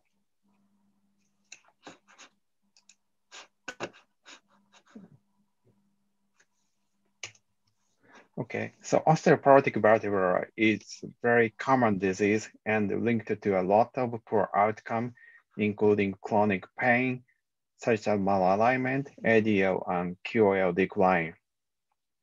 Among fractures, hip and spine fracture are associated with increase of mortality. In addition, if the number of vertebral fracture increase, the mortality also increase. So the prevention of fracture is very important. We sometimes experience surgical complication in osteoporotic patients such as proximal junctional kyphosis, cement trouble, and revision surgery. Therefore, conservative management is very important to reduce the chances of major surgery. We previously performed two cohort study using conservative treatment. So today, I'd like to talk about evidence of conservative treatment based on our data and reviewing the previous papers.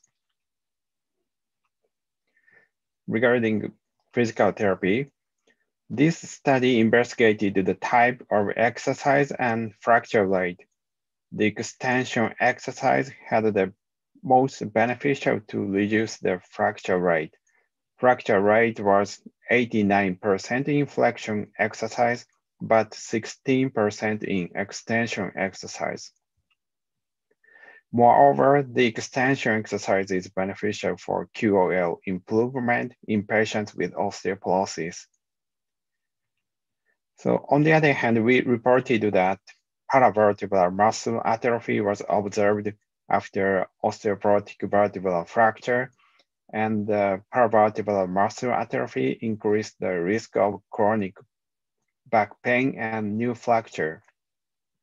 Therefore, we recommended the asymmetric extension exercise after bony union, 5 to 10 seconds per one time.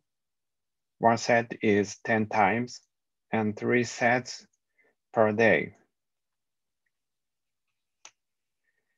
And if the patient has spinal malalignment and severe back pain, we recommend trunk muscle exercise program combined with rehabilitation clinic to improve their global alignment. Next is brace. We previously investigated the effect of brace in, in a multi-center prospective study. This study shows no evidence of brace for healing vertebral fracture. This randomized control study from South Korea compared no brace, soft brace, and rigid brace. However, there is no evidence, no difference in clinical and radiological results. This Japanese randomized control trial, which compared cast, soft brace, and rigid brace, also demonstrated no differences, but the skin trouble was more frequent in cast treatment. So, but the, their previous two papers had a small sample size. Therefore, we conducted randomized control study with large sample size, including 71 hospitals and 284 cases. We compared rigid and soft brace and followed up for one year. There were also no differences between two groups. So these two reviews mentioned that limited evidence has suggested the safety of spinal orthosis for the treatment of OVFs. At present, compelling evidence is not available to suggest that the rigid brace is superior to a soft brace or no brace. So we recommend use of semi-rigid brace. If the fracture is above T8, we prescribe no brace. Next, the medicine. This retrospective study compared teriparatide and bisphosphonate after the onset of vertebral fracture and showed the less compression ratio in teriparatide group. And also this randomized control trial compared teriparatide use and bisphosphonate demonstrated better outcome in terms of compression ratio, kyphosis, and uh, pain burst. However, many other studies, including our studies, showed no difference, so this still remains controversial. On the other hand, imminent fracture risk is very important to prevent the next fracture. During the first two years after the onset, so we have to, um, we should treat the osteoporotic medicine. The strongest medication for bone increasing is romosozumab in the lumbar spine. Next is teriparatide. Moreover, the bone increase after bisphosphonate is poor in teriparatide. In the case who received bisphosphonate, Marvi is much better. So far, I talked about conservative treatment, but this type of fracture is resistant to conservative treatment and surgical intervention is sometimes necessary for these cases. And these risk factors are reported for this poor outcome. Especially non-union is reported in 10 to 20%. And these MRI finding T2 high or T2 diffuse low signal change a risk factor for non-union. And these are predictive to so, and in addition, the MRI finding is associated with chronic back pain. So we perform the balloon kyphoplasty in the patients with these risk factors and severe back pain at four weeks follow-up. So the summary, the extension exercise can reduce the risk of fracture and improve QOL. There is no conclusion about the evidence of blessed treatment. Osteoporosis medicine is important to reduce imminent fracture risk. Thank you for your attention and please uh, participate in the APSS 2021. It's uh, held from June 9 to 12. Thank you.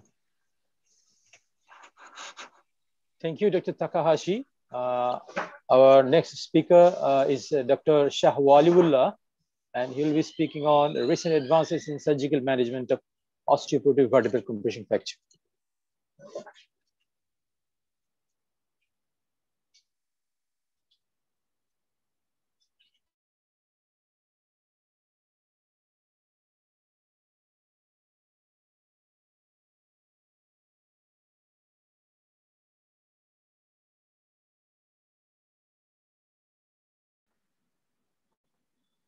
Good evening, everyone. Uh, thanks, Dr. Shinji, for covering the conservative aspect of uh, this osteoporotic vertebral fracture. Right now, I'm going to talk on the recent advances in the surgical management of osteoporotic vertebral fracture. So,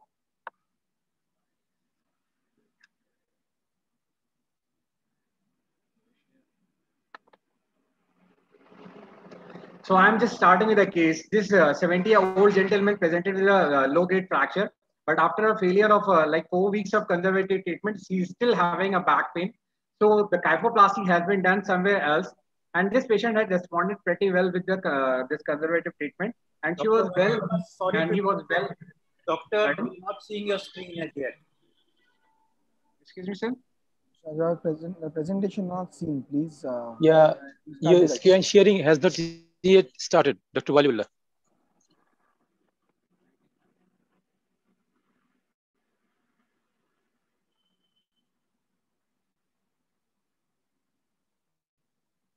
Is it visible? Not yet.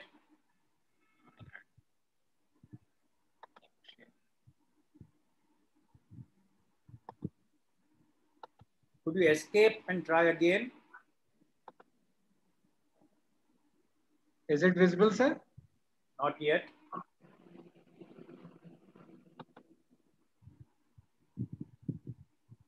So, so, the other one has not stopped sharing. Shinji, can you please stop sharing so that I can start with sharing? Someone else has started sharing, so I'm not able to share my screen.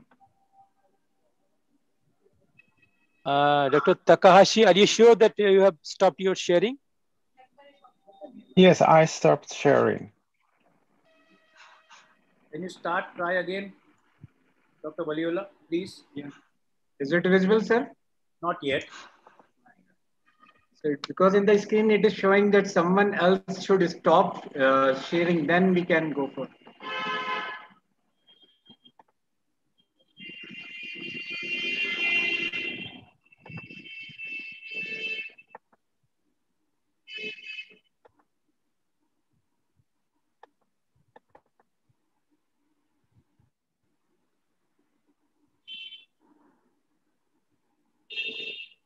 In the interest of time, till we sort out this technical glitch, can we take a few questions for the first few speakers?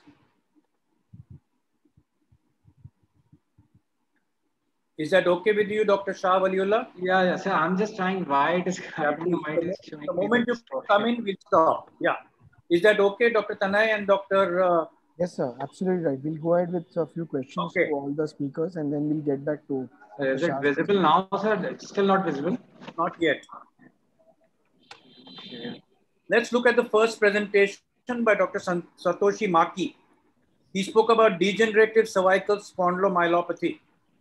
Uh, uh, Dr. Satoshi, may I ask you, you shared uh, two uh, queries in your presentation that I would like to have. One, I would request you to just uh, leave the meeting and join back again. Uh, close your Zoom and just join back again. That might solve the problem. Okay, uh, Dr. Maki, you spoke Yes. separately about the OPLL and separately about the CSM, and we Mhm. appreciate that. Now, in the case that you showed where you did a short posterior segment for an OPLL, uh, we believe and we understand that OPLL in that particular patient was not a focal presentation, but a segmental presentation. Uh, what made you decide to do a short segment in that particular patient from behind, where you did posterior plus a posterolateral fusion? Uh, basically, uh, we used to fuse uh, originally like C2 to uh, T1 fusion surgery, but um, in that case, uh, the only I, I think C4 5 segment is uh, has a motion, and the uh, on his neurological neurological examination, I think the that's the only part that symptomatic. So I fused the uh, lim- uh, the single level. But we, we routinely fuse a, a long fusion surgery. My question is, was it the entire surgery limited to that one level, or did you decompress more and fuse less? I, um, in that case, I only decompress C4, uh, 4, 5 level and fuse only that level. All right. You also mentioned skip laminectomies. Where do you do skip laminectomies? I think, uh, I mean, I uh, the skip laminectomy I talked about is basically about the uh, what is called uh, Shiraishi method.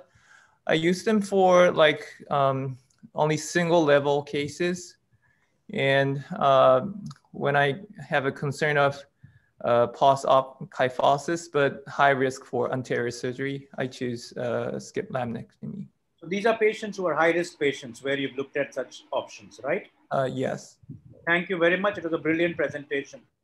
thank Um, you.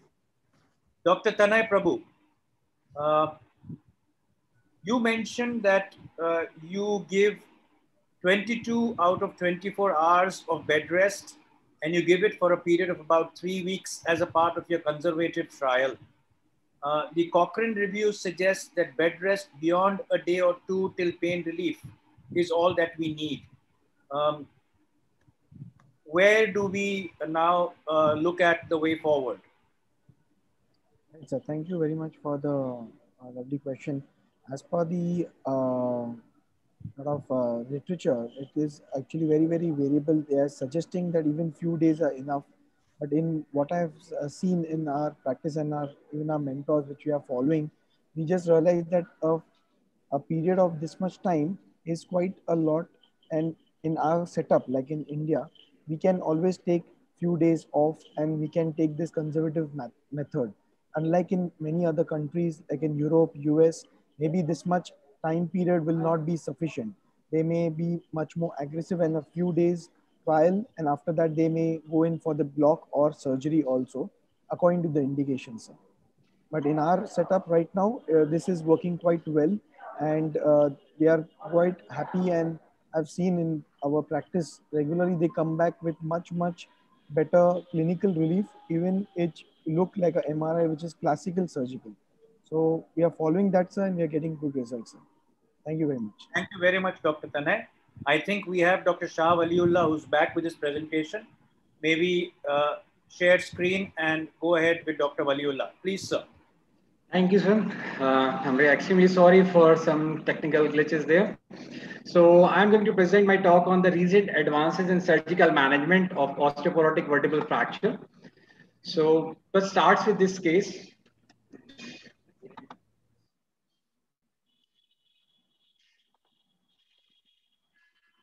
A 70 year old gentleman that present with a small fracture, little subtle fracture, but he was not responding to the conservative management.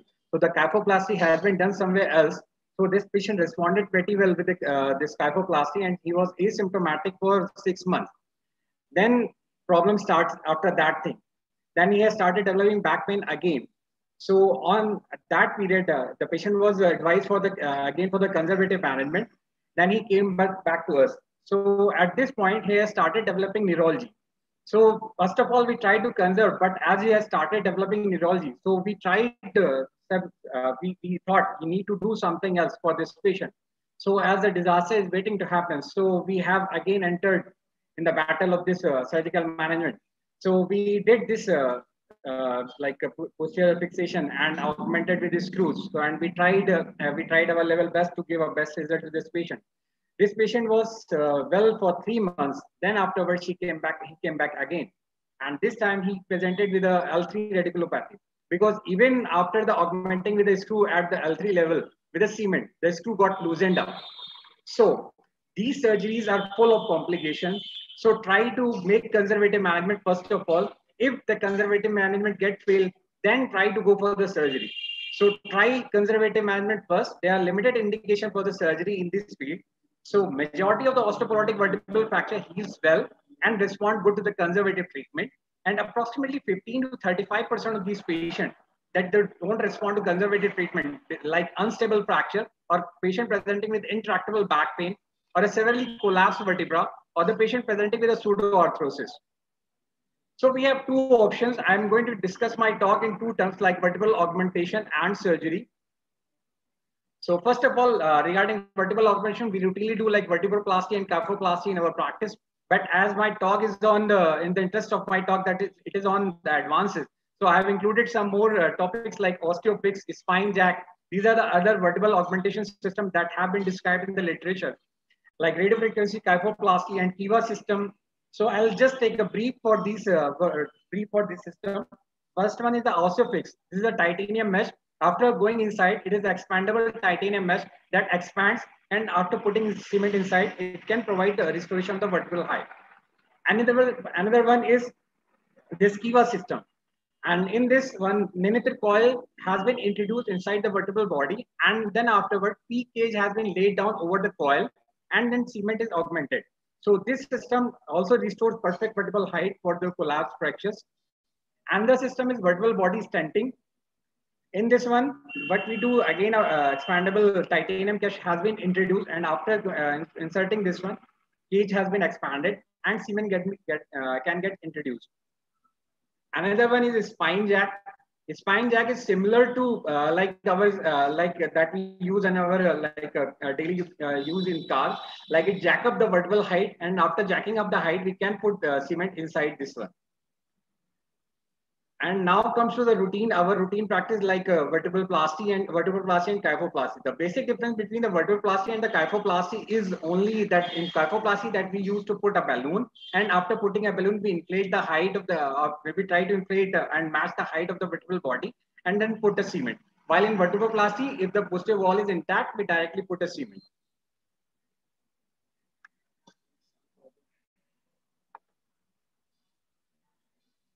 But as we see, the literature says there is still debate and controversy regarding the effectiveness of vertebral augmentation as compared with the conservative treatment. Vertebral augmentation can be performed under local anesthesia and pain-related nerve ending can be damaged by the thermal action of the cement that results in analgesic effect. Regarding the complication, kyphoplasty has less uh, complication as compared to the vertebroplasty and the complication that have been noticed like osteomyelitis, cord compression, thecal sac uh, injury, pulmonary artery embolism, respiratory failure, cement extravasation, and adjacent segment failure. There's another one case that is a segment, adjacent segment failure. This 67-year-old uh, gentleman that has previous cardiac surgery presented with thoracolumbar osteoporotic fracture. And uh, after not responding, he has given a, a, a uh, vertebral augmentation has been done. But as the time goes by, after the six month patient again developed an adjacent segment uh, fracture at this level. So again, a vertebral plastic vertebral augmentation has been done in this case. Now, as we thought, this ends up this story, but it doesn't end up the story here. Again presented after one year, this patient again ends up with a adjacent segment failure. So we did again uh, kyphoplasty in this fracture. So these fractures are full of like uh, complications. So we need to take care of multimodal treatment, like uh, also the pharmacotherapy and everything we need to try. Regarding the complication, the symptomatic leakage, the kyphoplasty has been less as compared to the uh, vertebroplasty. It has been recommended like uh, for to perform uh, to avoid leakage, meticulous evaluation of the preoperative images a total injected cement volume should be less than the void. A small amount of cement should be used, not so much, and frequent assessment of fluoroscopy while doing performing the uh, procedure. High viscosity cement in a dough stage, a typical injection time should be three, four, three to four minutes, not more, not less. What has been recommended in the, in the literature that vertebroplasty should only to the, apply to the selected group of patient, not to the uh, all patient. So that uh, so that carefully performed to achieve initial pain management while concerning potential side, serious side effects. Until better evidence have become available, the potential benefit of the vertebroplasty remain unproven, and it should not be routinely offer, offered to those, uh, those osteoporotic vertebral fractures. The next one comes to the surgery. Surgery is advised if the patient presents with an unstable fracture, continued intractable pain, pseudoarthrosis, or a collapsed vertebra with neurological deficit and kyphosis. There are high rate of perioperative complication and implant failure because of the osteoporosis and uh, surgery can be done like the anterior spinal surgery or posterior spinal surgery or a combined surgery and sometimes osteotomy may be needed to, to correct the deformity.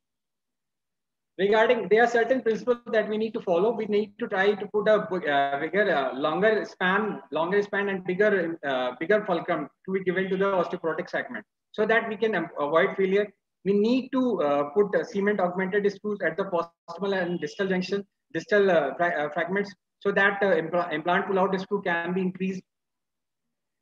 We can also do like certain hybrid fixation, like in this case, we did percutaneous kyphoplasty, then afterward percutaneous screw fixation. Another we can do like the uh, like the cage plasty that we can do like uh, to uh, increase the height of the vertebral column and to provide support to the anterior column, we can do the cage plasty. Like in this case, we did and there are certain times like uh, we have failures like the implant because of the back out so in that cases we need to keep uh, rely on our old tested implant that is Hartshill and sublaminar wiring and now I'm come to the surgical strategies. What are the strategies that we need to uh, take up in our account, like uh, to improve the outcome? Like we need to increase the diameter of the screws, increase the length of the screws, make a small pilot hole, and under tapping of the screw track. Longer construct should be taken and we should supplement anterior fixation, use of laminar hooks or wires, use of transverse connectors and triangulation techniques. These need to be done to increase the outcome of our surgery. And there are novel screws or construct design like expandable screws or the fenestrated screws that we can use so that uh, cement augmentation can be done with these screws. And the like uh, improvisation in our armamentarium are the conical screws and the hydroxyapatite coated screws.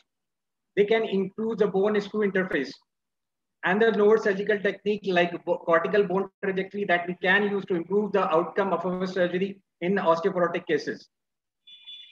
And there are novel surgical techniques like cement augmentation can be done to avoid failures. Prophylactic vertebroplasty can be done to avoid adjacent segment uh, fractures. Pharmacotherapy is the backbone. Novel biomaterial like biodegradable cements can be used and combination of the techniques should be used. Every case should be tailored one. So my take home message, no single technique for optimizing surgical outcome in osteoporotic vertebral fracture. Tailored surgical techniques are need, needed for individual cases. Surgeons need to pay attention in advance in osteoporotic spinal surgery to improve fixation. There is a need for greater effort through the multimodal approaches, including the conservative treatment, surgery, osteoporosis treatment, and drug that promote fracture healing to improve the quality of life of patient. Prevention and management of osteoporosis is the key element in managing osteoporotic vertebral fracture. To reduce the risk of subsequent vertebral fracture, baseline drugs like calcium, vitamin D, classical drugs like bisphosphonate and estrogen receptor modulator, and newer drug like denosumab and teriparatide should be started as per the individual demand. Thanks a lot. Thank you very much, Dr. Shah Uh, we'll just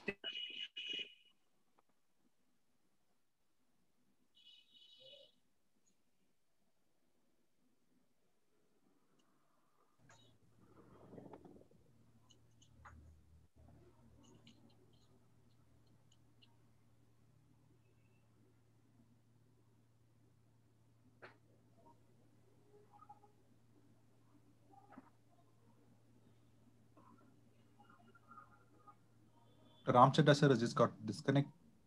Uh, Chadda sir has got disconnected.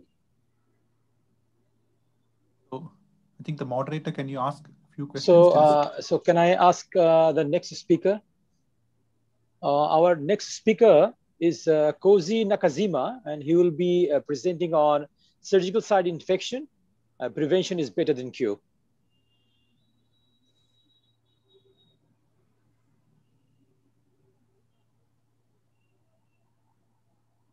Has Dr. Koji joined in?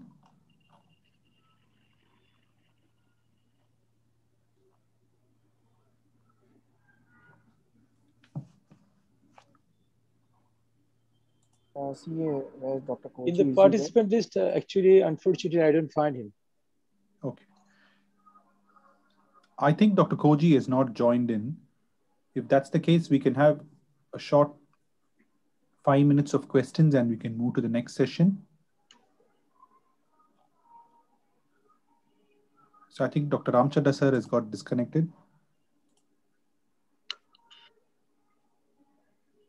So may I request uh, the presenting uh, uh, present panelists uh, whether they have any question to the presenters?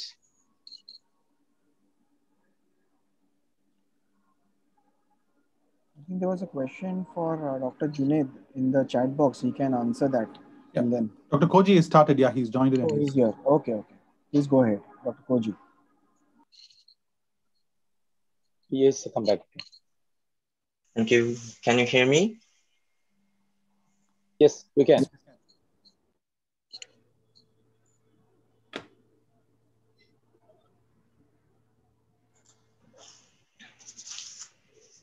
Okay. Thank you, Chairman. I'll talk about prevention for surgical site infection.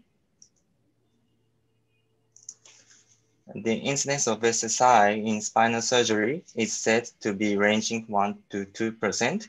National surveillance in Japan has shown that the rate of SSI in spinal surgery is higher than that in fracture or arthroplasty surgery. Uh, spinal SSI is known to be difficult to treat. This patient underwent C2 to T5 instrumentation surgery, but unfortunately, infection occurred and several irrigation surgeries were conducted. Finally, the wound was closed, but it took one year. Uh, SSI can cause a variety of adverse events, poor patient outcome, longer hospital stays, or higher medical costs. The impact of SSI is so large that prevention is needed. Here are today's topics. First, I'll talk about antimicrobial prophylaxis. Antimicrobial prophylaxis, AMP, is considered to be one of the most important prevention tools for SSI in various guidelines. And cefazolin is recommended as the first choice of antimicrobial agent due to its coverage spectrum, bactericidal activity, and favorable antibacterial, tissue concentrations. Uh, in 2019, many hospitals in Japan were forced to use alternative antimicrobial prophylaxis agents due to a shortage of cefazolin. Then the incidence of SSIs in spinal surgery increased during the period when alternative agents were used. Cefazolin should be used whenever possible. Several guidelines show that effective blood concentration must be reached before skin incision so timing of administration is recommended be between 60 minutes before and just before the surgery. Re regarding the dose, I'll introduce one experimental research. Even when two grams of cefazolin was used for orthopedic patients, the blood concentration was only slightly larger than the MSC of cefazolin-resistant coagulase negative staphylococcus. So I recommend two grams of cefazolin as initial dose. One gram is acceptable as additional dose. Post-operative AMP duration remains controversial. CDC guideline recommended that we should not administer additional antibiotics after the surgical incision is closed and in arthroplasty. But this is not the case in the real world, especially in spinal surgeries. And one RCT was reported in which there was no significant difference in infection rate between pre-operative AMP and pre and post-operative AMP. Based on these results, WHO stated that there was no problem without additional post-operative prophylaxis, but uh, many concerns remain. This is likely due to the small sample size. Another RCT showed that there were no significant difference in SSI rates between AMP uh, during 24 hours after the surgery and AMP until removal of drain tubes. 24 hours may be optimal duration. Uh, so we adapt the duration within 24 to 48 hours after surgery, but this issue remains uncertain. Next topic is topical application of vancomycin. It is so-called vancomycin powder and used widely in spinal surgeries. There are many reports describing the advantage. And several systematic reviews have shown that vancomycin powder can reduce the risk of an infection in spinal surgery. On the other hand, in regard to RCT, and there was no significant effect in vancomycin powder. And furthermore, and there are some concerns about vancomycin powder, especially SSI caused by gram-negative organisms is said to be increased. So we should be careful in this point. And to summarize, vancomycin powder is expected to have a preventive effect on SSI. However, be careful when implementing it. Criteria for use should be established by each hospital. And another way to use vancomycin is intravenous. Dr. Yamada reported that he used cefazolin and additional vancomycin intravenously for high-risk patients, and a good prevention effect was observed. And this is one way to consider instead of applying locally. And next is about pre-operative measures. I'd like to focus on nasal and body decolonization. And guidelines suggest decolonization when Staphylococcus aureus is present in the patient's nasal cavity. We can use two agents, mupirocin ointment for nasal cavity and chlorhexidine gluconate solution for body wash. Uh, the famous RCT was reported mupirocin ointment and chlorhexidine body wash could reduce any kind of infections caused by Staphylococcus aureus, including SSI. However, in the field of orthopedic surgery, there has not been enough evidence. One RCT showed no difference between mupirocin ointment and placebo. Uh, although there is a shortage of evidence, it is a good method to consider because it is thought to have fewer adverse events. I instruct the patient to use these agents five days before surgery and continue just before the surgery. And there are many interesting topics in intraoperative measures. In this talk, I will focus on diluted povidone iodine irrigation. And diluted iodine irrigation is widely accepted in variety of operation. For spine surgery, two RCTs were published showing a preventive effect with 0.35% povidone iodine solution with no apparent adverse events. Um, diluted iodine irrigation is a good method to consider. I prepared this solution with 20 milliliter of 10% iodine in 500 milliliter of normal saline. The wound is filled with this uh, solution for more than 30 seconds, and then additional irrigation with normal saline is conducted. Yeah, and based on today's talk, uh, please review the measures at your hospitals. Uh, thank you very much.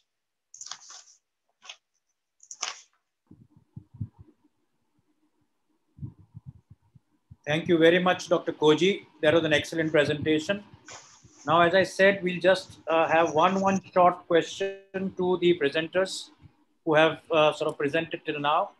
Uh, the third presentation was on surgical management of disc herniation.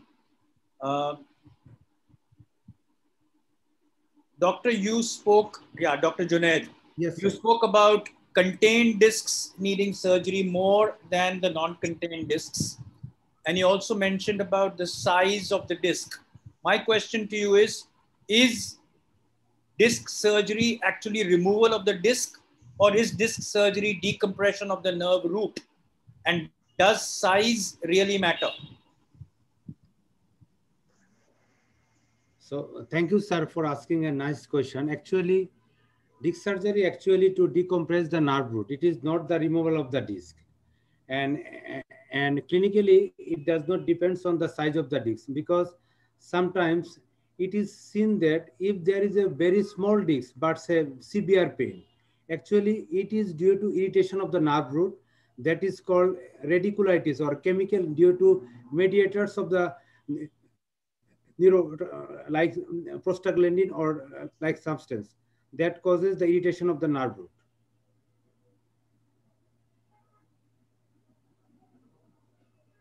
Thank you so much for clarifying that. That is not the size of the disc, but it's the nerve root compression which matters. Thank you so much.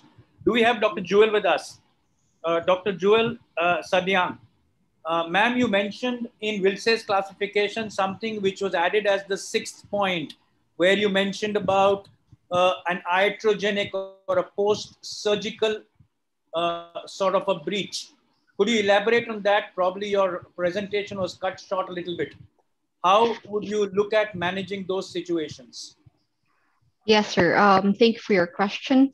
Uh, so in the original classification, it was not included, but there is an iatrogenic um, component so that um, sometimes um, even in simple surgeries like, um, like a simple decompression, a few months later or a few years later, the patient would develop um, a listhesis because um, sometimes the surgeon may be over aggressive in the decompression. So Again, we treat these patients as we would um, the usual spondylolisthesis, which is uh, they we would try to conserve first and see if the um, symptoms would resolve with conservative management. And thereafter, if it doesn't really um, if it doesn't really resolve, then maybe we could um, we could uh, suggest um, if it was if the initial surgery or the index surgery is just uh, decompression, we could suggest a fusion or a revision of the fusion if um, if that really happened. So, um, but these are not um, very common um, incidents. In our practice, this is uh, quite rare, sir. Thank you for your question. Thank you very much, ma'am. That was something because it is an additional to the other five parts of the Wiltse's classification. Now to conservative management of the osteoporotic vertebral fracture, Dr. Shinji a small question to you. Um, do you have any particular test or criteria by which you decide that yes, this patient is now moving from conservative care to surgical intervention? Uh, yeah, so as I mentioned, so the conservative treatment, we um, uh, we do their breast treatment and bed rest for about four weeks. And we check the dynamic X-ray and MRI in the patients with severe back pain. And if there is instability, we perform the um, balloon kyphoplasty in the patients with severe pain. So your dynamic X-rays are done in the lying down and sitting position, I believe. Yes, right. Thank you very much. Thank you so much. Uh, moving on to Dr. Shah Vayullah, you mentioned about recent advances. Now, what I need to know from you, Dr. Vayullah, uh, do you decide when you're doing only a cement augmentation, whichever modality you may do, versus combining it with a posterior surgery with or without decompression? How do you take that decision? Sir, uh, surgery is uh, basically if I see that the patient is having back pain more, like, uh, and is there instability is present, then uh, I will offer a surgery for this patient. Otherwise, simple uh, vertebral augmentation is good enough for this patient, and I'll keep an eye for this patient in follow up whether they require. Otherwise, initially I don't offer surgery for this patient. Thank you very much. Uh, to the last speaker, Dr. Koji, who spoke about surgical site infection. Um, Dr. Koji, when do you believe that implants needs to stay in? And when do you decide that the part of the surgery includes metal exit? Yeah, uh, you mean that uh, in the treatment surgery for SSI, uh, we should reduce the metal or not? Yes. Yeah. So is there, is there any timeline that you decide when you have Mm. SSI? Is it three months? Is it something else? When do you plan metal exit and when you decide to keep the metal? Or if you look at a third option, if you're looking at a situation which is too early, are you planning to remove and replace the metal?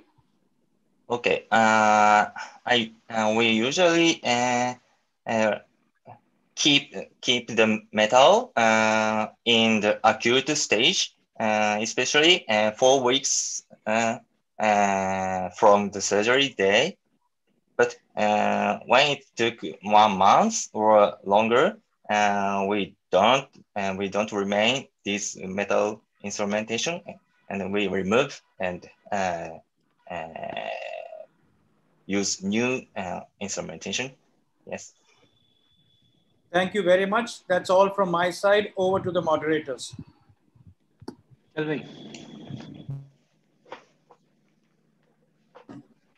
Thank you, sir. So we are near to the end of this session. Um, uh, our next session is on pediatric orthopedics, and with the permission of the chairperson, I would like to conclude the session. Thank you very much for patience here. Thank you to the moderators. Thank you to both Dr. Tanay and uh, Dr. Raj Bhaskar for conducting this entire event under the supervision of Jamal Ashraf and the entire team. God bless you all. It's been fantastic. Thanks a lot, sir. Thank you, sir. Thank you so much. Thank you, sir. Thank you so much. Thank you, Tanay. And now Thank you, sir. we invite Rashid Anjum to moderate and uh, s- start the pediatric orthopedic session. Over to, over to you, Rashid. Thank you. Thank you, Raja, for a wonderful session on spine. Uh, good evening, everyone. Uh, and at the outset, I would like to thank the Asia Pacific Orthopedic Association and Dr. Jamal Ashraf sir in particular for giving us this opportunity. And uh, I would like to invite the chairperson for this session, Dr. Rujuta Mehta. She's a leading pediatric orthopedic surgeon and the driving face of women's orthopedic group in the Indian Orthopedic Association. She is heading one of the largest pediatric orthopedic departments in the country. And she has been a teacher to al- almost all of us, the young pedi- pedipods in India. So it's an honor for us to have you here, ma'am. And I would also like to introduce and welcome my co-moderator, Dr. Amna Baljon. She is a young pediatric orthopedic surgeon from uh, King Khalid University, Kingdom of Saudi Arabia. So with the permission of the chairperson, I would like to invite our first speaker to talk on the current concepts in the diagnosis of DDH. She, uh, the speaker is Dr. Ruba Jamal from Kingdom of Saudi Arabia. So with your permission, ma'am, uh, I'd like to know. Thank you. Yes, absolute pleasure. And I request all the speakers to really be brief so that we have more time for discussion. Yeah, sure. So over to Dr. Ruba Jamal. So hello everyone. Um, let me share my screen first so we can start off.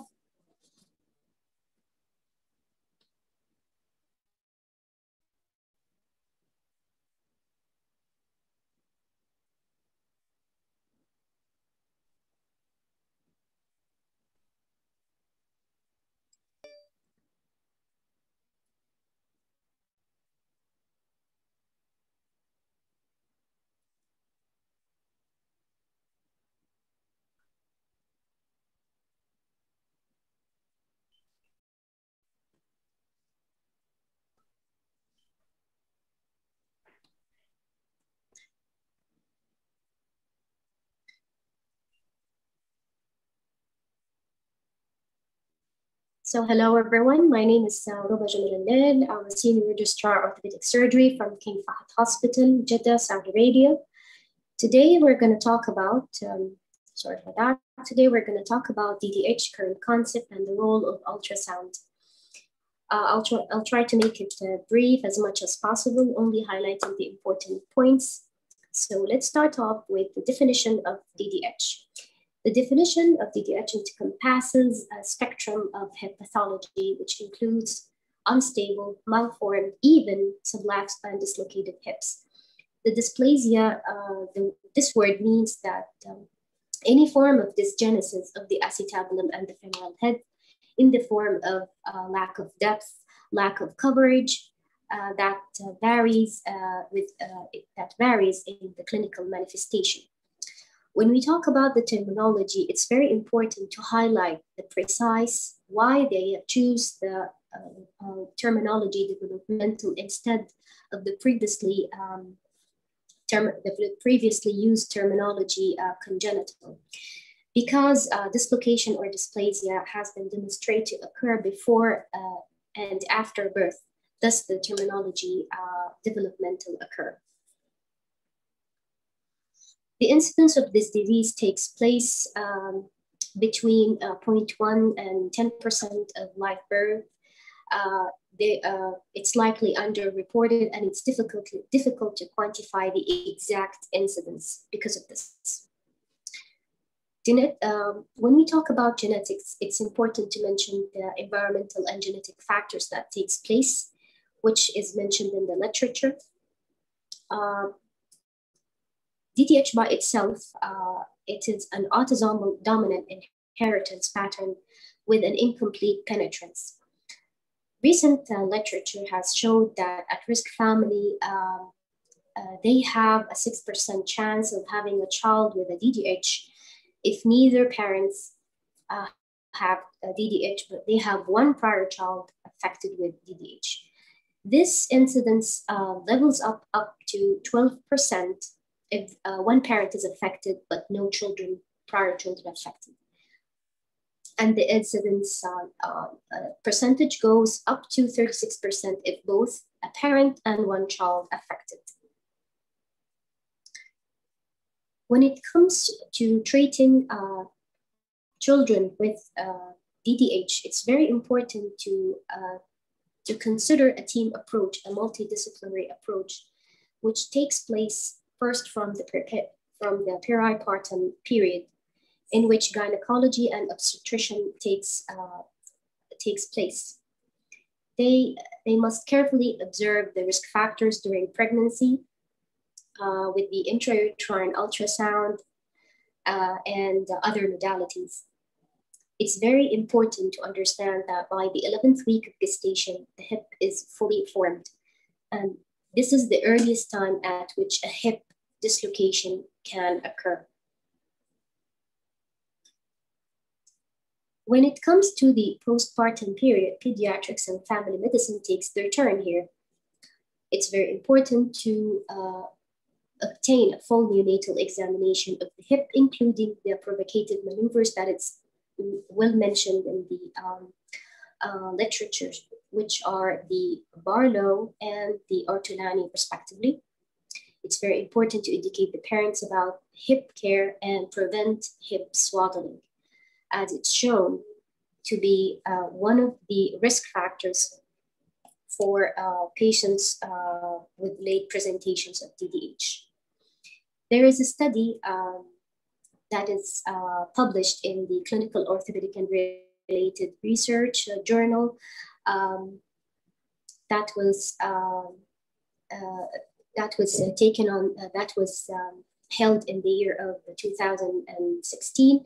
It's a retrospective review of prospectively collected data from a multi-center database that uh, was taken, uh, conducted from the 2010 to 2014, and they come up with uh, a conclusion that that there are specific risk factors for late presenters. Late presenters of DDH, which means uh, presenting with DD with any form of DDH after the age of three months. Uh, they have concluded that there are two variables identified as risk factors for late presenters, which are fetal presentation, uh, to be exact, uh, cephalic fetal presentation, and history of hip swaddling by the parents. This finding is consistent with the fact that infants with cephalic presentation are not monitored as closely and therefore they may be missed early um, in their course uh, of uh, disease. There are specific uh, characteristics of late presenters that is mentioned in his uh, uh, review. Uh, he found that most late presenters tend to have irreducible hip, unlike the early presenters. And most of the late presenters, um, they less likely to have bilateral dislocation, uh, unlike the, um, the uh, early presenter group. When it comes to screening, there is a lot of controversy, uh, controversy and debate that takes place. Uh, internationally, it's very uh, it's very well uh, known, or let's say it's very well established um, to uh, encounter every child and um, perform uh, ultrasound on him on after birth. they do not selectively screen children uh, this leads to many problems such as overdiagnosis and overtreatment. As we know that most of the children uh, at the age of, uh, from the age of first to third, third week, they may have subtle symptoms of DDH that will resolve spontaneously. So we are overdiagnosis a problem that it's um, that it's not uh, existent um, to be uh, that it's not existent um, here comes the American Academy of Family Physician that they stated that there is insufficient evidence to uh, recommend routine screening as a way to prevent adverse outcome. American Academy uh, of Orthopedic Surgery appropriate use criteria that was launched in 2018.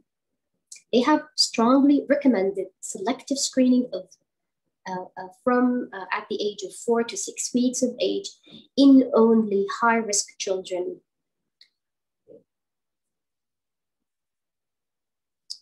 So when it comes to ultrasound and its role, uh, it has a major role in diagnosis and it has a major role in management that we will uh, highlight in the next um, slides. So Graf has introduced ultrasound for the diagnosis of, um, for the early diagnosis of hip dysplasia in 1983. It's the foundation of all contemporary sonographic technique. Uh, there are uh, multi-examination modalities uh, that, uh, that is uh, known worldwide, but are the, the most common ones um, are the Graf, Terjesen, which both are static methods, and the Harcke, which is the a dynamic method of ultrasonography technique. When we, it's very important to understand um, in, uh, in terms of Graf method, uh, it's very important to have a very well-trained uh, technician that he uh, that is able to produce produce a, a, good quality um, image and is able to, uh, to produce and interpret the uh, results efficiently. So it's um, uh, it's based on this is the, the hallmark of this uh, uh, the hallmark of it, the hallmark of it for an accurate analysis of imaging. Uh, the Graf method, as we mentioned before, it's a, it's a static um, uh, morphology evaluation of a resting hip in the coronal plane. So it's a static, as we said, it's a static, a static assessment of the morphology in the, of the resting hip and coronal plane, and it's most uh, importantly to be done by a well-experienced technician. As you can see here, um, there is no form of um, provocative maneuver to be done. Mm, Dr. While, uh, Ruba, you have less than half a minute. Please try to uh, brief, make it brief. You have just less than half okay. a minute. Okay. okay.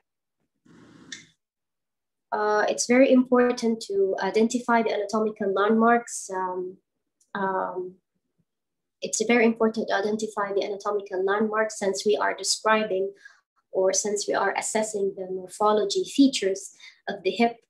Uh, the anatomical landmarks such as the uh, cartilaginous roof, uh, the joint capsule, femoral head, the bony roof and rim.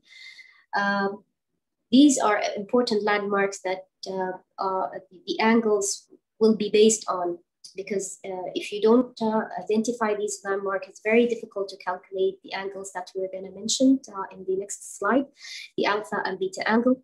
The alpha angle represents the acetabular roof, which means depth. The beta angle represents the cartilaginous uh, uh, roof, which means the coverage.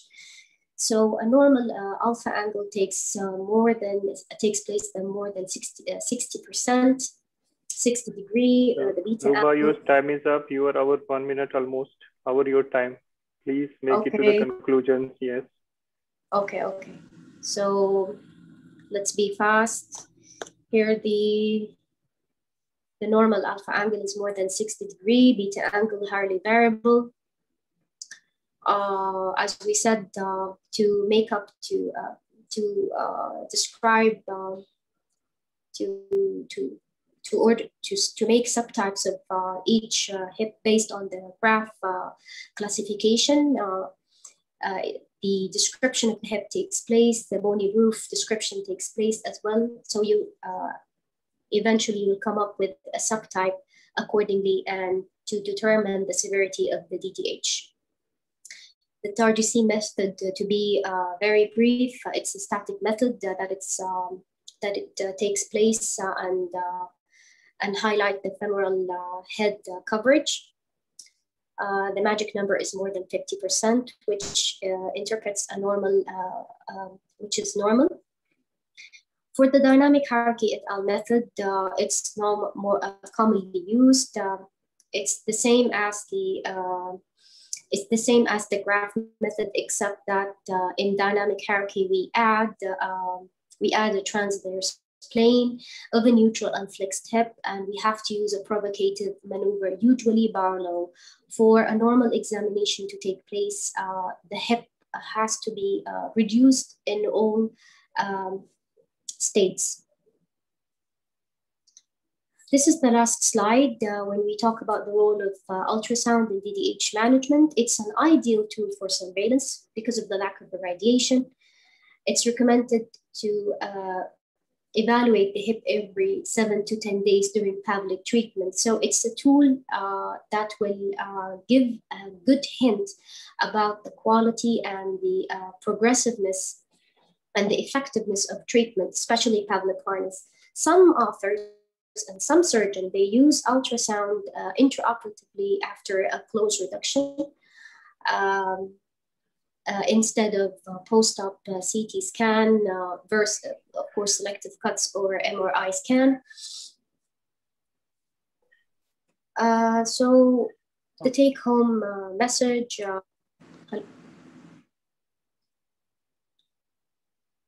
so the take-home message, it's very important Yes. Yes, yes, your voice is Am breaking. Okay. Yes, yes, yes. Thank you. Thank you, Dr. Ruba, for a wonderful uh, talk on this.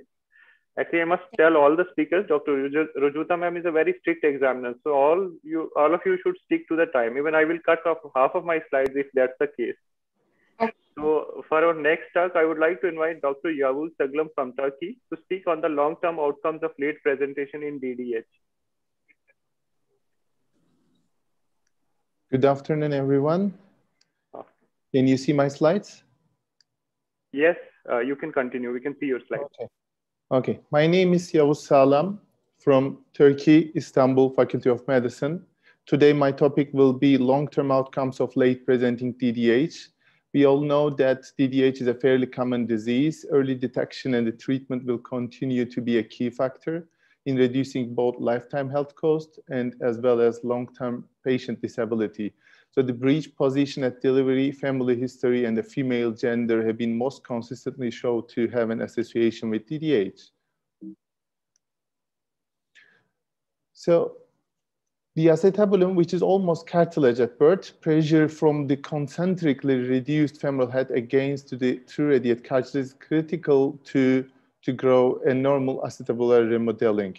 As you have seen on the left side, a normal hip joint in the middle and acetabular dysplasia. On the right side, highlighting the hip dislocation.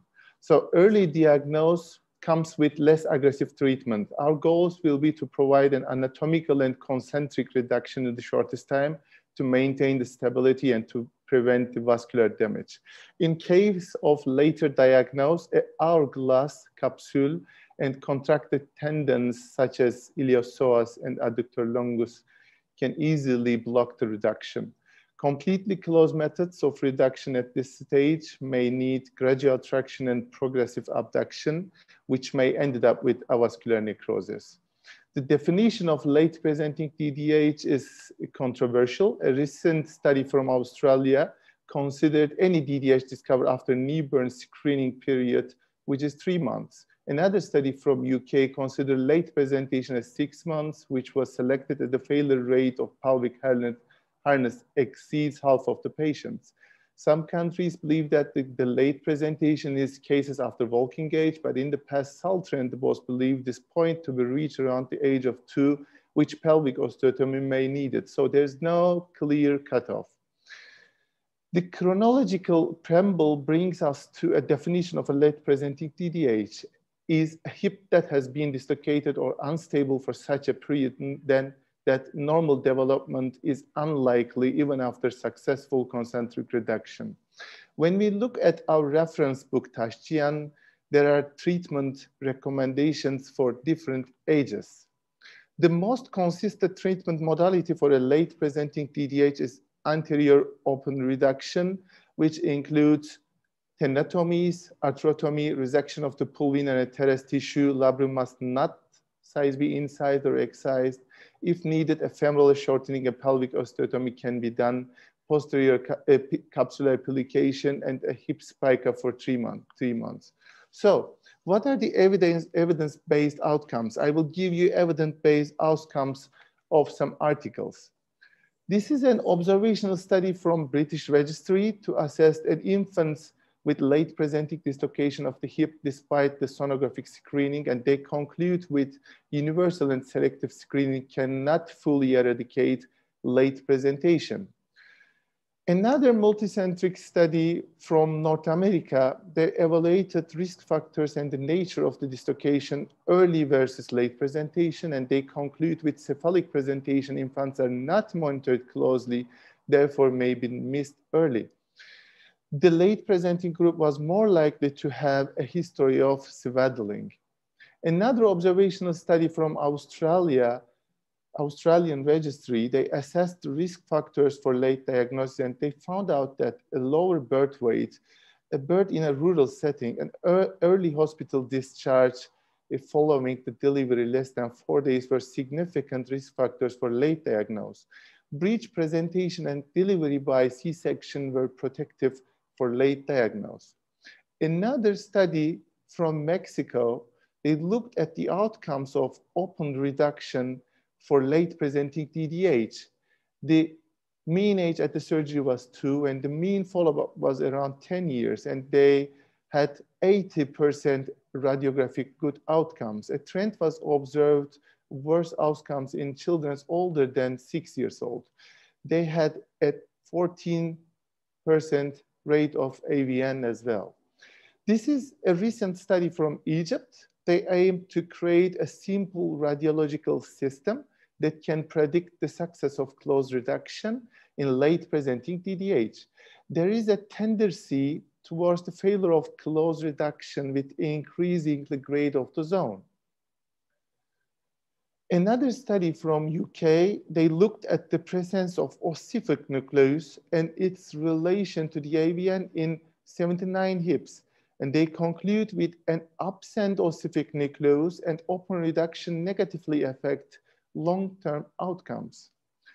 And this long-term study, which comes from France, showed that 95% of the hip survival after traction followed by an open reduction in 30 years time. This is another interesting study from Norway. They investigated the change, the change of treatment modalities over 50 years period. The mean time in sick interaction had decreased and open reduction rate was increased with time. The immobilization time in spica cast had decreased to six months after 50 years. And these changes resulted in improved femoral head coverage and better radiographical results. Another study from UK showed that a closed capsule reduction technique is possible in early age, and this has a low rate of AVN and superior outcomes. The later is expensive and can lead to overtreatment. This is the last study from Malaysia showed a great economical impact of late presenting DDH with 86% of the amount having been used to manage late presentation of DDH that was mostly contributed to the cost of the surgeries. So what about the neglected DDH? A tipping point of eight years, probably the age that the treatment are likely to produce an, over, an outcome no better than untreated clinical course. So the results are poor after the years of eight.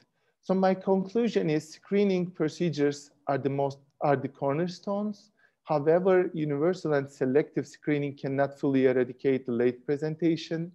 The later is always expensive, can lead to overtreatment and complications. My last words are from Reinhard Graf.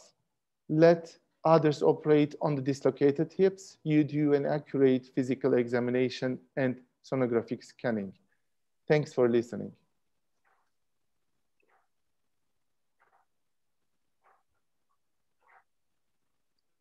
Uh, thank you, Dr. Yous, for a wonderful uh, presentation and also finishing well ahead of the time. So we can have one question if anyone uh, wants to ask any question, or we can have later on as, as the chairperson decides. Rashid, I feel uh, since both the topics are related, let's go ahead with the question now for uh, them. Okay. So. I'd encourage the panel to ask amongst each other because I think this is a platform for all you youngsters to really uh, blend together. But just to set the ball rolling, I'd like to ask uh, Ruba first. Uh, Ruba, are you there? Yes, hello. Yeah, hello. So, so nice to see a lady from Saudi Arabia and may the woman power increase. But uh, since this is a topic close to our heart because it affects the girl child more, I wanted to know what are the swaddling practices in Saudi Arabia and is something being done about it? Uh, yeah, it's still uh, it's still a common practice, uh, unfortunately, but um, uh, we're raising the uh, this issue uh, with educating parents um, uh, especially after uh, the mother take birth um, in, um, in most of the hospitals. So no more swaddling as compared to um, previous times. Okay, and one more quick question for you. If you had to recommend universal screening versus risk factor screening for your country, what do you think would be a better public health selective screening, of course. Selective screening. Okay. Yeah. Yeah. All right. All right. Thank you. And Yavuz, that was a very um, I want to uh, to tell uh, the audience where do you place medial uh, open reduction in the gamut of treatment of DDH? Can uh, can you repeat again, please? That's, that's for Yavuz. Um, Yavuz Saglam from Turkey. The question ah. is for him. Ah, okay. Okay.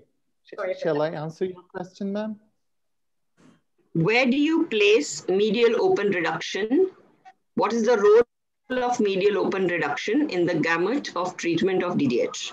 We only prefer medial open reduction in the patients below one year of age in case if there is unsuccessful close reduction. Okay. And how do you all address a teratologic hip when it is diagnosed? How do you all address it? Do you attempt a close reduction if the baby is uh, no. in the neonatal phase or you? No, we wait until two years of age. And then we do a radical reduction, including all tenotomies, open anterior reduction, femoral shortening, and if needed, pelvic osteotomy. So we always wait until two years old for a teratological hip dislocation.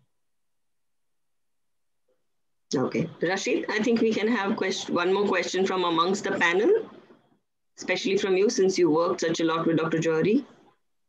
Um, actually, I do have a question if you don't mind. Absolutely, yes, no, yes, go ahead. Go ahead. Okay, so uh, you mentioned in your presentation that the sequelae of late presentation of DDH is very harm and it costs a lot for the patient and the uh, uh, country. So um, I've read, I've encountered some um, literature that says that even some patient with a normal ultrasound that was diagnosed with his hip dysplasia at uh, early and that was treated might uh, develop uh, subsequent later dysplasia after one year or two years. So do you have some um, proposed any protocols that we follow those patients for a longer time, especially those with higher risk factors such as breech presentation? Or you prefer that after we have a good ultrasound and a good x-ray after a year of diagnosis that this the patient? So as well as I know from the current literature, if there is a normal hip diagnosed by a technique uh, of Graf around the age of three months, if the alpha angle is uh, over 60 degrees and there is no risk factor such as first female breech presentation and the family history, there is no uh, another uh, control or another screening for that child. But in my daily practice, if there is even one risk factor or if there's any uh, physical examination finding, I always follow these patients until the age of five. So uh, if there is no acetabular dysplasia at the age of five, uh, I will stop screening. Okay. Um, one last question, I'm sorry. As you mentioned also, a breech presentation is a very common risk factor for uh, DDH. Um, have you encountered anything um, describing the duration of the patient being in breech during the pregnancy? Because some of the, the mothers might encounter that uh, they told her she had a breech for less than a month, then it went to a cephalic uh, presentation. Does this have a correlation, the, um, the duration of breech presentation within uh, the womb uh, and the uh, development of DDH? So until the, the gestation week of 32, uh, most of the baby, babies are at the breech position um, in, in, during the pregnancy so if the baby is still breech after 33rd week of gestation, we call that a breech delivery. So we close them, uh, we, we closely monitor these child. Okay, because some articles mentioned the um, the cephalic version intra uh, during the uh, pregnancy that sometimes they suggested that if they do external cephalic version, it helped decrease the breech presentation period. And they think that this might help, but I'm not sure if you have any experience with that. No, I, I do not have any experience with that. Sorry about that. Thank you very much. Thank you. Thank you. I think we should carry on with the next paper. We will have uh, later part for discussion also. So next, I want to invite Dr. Nesty Panopio from Philippines. He will be talking on the management of Perthes disease. It's one of the controversial topics in pediatric orthopedics. So over to you, Dr. Nesty. Thank you so much. Good evening, everyone, and thank you for inviting me to share with you an overview of management of one of the most controversial topic in pediatric orthopedic Perthes disease. So for the background, it's a slow progression it's a long-term progress that requires long-term follow-up. It's self-limiting, unlike adult osteonecrosis, by its ability to heal and remodel. It's short-lived, therefore it's transient epiphyseal growth disturbance, and therefore salvageable because the blood supply will later on followed by, uh, by revascularization. For the epidemiology, the 80% rule is always useful. Most of them are boys, unilateral in location, and onset is four to eight years old. Depending where you are and the study is, it's usually one to three per 10,000 per year. And it's usually more common or increased risk in Caucasians in high altitude countries like Scandinavia, but it's also more common in Southwest coastal plain of India. Thanks to Dr. Benjamin. So for the etiology, the exact, the exact etiology remains unknown, but many factors related to etiology has been mentioned. And over the last decade, it has focused on abnormalities of thrombosis and fibrinolysis, demonstrating a consistent relationship to protein C and S. So for the growth factor, it has been shown that these disease have shorter stature and bone growth or bone age trails about two to three years behind, and authors have found evidence of reduced growth factors such as somatomedins. For the environmental, more common in rural, poor, and smoking has an effect to tissue plasminogen activator, supporting a thrombotic theory. So, and the genetic factor, some literature have an expression uh, association with expression of HLA antigen in lymphocytes of LCPD. And trauma is a causative factor always. However, it's difficult to substantiate because mild frequent trauma is frequent in children.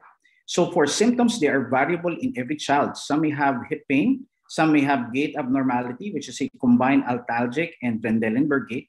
Some may have stiffness, which the loss of rotation, internal rotation is the first sign, and abduction. And then the leg, limb length discrepancy because of the hip adduction contracture can exacerbate that discrepancy. For the imaging, the most commonly used is the pelvis AP and frog leg view. However, other investigations such as MRI is of, er, is of very much importance for early diagnosis to detect degree of extrusion and uncoverage. Perfusion and diffusion MRI is also used in some hospitals. Arthrogram is best investigation for hinge abduction, hip congruity assessment, and when there is doubt in terms of containment uh, uh, uh, plan. And therefore, some other imaging is ultrasound, CT scan, and bone scan.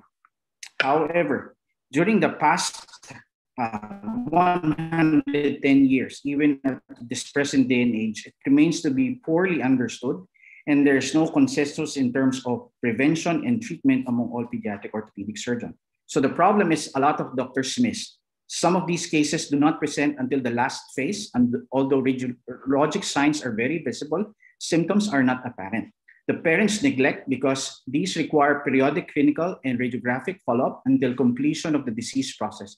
However, often than not, they neglect for follow-up because the child looks fine anyway. Patients ignore because activity restriction or use of protected weight bearing, such as walkers and crutches, are poorly compliant. So here in this diagram, you can see the bone necrosis that follows the vascular occlusion, the triggers changes in the soft tissue and bone of the hip joint. The necrosis uh, or the, the necrotic epiphyseal bone is eventually resorbed and replaced with a new bone, leading to alteration of mechanical properties, which is the flattening and enlarging of the bone. So extrusion appears to be the prime factor that predisposes to femoral head deformity, and more than 20% of the width that extrudes outside the acetabulum can cause irreversible femoral head deformation and is inevitable. So in order to use different classifications, as I mentioned, you have to understand the different stages of Perthes disease. So the modified Elizabethtown classification is a modification of the uh, original Waldenstrom classification, useful in determining the stage of disease. The stage 1A sclerosis of the epiphysis with no loss of height, the sclerosis of the epiphysis with loss of height but no fragmentation is stage 1B. So for the stage 2A, there is a, an early fragmentation with just one or two fissures. However, with advanced fragmentation, it's stage 2B, but no new bone lateral to the fragmented epiphysis.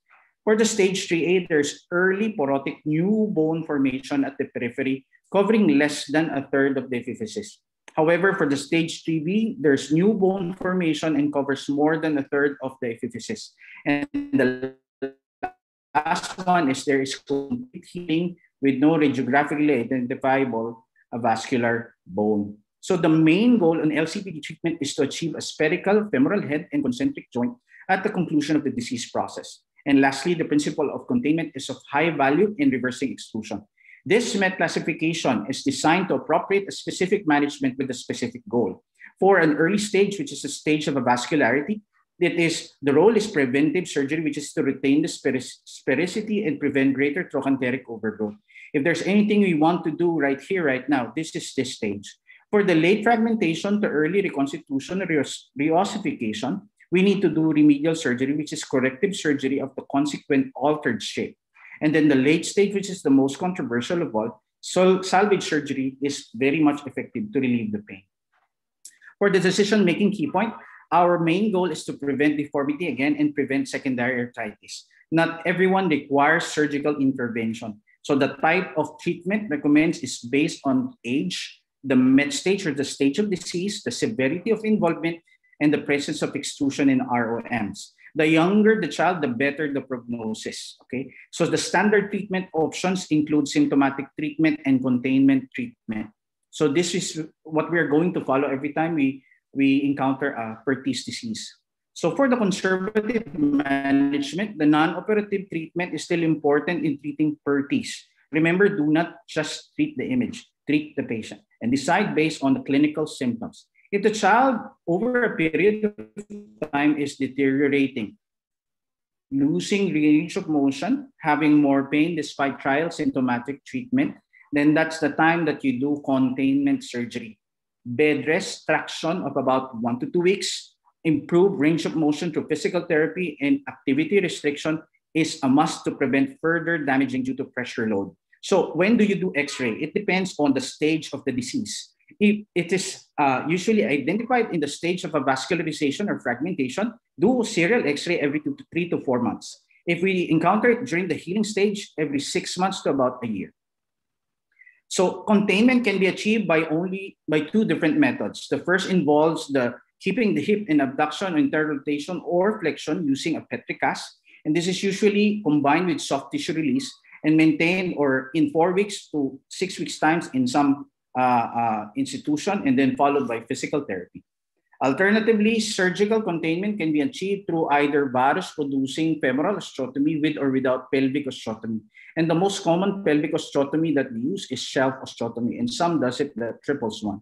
So the main goal is to reorient this acetabulum so that it covers the anterolateral portion of the femoral epiphysis. For the late treatment, in the late stage, we need to have a remedial surgery intervention. The problem we encounter is the progressive extrusion of the femoral head and the hinge abduction. Containing for extrusion have poor outcome and usually obtaining sphericity is 17 times less of performed late.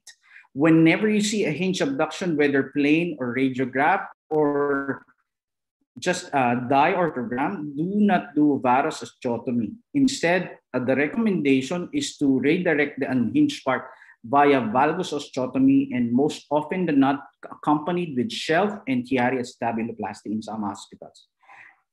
Salvage surgery is pretty much an area of controversy to a lot of us because some believe that you don't anymore touch the hip once in a very late stage because chances are the results are very poor anyway. However, there are those who are highly competent to do salvage surgery in some parts of the world, especially there in India. So the outcome is prognosis is judged by the risk of long-term arthritis, which is correlated to the Stulberg classification. The goal is to contain the hip, maintain the roundness, and keep it mobile. The better the outcome is between class one and class two. So some will achieve spontaneous resolution, some will require containment surgery, and some will not achieve success no matter what. So the challenge is there is still no robust evidence regarding the most effective non-surgical or surgical intervention. And future research, especially employing randomized controlled trials, very much welcome in, in this uh, very controversial topic. And in some uh, uh, recent literature, the future hope is uh, the, uh, the, the application of, or, or the uh, uh, surgery using multiple drilling method and, and the application bisphosphonate but it should be done early during the stage of a vascularity. Stay inside, stay safe. Stay inside your home, you stay safe. So treat the patient, not the radiograph. Thank you so much.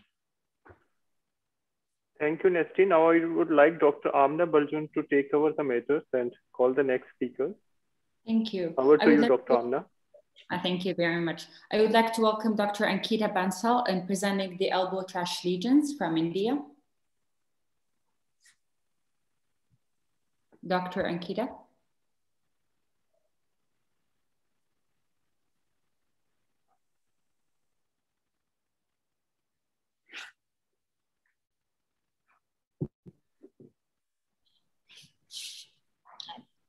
Okay, thank you APOA and YSF for this opportunity. I will be presenting on trash lesions elbow. I would like to acknowledge all my teachers who have helped me reach this stage and a special thanks to Dr. Sandeep Pedya for his precious time and the cases that he's given me for this presentation. I have no relevant disclaimers or disclosures.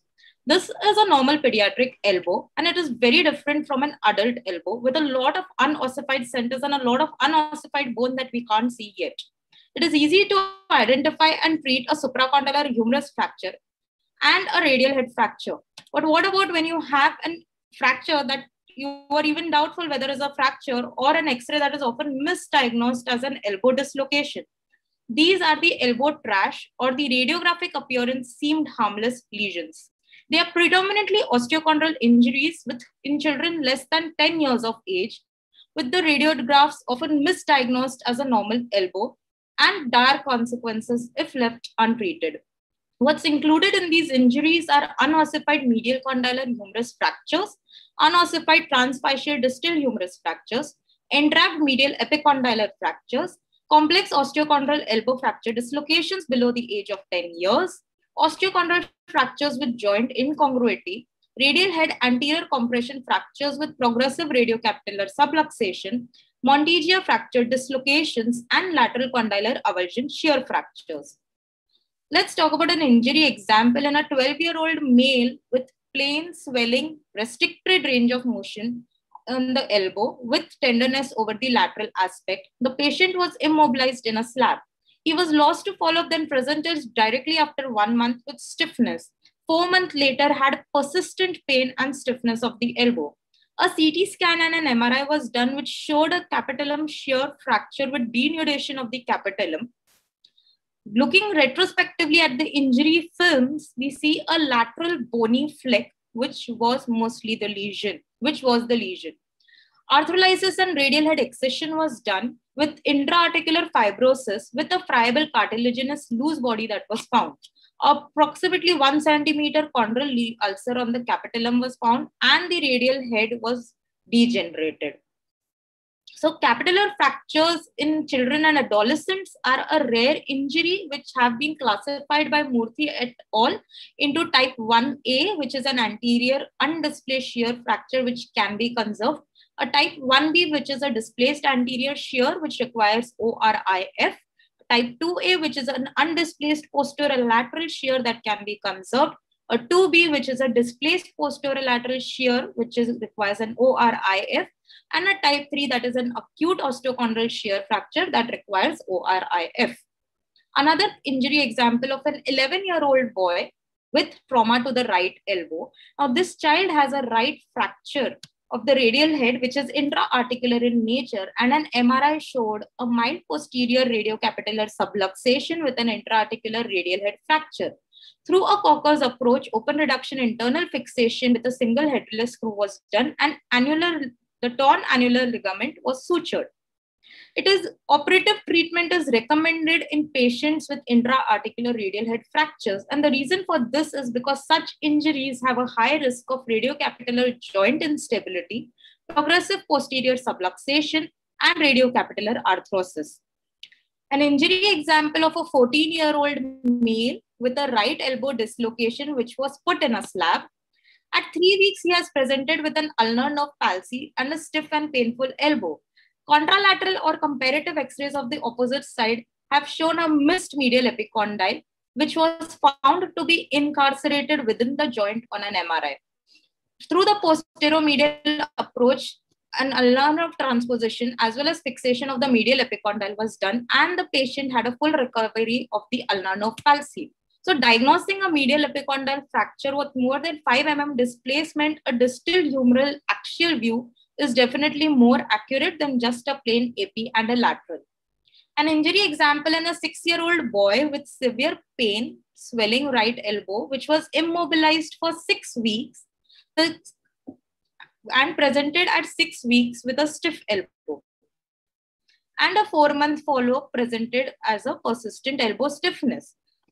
A comparative X-ray of the opposite side shows a missing medial epicondyle, but this was not a medial epicondyle, but a medial condylar fracture, which had dislocated and now was ossifying.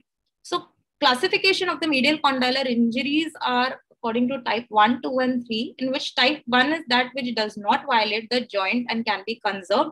Type 2 are intraarticular fractures with less than 2 mm displacement, requires an ORIF, and type 3 also require ORIF. So how to avoid missing a trash lesion? Pay attention to the history and perform a good clinical evaluation. These generally have a history of a high energy trauma in a young patient with more swelling than expected on the radiograph with range of motion restricted and may or may not have a bony crepitus. Good radiographs with posterior, lateral, internal oblique, and external oblique if needed. Do comparative x-rays of the opposite side. Pay attention to the ossification centers and look at your radiological parameters. So capitulum at one year, radial head appears at three years, the medial epicondyle at five years, the trochlea at seven years, the olecranon at nine years, and the lateral epicondyle at one year, 11 years. The timing can be variable, but the order is reliable. So this X-ray was misdiagnosed as a trochlea fracture, but you see a capitulum, a radial head, no internal epicondyle. And you cannot see a trochlea without seeing an internal epicondyle. Remember, the order is reliable. Pay attention to the lines, anterior humeral line, the radiocapitellar line, the Baumann's angle. Do advanced investigations wherever necessary. A sonography is a good investigation that avoids sedation or anesthesia but is operator dependent. A CT scan gives a good look into the bony continuity. An MRI delineates the soft tissue and your articular and the osteochondral injuries better, but requires anesthesia or sedation in very young patients. And an arthrogram is a good adjunct to these investigations or can be the whole and sole additional investigation when a CT, MRI, or a USG is not possible. Take serial follow-ups. Do serial follow-ups. Repeat your x-rays without plaster in such children. And remember, a child without a fracture tends to improve after one week of plaster. So take home message to avoid missing your trash lesions are have a high index of suspicion do a good clinical examination radiographs pay attention to your ossification your alignment and take contralateral x-rays if needed for comparison do advanced imaging wherever necessary in the form of USG, CT, MRI, or an arthrogram, and serial follow-ups. Thank you. Thank you, Dr. Bansal, for the great presentation. Um, now I would like to welcome my co-moderator, Dr. Um, Rashid Anjum, to present lengthening in congenital posteromedial bowing of the tibia. Thank you, Amna.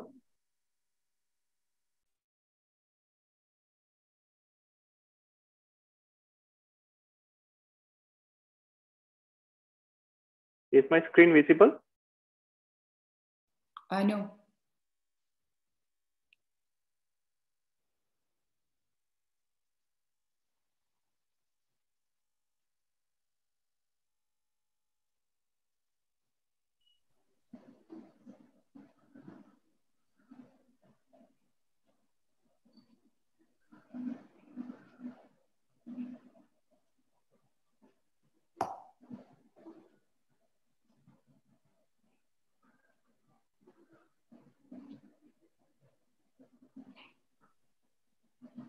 Rashid? Yes, ma'am. I'm just uh, sharing it. Can we see us? Yeah, please. Okay. okay. Is it sharing now, ma'am? Yes, yes, yes. Go on. Thank, thank you, thank you. So I would be talking on the lengthening in congenital posteromedial bowing of the tibia. So at the outset, I first like to thank uh, Professor Ashok Johari, my mentor and guide in the fellowship also. More, uh, all the cases and studies uh, Dr. Ashok Johari. So introdu introducing, so congenital posteromedial bowing of tibia is a, a rare, usually self-resolving condition, which was first described by Hayman in 1949. It is uh, clinically characterized by a posterior and medial bow of the tibia and fibula, along with the clinical calcaneo-valgus deformity of the foot, and there can be associated shortening. There is no association with any other skeletal or visceral abnormalities. However, intorsion of tibia, calf twisting, and foot hypoplasia can be present. And there are different theories of the, uh, this causation of the posterior medial bowing, but none is uh, superior to others, and there is no consensus on its uh, origin. The frequently associated it is with four to seven centimeter of LLD close to the skeletal maturity. So why we did this study? Actually, there are no well-defined guidelines regarding the selection of patients, the timing of limb equalization surgery, early versus late intervention, complication and long-term follow-up of such patients. So this was a single center, single surgeon series, retrospective in nature, over spread over a period of 27 years.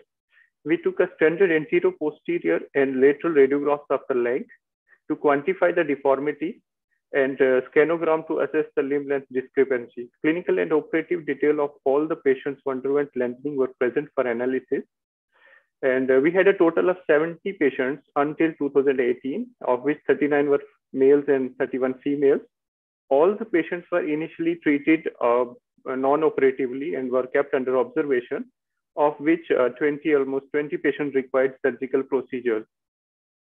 There were a total of 18 limb lengthening episodes in 17 patients, of which 10 were males and 7 were females. We divided these patients into early intervention group, those who got operated before 10 years of age, and late intervention who was operated after 10 years of the age.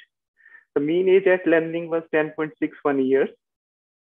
So this is a comparative analysis between the early intervention group and the late intervention group. If we look at the surgery, the mean age in the early intervention was 4.89 years and there were eight cases of lengthening. And in the late intervention, it was 13.58 years and with 10 lengthening procedures.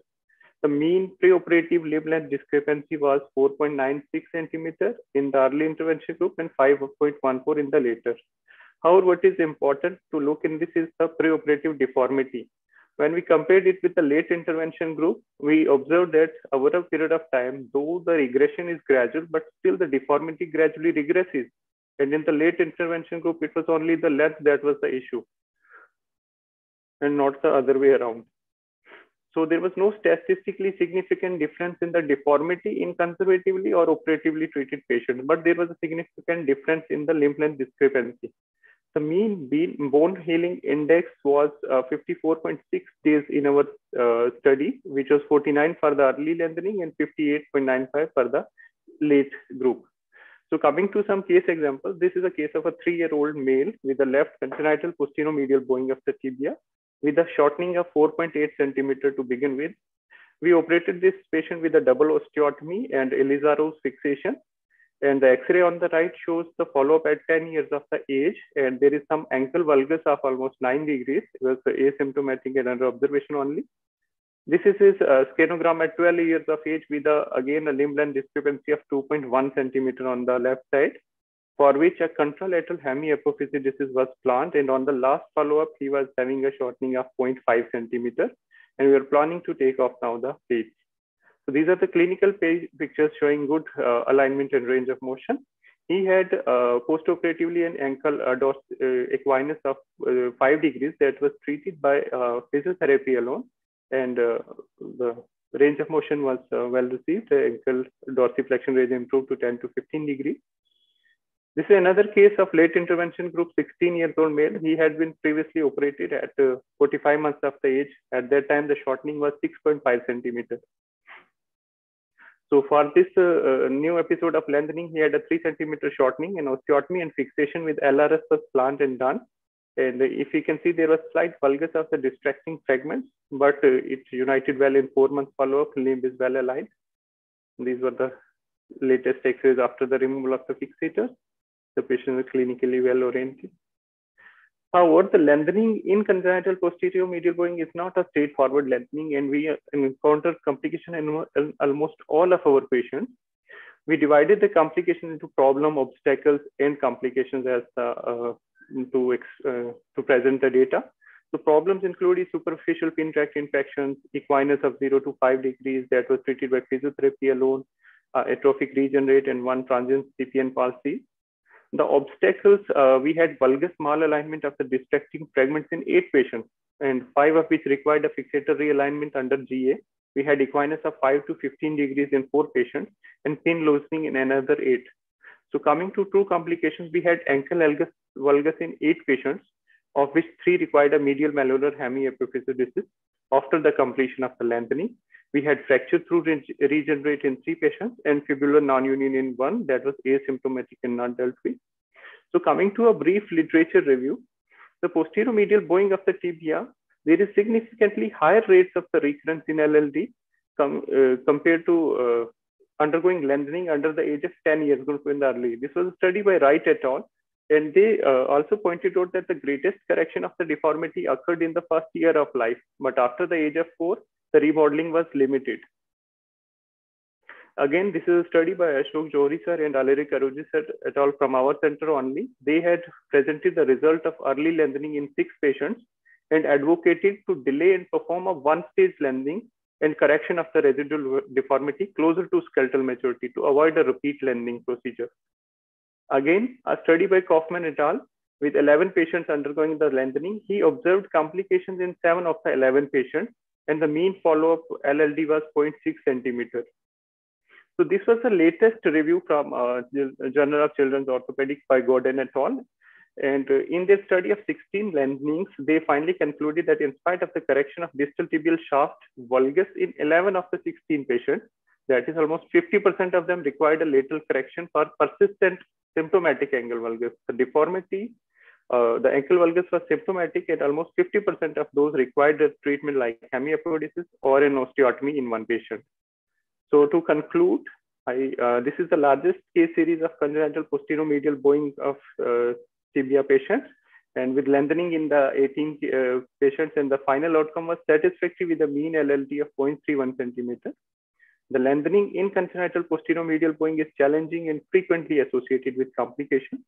The commonest being ankle valgus, which is underreported in literature, and malalignment of distracting fragments that can be reduced by using a circular frame, putting three or more screws in each fragment while using a monolateral frame. And we recommend and adhere to our earlier uh, recommendations to defer the surgery for lengthening and deformity correction to a later stage close to skeletal maturity as a one-stage surgical procedure. Thank you. Thank you very much for this uh, very thorough, but uh, excellent presentation. Uh, last but not least, I would like to welcome Dr. Aisha Saeed from Pakistan, where she's going to lead a case discussion about DDH. Okay, thank you very much. Uh, can you see my uh, screen? Uh, not yet. Okay, can you see now? Yes. Okay. Okay, so thank you very much uh, for the kind invitation, especially to Dr. Jamal Ashraf, Dr. Raja Bhaskar, and Dr. Rashid Anjum. Uh, so as Dr. Rashid mentioned, uh, also for me, there are many, uh, all these leading pediatric orthopedic surgeons like Dr. Ashok Johari, Dr uh, um, Taral Nagda and uh, Dr. Mehta herself are also distant teachers to many of the young aspiring pediatric orthopedic surgeons in Pakistan. Uh, I work in uh, Children's Hospital Faisalabad as assistant professor. Uh, this is um, a new aspiring children's hospital. Faisalabad is a city which actually most of people abroad know Lahore more in Pakistan. Uh, other than uh, so this is this city is actually a neighboring city of Lahore, just 200 kilometers, and uh, it's it's the th third largest city of uh, Pakistan, which means uh, working in a public care tertiary care hospital, I get to see a lot of patients. Um, uh, so as um, earlier, Dr. Yavuz was mentioning about the importance of early presentation and early management unfortunately, in uh, this part of the world, we get to see a lot of neglected cases, uh, which means that cases uh, uh like the one I'm projecting are actually a routine presentation in my outpatient. Uh, so routinely, DDH uh, is diagnosed late, very late. almost when children they start walking, so when they present to us already, there is no chance of getting close reduction for them and uh, uh, uh, my usual approach for them is um, an open reduction, adding a pelvic osteotomy, and then depending upon the age of presentation, a femoral shortening has to be added. Uh, the usual approach for these patients um, in my center um, is uh, the anterior approach, the Somerville approach, and the bikini incision, uh, where we first identify the interval, identify the nerve, and then uh, uh, raise a flap of the sartorius and rectus muscles. Uh, then we split the apophysis. And after that, a great emphasis is put on a complete and utmost dissection of the hip capsule uh, from all around, especially the anterolateral part, uh, where actually uh, the redundant capsule is fixed to the inverted labrum. Uh, and also uh, medially, we make sure that we dissect and free the capsule as far as we can palpate the lesser trach of the femur. Uh, so um, uh, my whole emphasis uh, in the surgery is actually a good dissection of the capsule because uh, it is a good capsulorrhaphy in the end, which uh, uh keeps the hip uh, located uh, and gives a good long-term outcome. Uh, so Dr. Yavuz already mentioned about uh, removing the intra and extra-articular uh, obstacles which are there in the surgery. so once we have um, done the reduction, um, usually we take an image where we see and compare to the opposite side the medial gap. Uh, so uh, a good reduction of the hip is where the medial gap is uh, comparable to the opposite side. And if you, of course, you don't have an opposite indicator, then this test is uh, uh, irrelevant. And also, um, after I've made my capsular capsulorrhaphy, I do a medial pull of the proximal femur. And in that way, I make sure that the image taken before the medial pull and after the medial pull uh, I measure the gap again, taking images uh, apart, and uh, I make sure that the gaps uh, are um, uh, uh, are not much between the two images. In this way, I'm sure that I've done a good capsulorrhaphy. so usually the hip lies in the spica for between six to eight weeks, depending upon how big is the child and that's usually the case. So this is uh, this is another case. Uh, uh, this child was three and a half years of age at presentation. Uh, so here, apart from the Salter osteotomy, I had to add uh, shortening of uh, the femur to get a concentric hip reduction. and you can appreciate here that the triradiate, the, the proximal femoral physis faces the triradiate cartilage and the medial gap is adequate, which is a good criteria uh, to assess how nicely the hip is um, uh, sitting in that in its uh, in its true acetabulum. Uh, this is uh, the last follow-up of this child, and uh, you can appreciate that acetabular index is brought as good as to the normal side again, an example where the Salter osteotomy, uh, apart from the Salter osteotomy, a femoral shortening was added.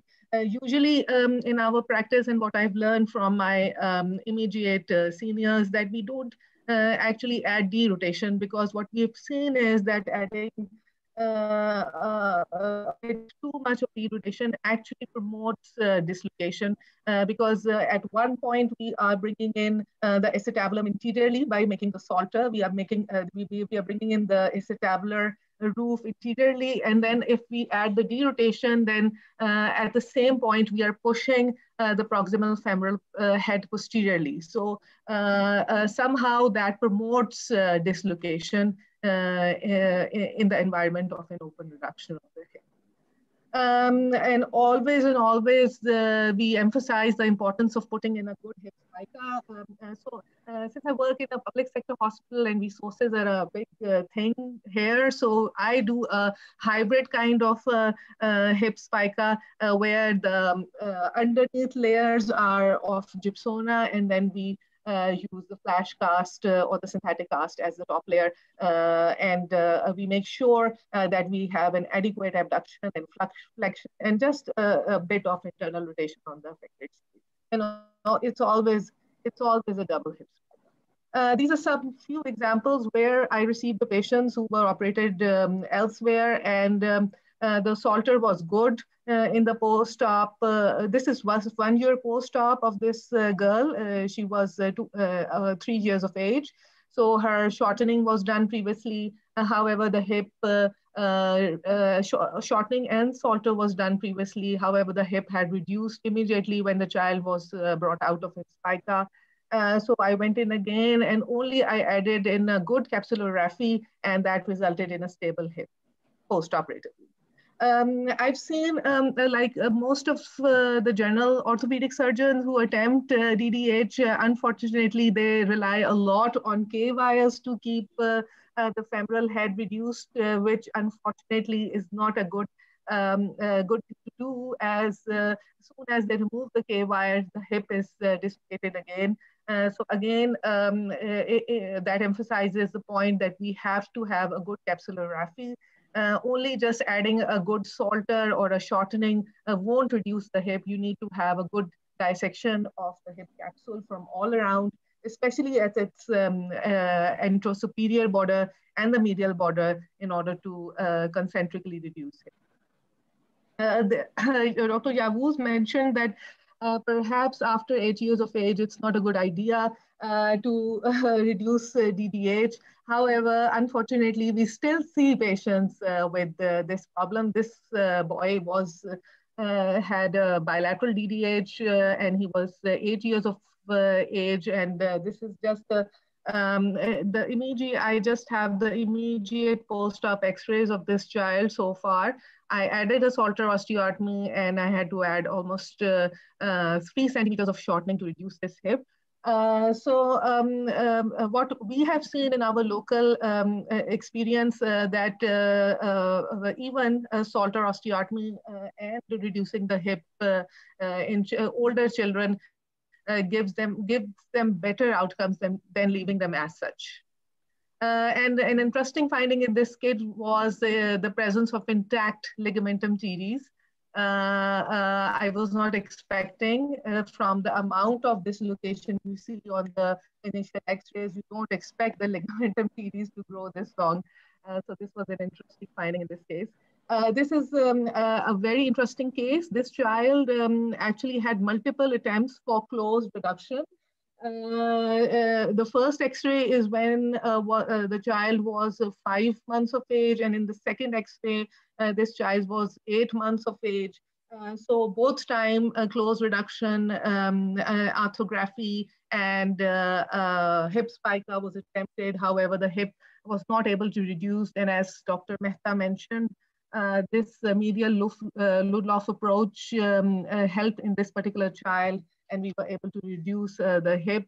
Uh, however, I do see the need for uh, th this X-ray is when the child was 12 months of age, and now we will ask him to keep him in a close follow-up because there might be a need to do an osteotomy to prevent a future dislocation.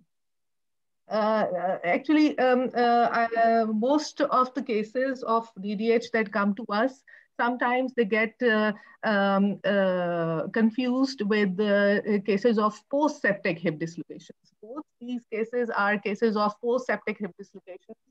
Uh, and uh, uh, uh so uh, I uh, place these x-rays just to give an idea that the, this hip dislocation, it's very important to do thoroughly investigate the patients and of course thoroughly know their history because it is likely that these dislocations- Sorry to interrupt, Dr. Aisha, your time is up. Can you just brief it up? Okay, I'll, I'll just go to the last case because sure, I sure, wanted in a It's very interesting, but unfortunately we are short on time. I can fully okay, So uh, this uh, um, girl, uh, uh, the first X-rays we see are the actually the virgin X-rays, uh, where she has a left hip dislocation. Her Salter osteotomy capsulorrhaphy shortening uh, was done. Unfortunately, this is at two years of age.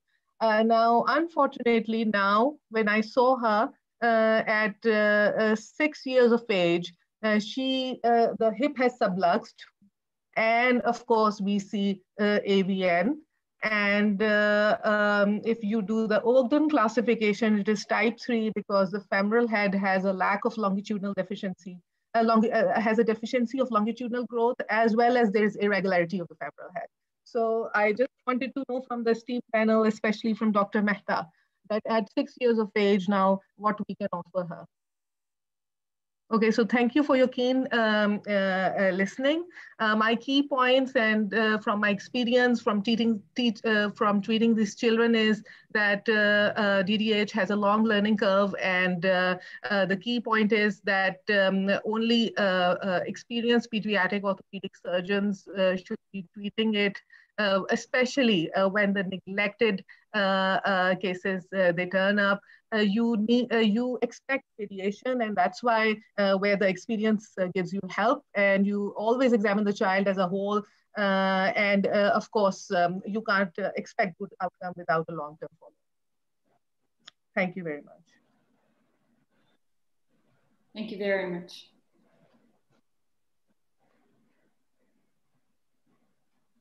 So I think we'd Thank like you. to Over to Rujuta ma'am, I think. Uh, Rujuta ma'am, yes. to yes, that's Dr. been a Amna, you very, have very anything to nice. say? Yeah, it's been a very, very nice uh, amalgamation of uh, good topics from different regions. I am so happy to see the kind of proficiency almost all speakers have displayed and shows your deep involvement. And I think it's very heartening to see that pediatric orthopedics is really going from strength to strength across the globe. I think the Asia Pacific region can be really a good leader in terms of uh, bringing out good literature, especially because probably the West and some of the European countries hardly see late cases. So I think that's where all of us really need to come together and collaborate a little more.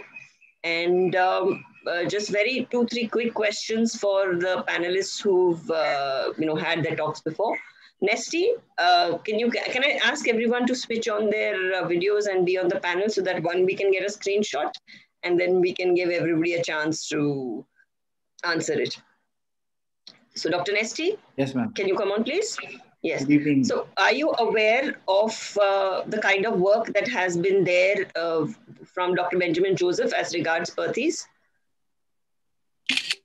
Yeah, yes, Pam. In terms of the recent approach with regards to the to the containment surgery, yes, I am aware of that.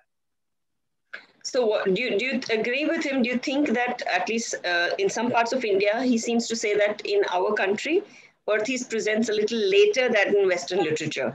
So, have you all seen any that kind of uh, incidents or variations uh, as far as the Asia Pacific region is concerned?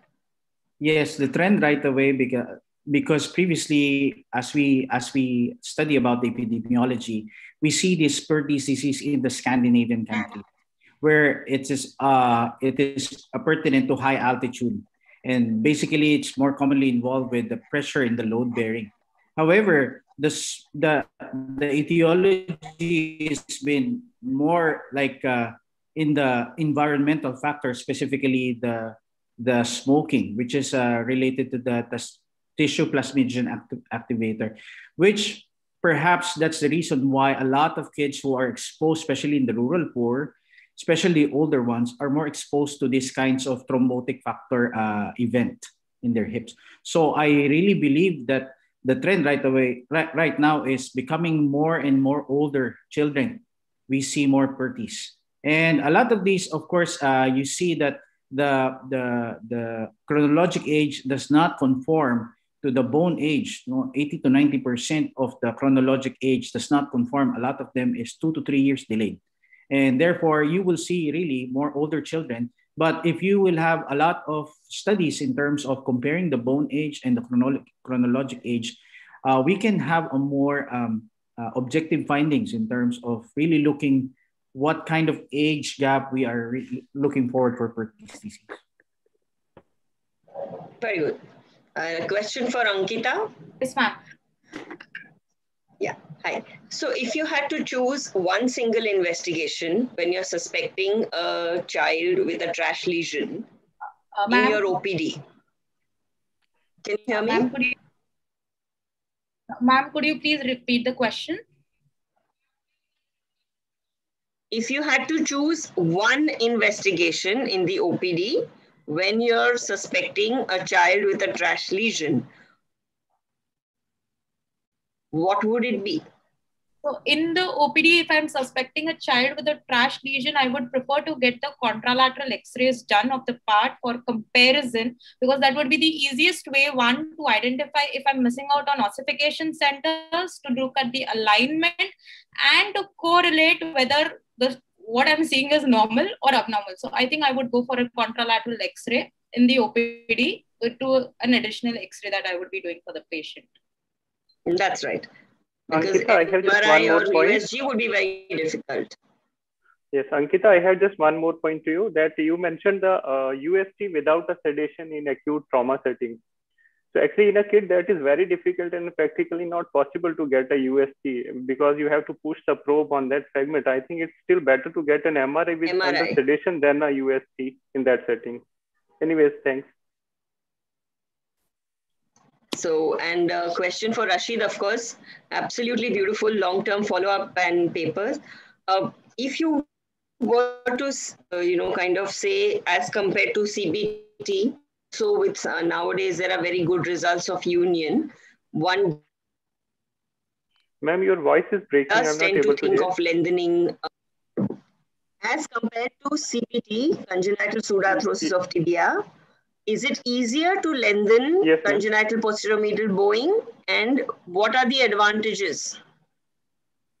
Ma'am, in congenital posterior medial, the best thing is that the biology is okay. So we don't have to worry about the union or lengthening compared to pseudarthrosis of tibia, where the issue is of the uh, union there. First, we have to achieve it and then into lengthen. But the issue is that it's not a straightforward lengthening. As I mentioned, that the ankle valgus and distracting of the uh, this fragment is not much discussed in the literature. And there are certain other uh, compensatory uh, things also, like in ankle valgus, we see a compensatory hindfoot varus and sometimes people do correct with the distal tibia that valgus is corrected that they unmask that deformity of the hindfoot also the varus that needs later correction if it has been a rigid deformity so it's not a straightforward lengthening but if you compare with pseudarthrosis definitely cpmb is still good i would choose a cpmb And a question about the Botox to treat the residual equinus. yes. Um, how would you justify the rationale of using it in a non-spastic muscle? Ma'am, in, actually, it's the cast that is working, not the Botox. Maybe it just makes the child pain free and that thing. Actually, the cast that's work because we apply it under GA, so we can stretch it out, and the cast is the actual thing that is working. Botox, uh, like that only, in uh, zero to five degrees, and later we don't do it. Thank you. And we go on to Aisha.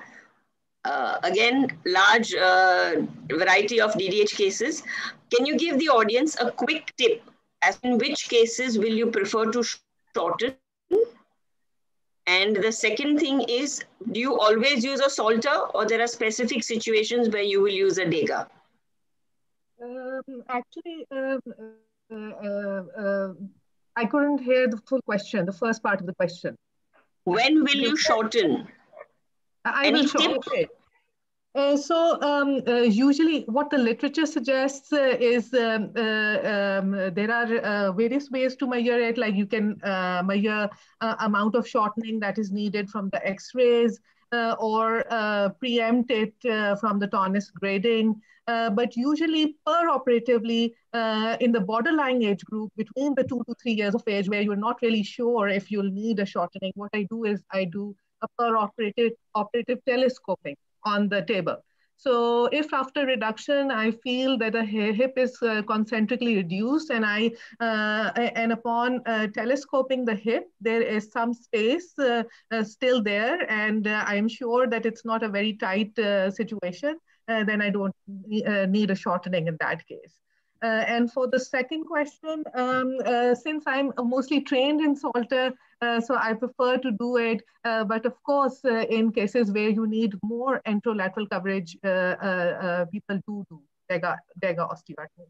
But it's my comfort zone, so that's why perhaps I do more Salter. Okay. So very, very, nice expose, all of you. And congratulations and thank you, Jamal, for uh, getting me involved with this group at the last moment. I'm trying to look like James, but that's a little difficult. But I hope I have been able to fill in his shoes. And he's a dear friend, and it was absolute pleasure to see all you women and men, all diversity, and doing so well. Over to you, Rashid, and uh, the wonderful um, Amna. Thank you. Thank you, ma'am. Thank you. Thank you. Thank you, ma'am. So I would like to thank all the participants, chairpersons, and my co-moderator for this wonderful session. Uh, although we gave the, the, name to orthopedics, still we are on the last session, the pediatrics first, but still it was a wonderful one. Thank you, everyone. To make the log off now. I would like to hand over again to uh, Dr. Raja Bhaskar to continue the proceeding. Raja, are you there? Yeah, I'm there. Thank you, yeah, thank you. Please take over the So, thank you, Rashid. And uh, uh, it was a great pediatric session and special thanks to Rujita madam. It was always nice to see madam. Madam is always so enthusiastic and she has a great passion for teaching. And it was, as madam said, it was such a diverse session, different parts of the globe and also a lot of uh, a perfect mix of men and wonderful surgeons from uh, involving women. I think it's that is how the future is going to be. And thank you so much, madam. Thank you all speakers. Thank you, madam. And congratulations to you and Tanay. Very, very well done. Thank you so much, madam. Thank you so much, madam. Thank you. So, so uh, now we move on to the last session of uh, this two-day virtual congress. I would like to invite all our panelists for the collaborative session on research. Uh, can I um, invite Dr. Sunil Dr. Octavio, Dr. Elisa, Dr. Yavuz, Dr. Aiza, and Dr. Samarth. Could all of you put uh, on your screens, please? We can see all of you.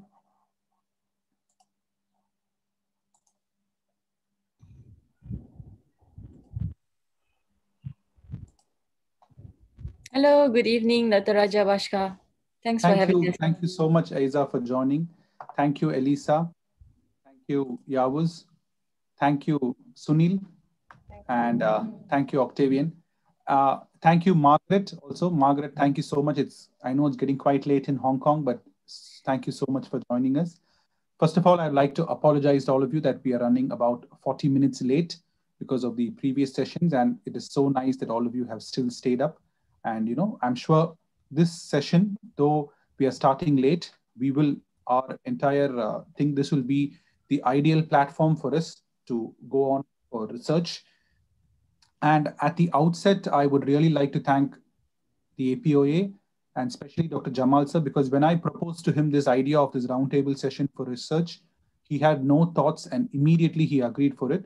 And I'm so happy that we are going ahead with this. And for the next 35 minutes or so, we will have a good discussion and I welcome all of you. And as we know, this is a collaborative session involving members of the APOA, the SICOT and EFORT also. And let us go into the session. We have seven panelists here. All of us will be include, involved and all of us will be giving our ideas on collaborative projects. So are our panelists who are really experienced, who are really keen on research and really have a passion for uh, involving together. So Dr. Elisa and Dr. Yavuz are from EFORT and from the European Federation. Dr. Margaret, myself, and Dr. Samarth, we will be representing APOA. And my dear friend Sunil and Octave from Switzerland, we will they will be representing SICOT. So it's a wide conglomeration of varied aspects of surgeons, and I'm sure we will have a very good session. So let me start off with our session will be like for the next five minutes, I will be talking about where we are in research. And for the next 20 minutes, we will have a group discussion on what are the ideal ways to go forward and what are the main factors which hinder research. And the last 15 minutes, we'll be thinking on future projects. So by 35 minutes, we should be done with this session. So today, where we are with research exactly. So this is a screenshot from the Clinical Orthopedics and Related Research Journal.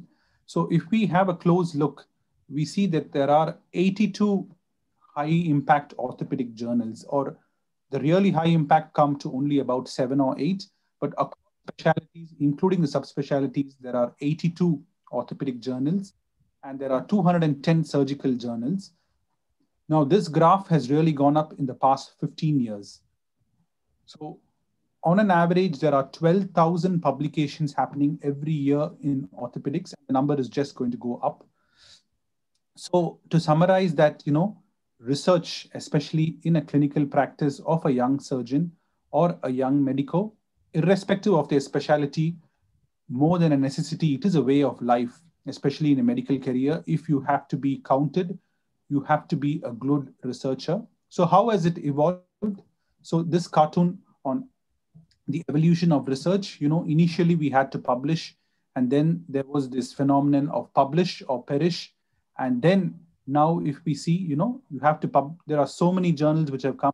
So people started saying that only if you publish in a very high impact journal or you perish. And now you have to frequently publish in high journals, especially if you are in a Western world where you have to be counted on various aspects. So the whole aspect of research has now moved that today it is very essential for us even to get our thought process right. So the magnitude of research, how much is it today? Like, you know, one hour back when I just went to PubMed and typed COVID-19, it's staggering. Over the past 11 and a half months, there have been 1,12,486 publications in recognized journals in the whole world. So this is in the past 11 and a half months in PubMed. This is actually much, much more than topics like ACL or TKR. Now, of course, it's a global phenomenon. So all of us know out of these 1,12,000 publications, you know, only about less than a thousand will make exact amount of defining clinical practice. So this number exactly shows that, you know, the whole world, young researchers, young students across specialty, they value research and we have to do research. So apart from being a clinician or a surgeon, the most important thing is the concept of a surgeon scientist, where you have to do good clinical practice and also do appropriate amount of research to keep yourself counted and also thereby teach the world and also contribute something to science. So even though there are many projects, I think the future is going to be a proper, well-planned research project and involving collaborative work across multiple specialities and also across young surgeons across different parts of the globe. So if, even in the spine session today, I was just seeing, and you know, in one of the talks, which I, this is a screenshot taken from one of the talks, and especially from the surgeon from Australia, you see there all his all the slides he was showing, he only showed collaborative studies. You have to have multi-center and only then even literatures, even in subspecialty, people value it very high.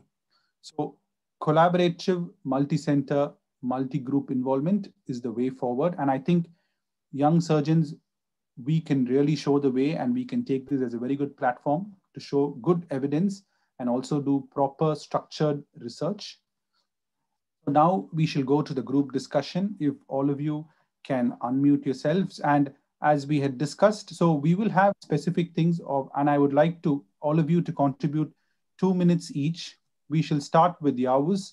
So Yavuz, I would like your thoughts on how valuable do you think is research in a young surgeon's practice and career in today's Raja, thank you again having me in this uh, group discussion. Actually, I took some brief notes what illustrates a scientific or a researcher uh, for myself. The establishment of a successful career requires a planning that begins in residency, I guess, and a careful decision making along the way with clear focus on goals. So although a decreasing number of surgeons choose to augment their practice with research, there is a clear agreement on the, the endeavor at value to current knowledge. So given the increasing pressure on a surgeon to, to produce vulnerable work, how can a busy orthopedic surgeon develop and maintain a research program? So for this purpose and for the simplicity, I will try to give you the headlines to build a research while maintaining a busy surgical practice.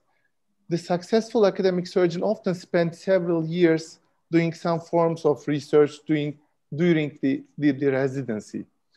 So the, also the mentorship comes along with an experience like this that is the most vital to an individual's development as a researcher, I guess. So the mentor teaches the critical skills that a surgeon will need. Secondly, it is very important to spread, to spend a significant time reading the literature, to learn about the new research trends.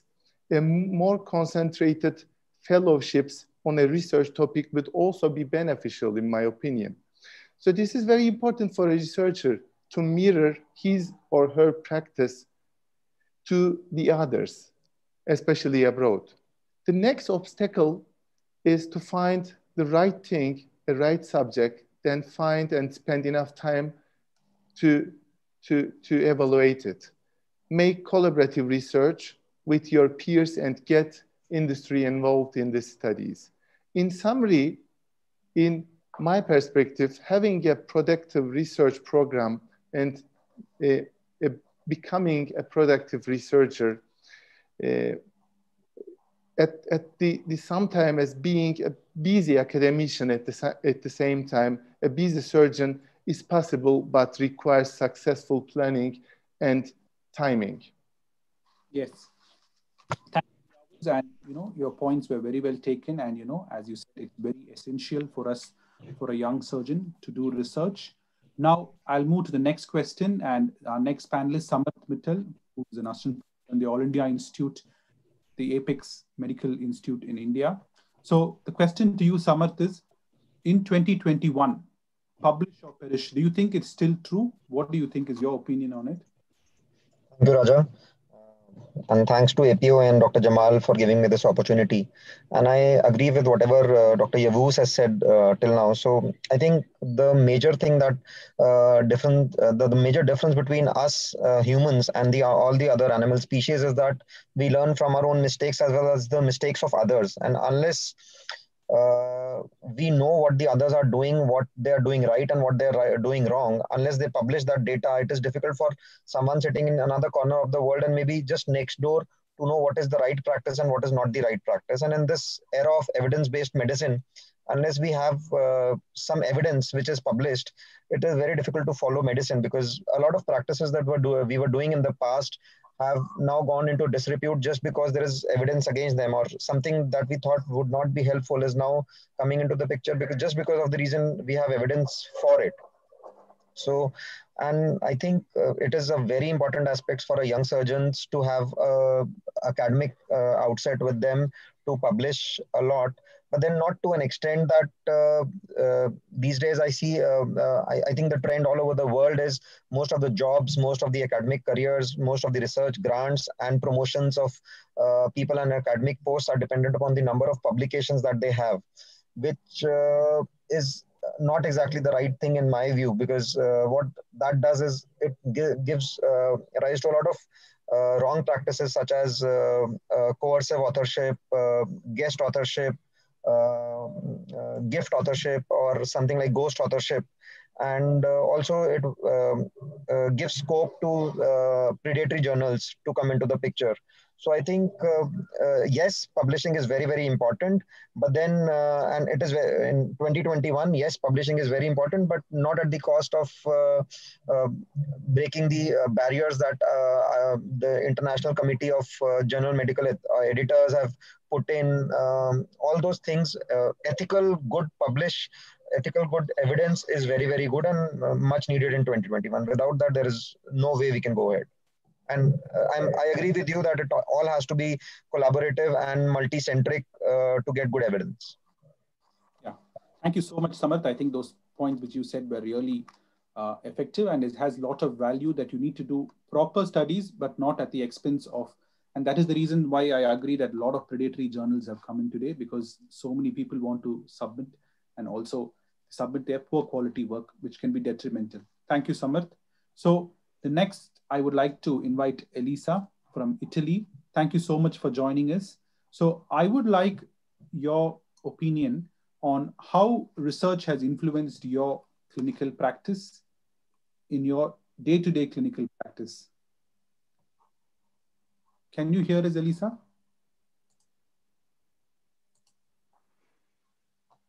I'm afraid she's not online.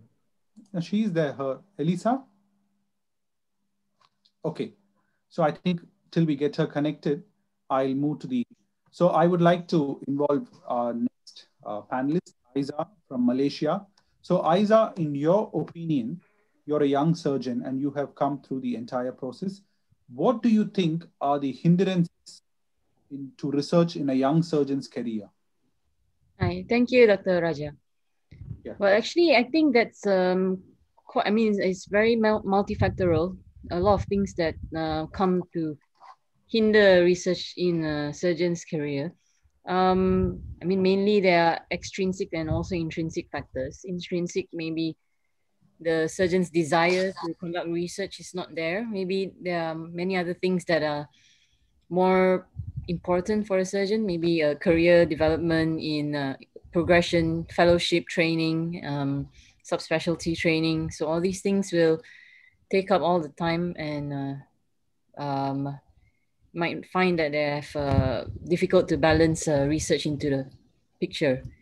And um, sometimes uh, it, it depends also what of research you're looking at, um, whether you're doing basic science or clinical type of research. So in for basic science research, I mean, you need the facilities, you really need the support, and actually it takes quite a lot of funding as well. And uh, funding can be a major hindrance for a young surgeon. I mean, if you are in a public, I mean, if you're in a university setting, maybe you're more, um, you can have more access to grants, or maybe your seniors or your professors, they um, have uh, grants that can help you with uh, basic science research. But if you're working in a public university, then that's going to be quite tough, as well as you don't you don't have the means, you don't have the facilities as well. Yeah.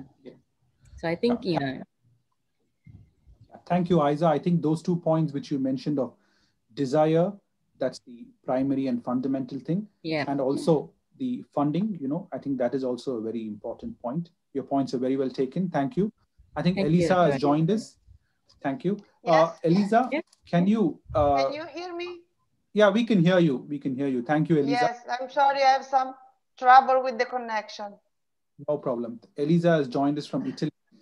I just wanted your thoughts for the next two minutes on how you think research has influenced your clinical practice, like your day-to-day practice.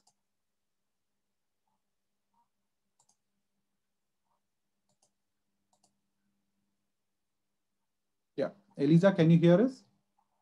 Yes, yes, yes. Yeah. So, you uh, can, yeah, you can talk.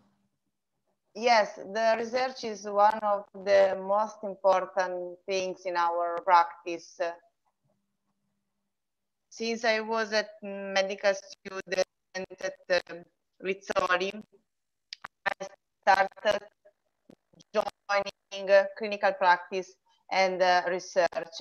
And uh, one of our mentor, Professor Campanacci, always says that uh, who study is uh, uh, improving himself and also improving himself is better also in clinical practice. So when we have uh, a patient, we are always to, to, join the study and the research with the clinical practice because uh, the patient is uh, the final point uh, of our work, but for him, the better thing is that we uh, that we study and that we improve the research. So the research has always to influence uh, the, the practice. Um, publish a lot of paper is uh, a, a, crucial point for us. And I think that during my career, I publish a lot of paper and publish them. I can meet uh, pa patient and then I meet uh, a colleague from all over the world. And uh, this also improve a lot my practice, improve my clinical research. So um, publish is a, a, crucial point also for the clinical practice. And we have always to join them. Yeah. Thank you so much, Elisa. I think your point is very important and especially as you mentioned Professor Campanacci, I think, you know, it really influences your practice. And only if you have that mentality of doing research? Will you be able to imbibe research and other practices? Is Your the, point? the final point that we uh, Yes. So we'll move on and Isa has already. So next I would like to invite uh, Margaret. Margaret is our co-panelist who is from Hong Kong. And just to know, Margaret has done a lot of research. She's one on the editorial board of even the Journal of Orthopedic Surgery. She also won the SICOT Research Academy Award for her research on distal radius fractures. I think it was in Cape Town. So Margaret, can you tell, you know, how do you think young surgeons, like especially since you've already proved it, you got research and you have awards, how young surgeons can make a difference in research? Thank you, Raja, and thank you. Um, thank you for having me. So I think young surgeons can make difference in research in two different ways. First is by assisting in establish a project, and second is by doing their own research. So initially, when you started off as a, um, a young surgeon, you think that, oh, this is mainly for the senior surgeons who do research and I'll just do my study. But actually, um, it's a nice way to assist in establish um, project and work with the seniors and, and see how research is being done. So because you're doing, because um, I suppose in an academic setting, we in, in my in my academic institution, we've got more chances to expose to it. And then we are encouraged to read a lot of projects. So once you start reading articles, you want to, you have a lot of questions in your mind and you shouldn't be afraid to ask questions and and talk to your seniors to see whether these questions needs to be that whether there are um, there's good answer to it and whether you can do research for it. So in assisting an established project can actually makes you understand how a research is being done. And then, um, then you should start thinking about, just don't take what some of your seniors says um, as a face value and then actually ask and actually go about in looking at, um, it's not like rote learning where you just just listen to them and then say, oh, this is this is how it has been. Um, obviously, there's different opinions around the world, and so actually, sometimes your literature review can actually um, make you have more understanding of what other people around the world is doing, and then you can establish your own research project. Young surgeons brings in a lot of um, energy. They tend to be more open-minded. They have inspirations. Um, as a young surgeon, you're rotating in different specialty, and sometimes seniors tends to be bogged down in their subspecialty for so long that you don't really understand what the others um, subspecialty doing and bringing in other ideas from different subspecialty actually makes makes you want to do to develop a techniques do some kind of research and see whether that is being um, is, is being is being done. And so i would suggest youngsters not to not to give up to keep asking questions and don't don't be afraid to say no. And yeah and then just don't just don't take people saying this is not this could not be done as an answer and actually try to persist in doing what you want to do and then see how and and yeah and then try to, your best to to find out the answer yeah. thank you margaret i think thank your you. golden words will be you know ask questions and never give up i think that's very yeah. very important yeah. i would next like to involve my very good friend sunil Kumar from Cambridge, and Sunil is the chair of the Young Surgeons Committee in the SICOT, and Sunil is also a very good researcher. So, Sunil, what is your opinion on this fact? You know, what can be the role of international societies like the EFORT, APOA, SICOT to promote research among young surgeons? What do you think will be the role of these organizations? Raja, thanks very much uh, for the invite and uh, thanks APO as well. Uh, this is a great session. I think this is a very important topic to discuss, especially among young surgeons. And first of all, I think everyone has to be embedded with um, the concepts of critical appraisal of literature and research methodology. And as the other panelists have said, and that is the key in terms of uh, appraising whether the articles we read are good or bad.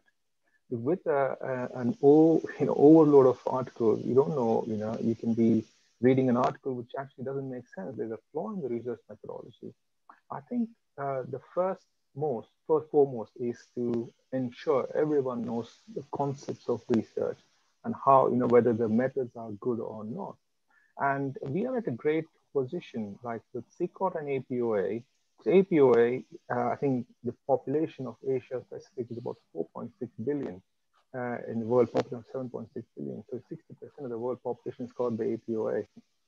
And SICOT can cover the rest uh, of the population in South America, Africa, which is not covered by APOA, and, and EFORT can cover Europe. So we capturing about 90% of the world population and the orthopedic surgeons there. I think the foremost is, uh, you know, can we conduct research methodology courses which are standardized across and uh, so that every orthopedic trainee, young surgeon understands research and then build collaborative networks. And we've seen collaborative projects are becoming more and more important now. And with these uh, three societies, we can build a really good network of collaboration, which is applicable to all regions, not just the designer center or you know center which invents a procedure or they're doing high volumes, but what is the transferability of the same results into uh, uh, another part of the world? I think so. I think in terms of that, we can play a, a you know an important role with collaboration with SICOT, uh, APO, and um, uh, EFORT as well. So you know, to summarize, I think just imbibing um, and you know, the research methodology to all the junior surgeons and creating collaborative network in this field would be the best way forward. Yeah. Thank you. Thank you, Sunil. I think the key point which you mentioned was critical appraisal. You know, it's quite difficult for us to critically appraise because especially, you know, everyone think that if you do a very good surgery or a very good examination or any aspect that you think that you are the best. But I think good point you mentioned of imbibing research methodology. And I think that will be a very good point for all societies. Another good point you mentioned was, you know, SICOT, EFORT, and APOA, we cover nearly 90% of 90 to 95% of the world population. So I think that is very, very good. So now to our last panelist, and Octavian is joining us from Switzerland. Thank you so much for joining us, Octavian.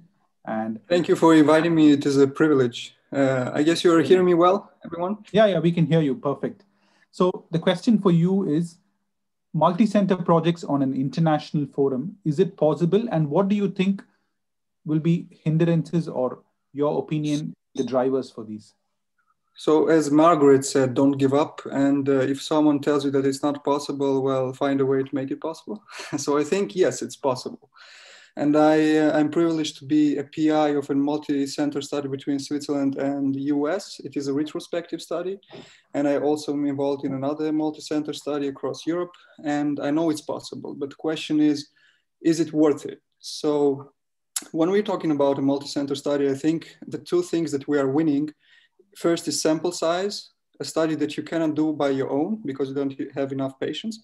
And the second one, you can ensure that the results you are obtaining uh, on your side of the world in India are comparable to my results in Switzerland. So that, uh, especially for interventional type of studies, you can assure that the, these are reproducible and comparable.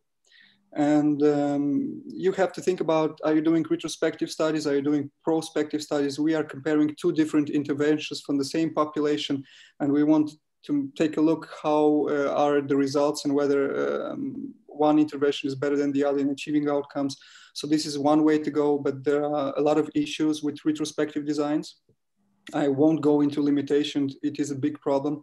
But if you want to design a good randomized control trial, and if you can get funding on every single part, you can, if you can get ethical approval, if you have trained um, medical personnel that will be doing everything with the same methodology that you will define first, then I think it's possible and I think it's worth it. And I think it would make a difference. And I think it would make an impact. And the impact is always the patient. It's not our careers, it's not our uh, aspirations, the name on anything. It's just making the life of the, our patients better. And I think this is the, rich, the research that we need. And even if you're getting a disease or anything, you're going to PubMed, you want to look for the best and uh, the example is COVID-19 and you don't want to look into 112,000 studies and you want some key papers that are going to answer some relevant questions. And I think that's possible and not only possible, that's necessary. Yeah. Thank you so much, Octavian. I think the most important thing that you added was you changed the question to is it worthwhile? So what do you think? Retrospective studies, I understand their own limitations, but do you think these multi-center projects among young surgeons, how worthwhile is it? How much can it define the practice? Because, you know, young surgeons, the only thing is they lack mm. experience, you know, in even in clinical yeah. practice. Do you think how worthwhile is it for young surgeons to do multi-center or collaborative work? Well, collaborative work it may mean systematic reviews, meta-analysis, and that we agree on critical appraisal. Uh, it may mean that we make a synthesis uh, on that and that it's relevant, that's possible, that's a good collaboration.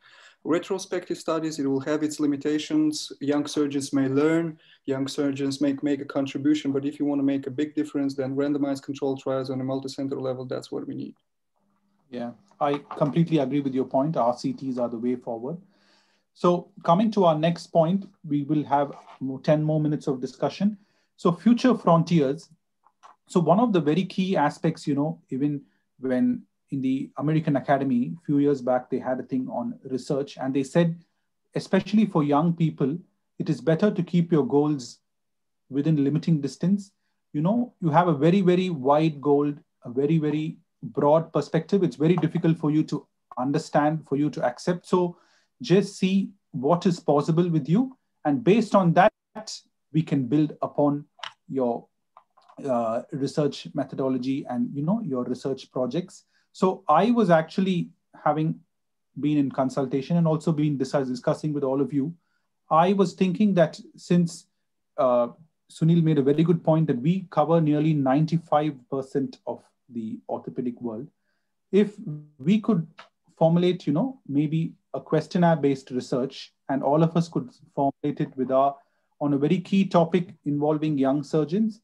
And then if we get, you know, for us, it'll be a good learning, you know, like what is the satisfaction of uh, orthopedic young surgeons who have taken orthopedics as a career? You know, that's a very, very important question. You know, we don't know. We think all of them, we think they are the best specialty. What is the uh, most important subspecialty in different parts of the world? It may be one in India, one in Europe, one in the Middle East. It'll, it's a totally different thing. So I think a questionnaire-based research will be the first initial step. And from that, we can build on to the uh, future projects. And as I said, you know, high volume, high RCTs are the ones which we will require funding. And for us to require funding, we have to show that, you know, usually all the societies, they require for us to show some groundwork. So any suggestions on that, Sunil? What do you think?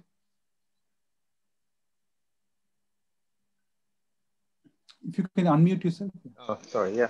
So in terms of that, um, something which is applicable to everyone. So um, this is a good one. You know, we can start off um, as a subspecialty career choice, but how you know in terms of um, the training programs are different in different uh, regions. Uh, so the length of the training programs in India, there's three years. So if you come to uh, the UK, it's about 10 years. So it, it may be a bit difficult to say. We can just make it as a, you know, junior training or senior training or pre and post fellowship exam. And then is there any bearing uh, in that as um, a career choice? Um, other than that, yeah, so I'm not sure. Yeah, I, so I, I if I may, yeah, tell me, Octavian. Sorry if I may aid. I think what unites everyone on the globe is the fellowship. I think asking the question, what determines you seeking this or that fellowship? I think that's a relevant question. It may be have, having different answers across uh, countries. Some people seek research, some people seek surgical exposure, some people seek just a name, a good city. So I think. Yes, I completely agree. I take both your points from both of you. So this was what actually I had positively made from the discussion. So these were the four overall ideas, you know, whether these aspects, benefits of training and, you know, preference of subspecialties among young surgeons or preference of sub subspecialties among young orthopods and, as I said, fellowship opportunities for young surgeons. So uh, can I start from all of you? So Yavuz, if we are going to start a questionnaire based research project. What do you think? So, our project will be finding out from young surgeons what do you think will be the best question or the best aspect which we can focus on? Actually, this is a very hot and very good topic. Uh, in my opinion, there are a few factors that may have influenced a young surgeon's practice and career in expectations. So early career organizations such as the APOAS Young Surgeons Forum may have a great role to, to build up their future. So in this platform, we can maybe uh, build up a proposal about how to improve their training standards or maybe strategies for better communication between young surgeons or maybe balancing our daily life with our early career. I think these might be potential questions in my mind. Other than edu education, eh, I think these kind of forums, we can also focus on the social side of our daily practice. In the response of the multitude of like scientific clinic and social change that orthopedic and traumatology training faces today due to the outbreak, we should stay more close and share more, more things to build up our bright future, hopefully. Yeah, thank you, Yavuz. Thank you. Can I involve uh, Samarth now? So, Samarth, what do you think? You know, even you had contributed to one of these two of these questions. Which question yeah. It will be good for us to research upon if we are going to circulate the question among young surgeons across the world? Yeah, so Raja, I think uh, uh, uh, preference of subspecialties among uh, young orthopedic surgeons and uh, how would they select their fellowship uh, and goals? I think these are the two questions that I think I think are easy to work on and would be um, giving us answers that can be compared across the globe because training is like Dr. Yavuz has already told that training is and Dr. Sunil that training is different across the world for orthopedics and then we will get a very haphazard uh, set of answers which may be difficult to combine and uh, reach some conclusion although there are some um, studies already on how uh, but they are country specific that which special uh, subspecialties among orthopedics are selected by surgeons from a center or from a country those exist but i think it will be very interesting to know this from people across the world and whether some uh, countries have a special predilection for uh, a certain subspecialty and for whatever certain reasons that they have or why they would want to do a fellowship in that subject. Yeah, that's a very good point, Samar. Thank you. I would like to involve Margaret now. So, Margaret, what do you think will be the best question for us? Your comments? Which question do you think, especially from your being from the uh, Hong Kong and especially the eastern part of the world, what do you think among young surgeons will be a burning question. Yeah, agreed. I think the preference of subspecialties among young orthopods or the fellowship opportunities for young surgeons will be interesting and get things out of it. Actually, um, with the COVID, I think even depends on how fast we're going to go on to, to have this, to implement this. But with the COVID, I wonder if actually whether that will affect the fellowship opportunities for the young surgeons and what kind of things that they will be affected. It will be people may want to, in a way, because of the COVID, they may not want to go overseas for, or they can't go overseas for fellowships. They may want to do within their own countries, or, or that they would prefer to do more research projects. And that, that there will be things that will be different with the COVID. And I think that may be um, that may be interesting to know. Yes, I think that's a very good point. So, Isa, can I involve you? And what is your opinion? What do you, especially as Margaret has raised a very good point on COVID 19. Yeah. So, do Thank you, you think, Dr. like, yeah, from I, I, I think, I, I mean, I know if, if you, you've done your search and there's over a 100,000 papers on COVID already, but yes, I think that'll be quite interesting to know how COVID has impacted our, I mean, the training of young surgeons, because I myself um, have experienced that. I mean, you know, we, you have to postpone or you have to cancel, reschedule a lot of things um, around this COVID. And now with the vaccine out, that hopefully that things will um, start um, settling down and start going on again. But um, for your for these these topics, I think possibly we will we should be able to cover them in one questionnaire because they are kind of interrelated and I think um, they are all quite interesting to see the different um, results that we get across the globe. Yeah. Yeah, thank you, Isa. Thank you. I really agree. So can I involve Octavian? So you have had a lot of experience, as you said, with multi-center collaborative projects. In a simple based questionnaire, which we can understand, which project do you think will be really useful among us? The number four, fellowship opportunities for young surgeons. And maybe focus on the reasons why they would choose these specific topics. So yes. I think that's interesting to me. I think that would be relevant. Yeah, thank you, Octavian. Elisa, your comments? Yes, yes, I'm here. Yeah, so which questionnaire do you think, which for a young surgeon, your preference of subspecialties or your training or your fellowship opportunities, which one do you think will be a good question for us to work on? Well, uh, I really Really, I don't know. Mm, I think that uh, every kind of uh, fellowship is a great opportunity for young surgeon to improve themselves and to improve uh, their learning. Um, I, really don't know a, a specific topic uh, on which we can train. Yeah.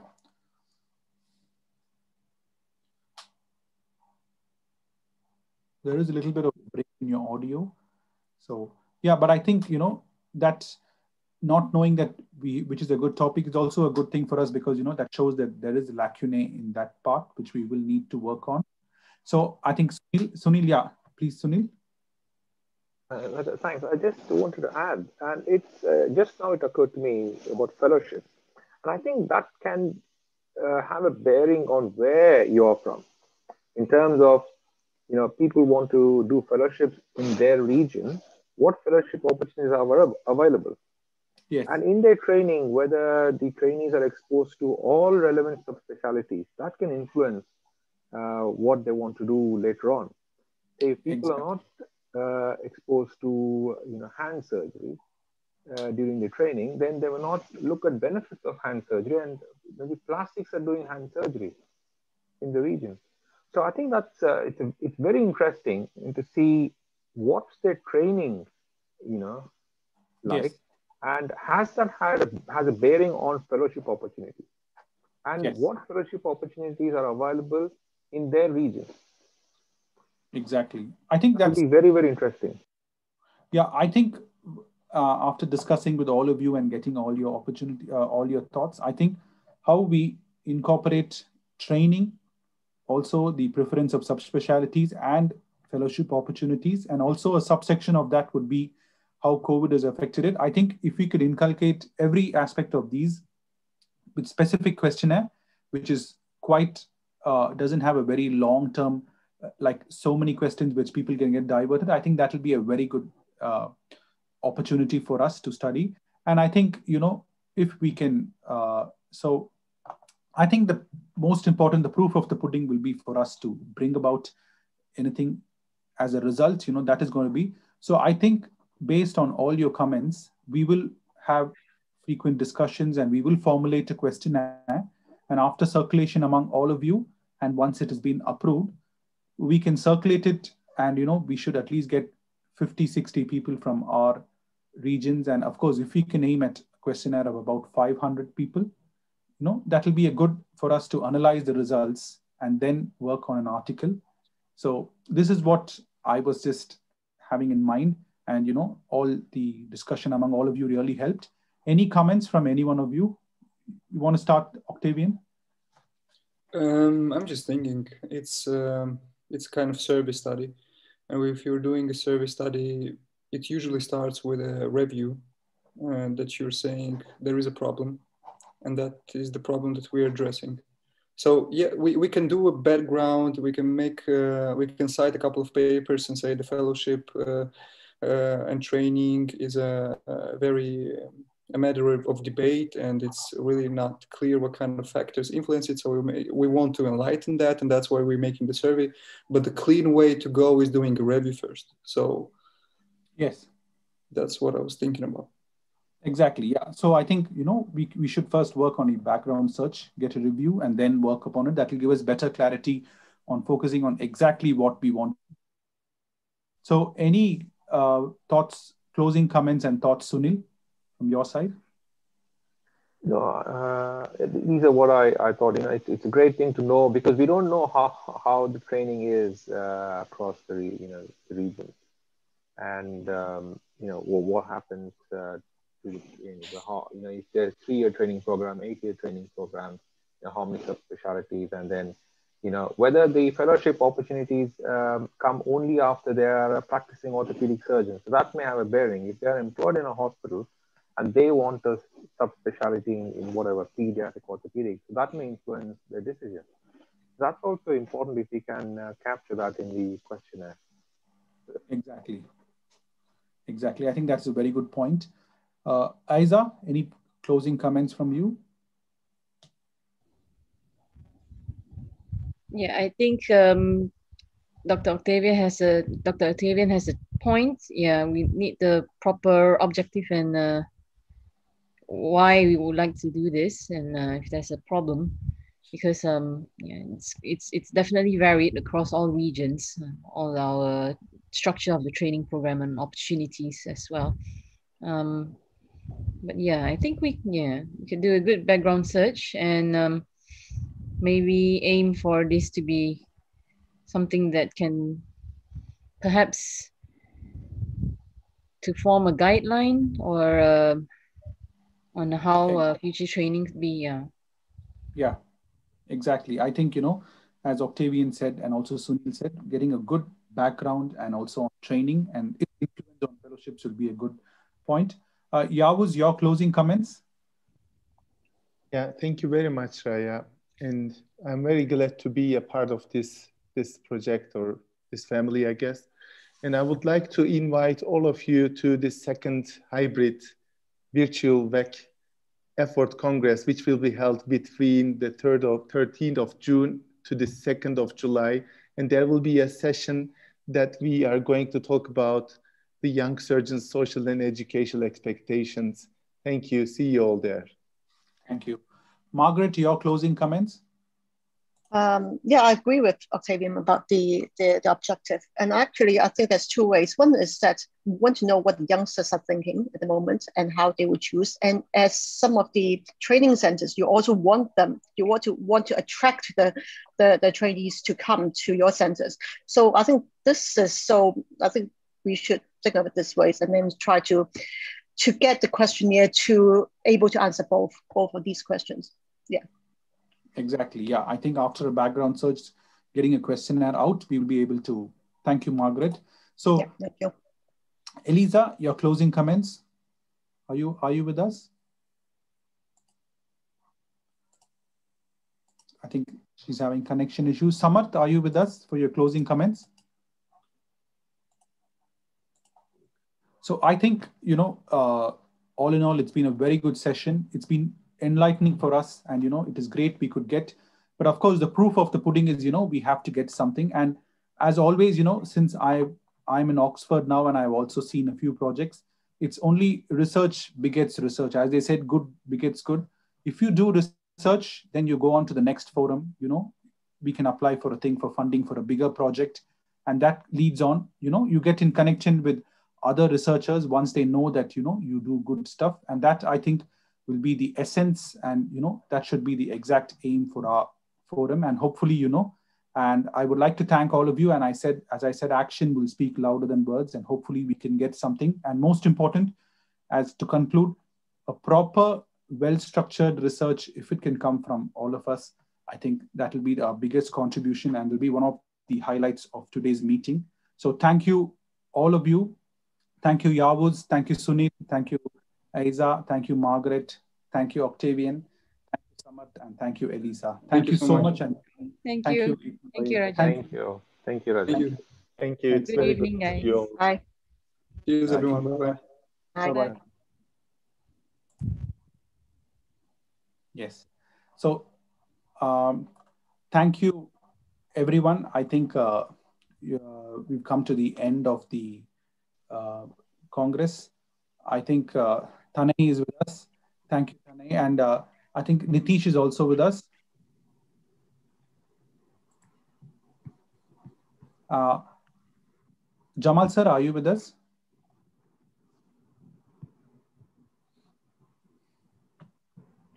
Jamal sir is not there. Yeah, thank you. So I think it's been a wonderful two days and it's been really lot of hard work and especially I have to thank uh, backend team. Thank you so much, Vama. Thank you, Sejal, and thank you, Swapnil. Are you there with us? Yeah, I think they are there with us. Uh, yes, yes. Thank, thank you, Sejal. Thank you, Swapnil. Really, you know, I think timing, time management could have been slightly more organized, but you know, all youngsters, we are really enthusiastic and that took up a little bit of time, but you know, all in all, it was such a great event. I thank you so much. Thank you for all your help. And uh, thank you, Vama. Thank you, Sejal. Thank you, Swapnil. Anything tell us?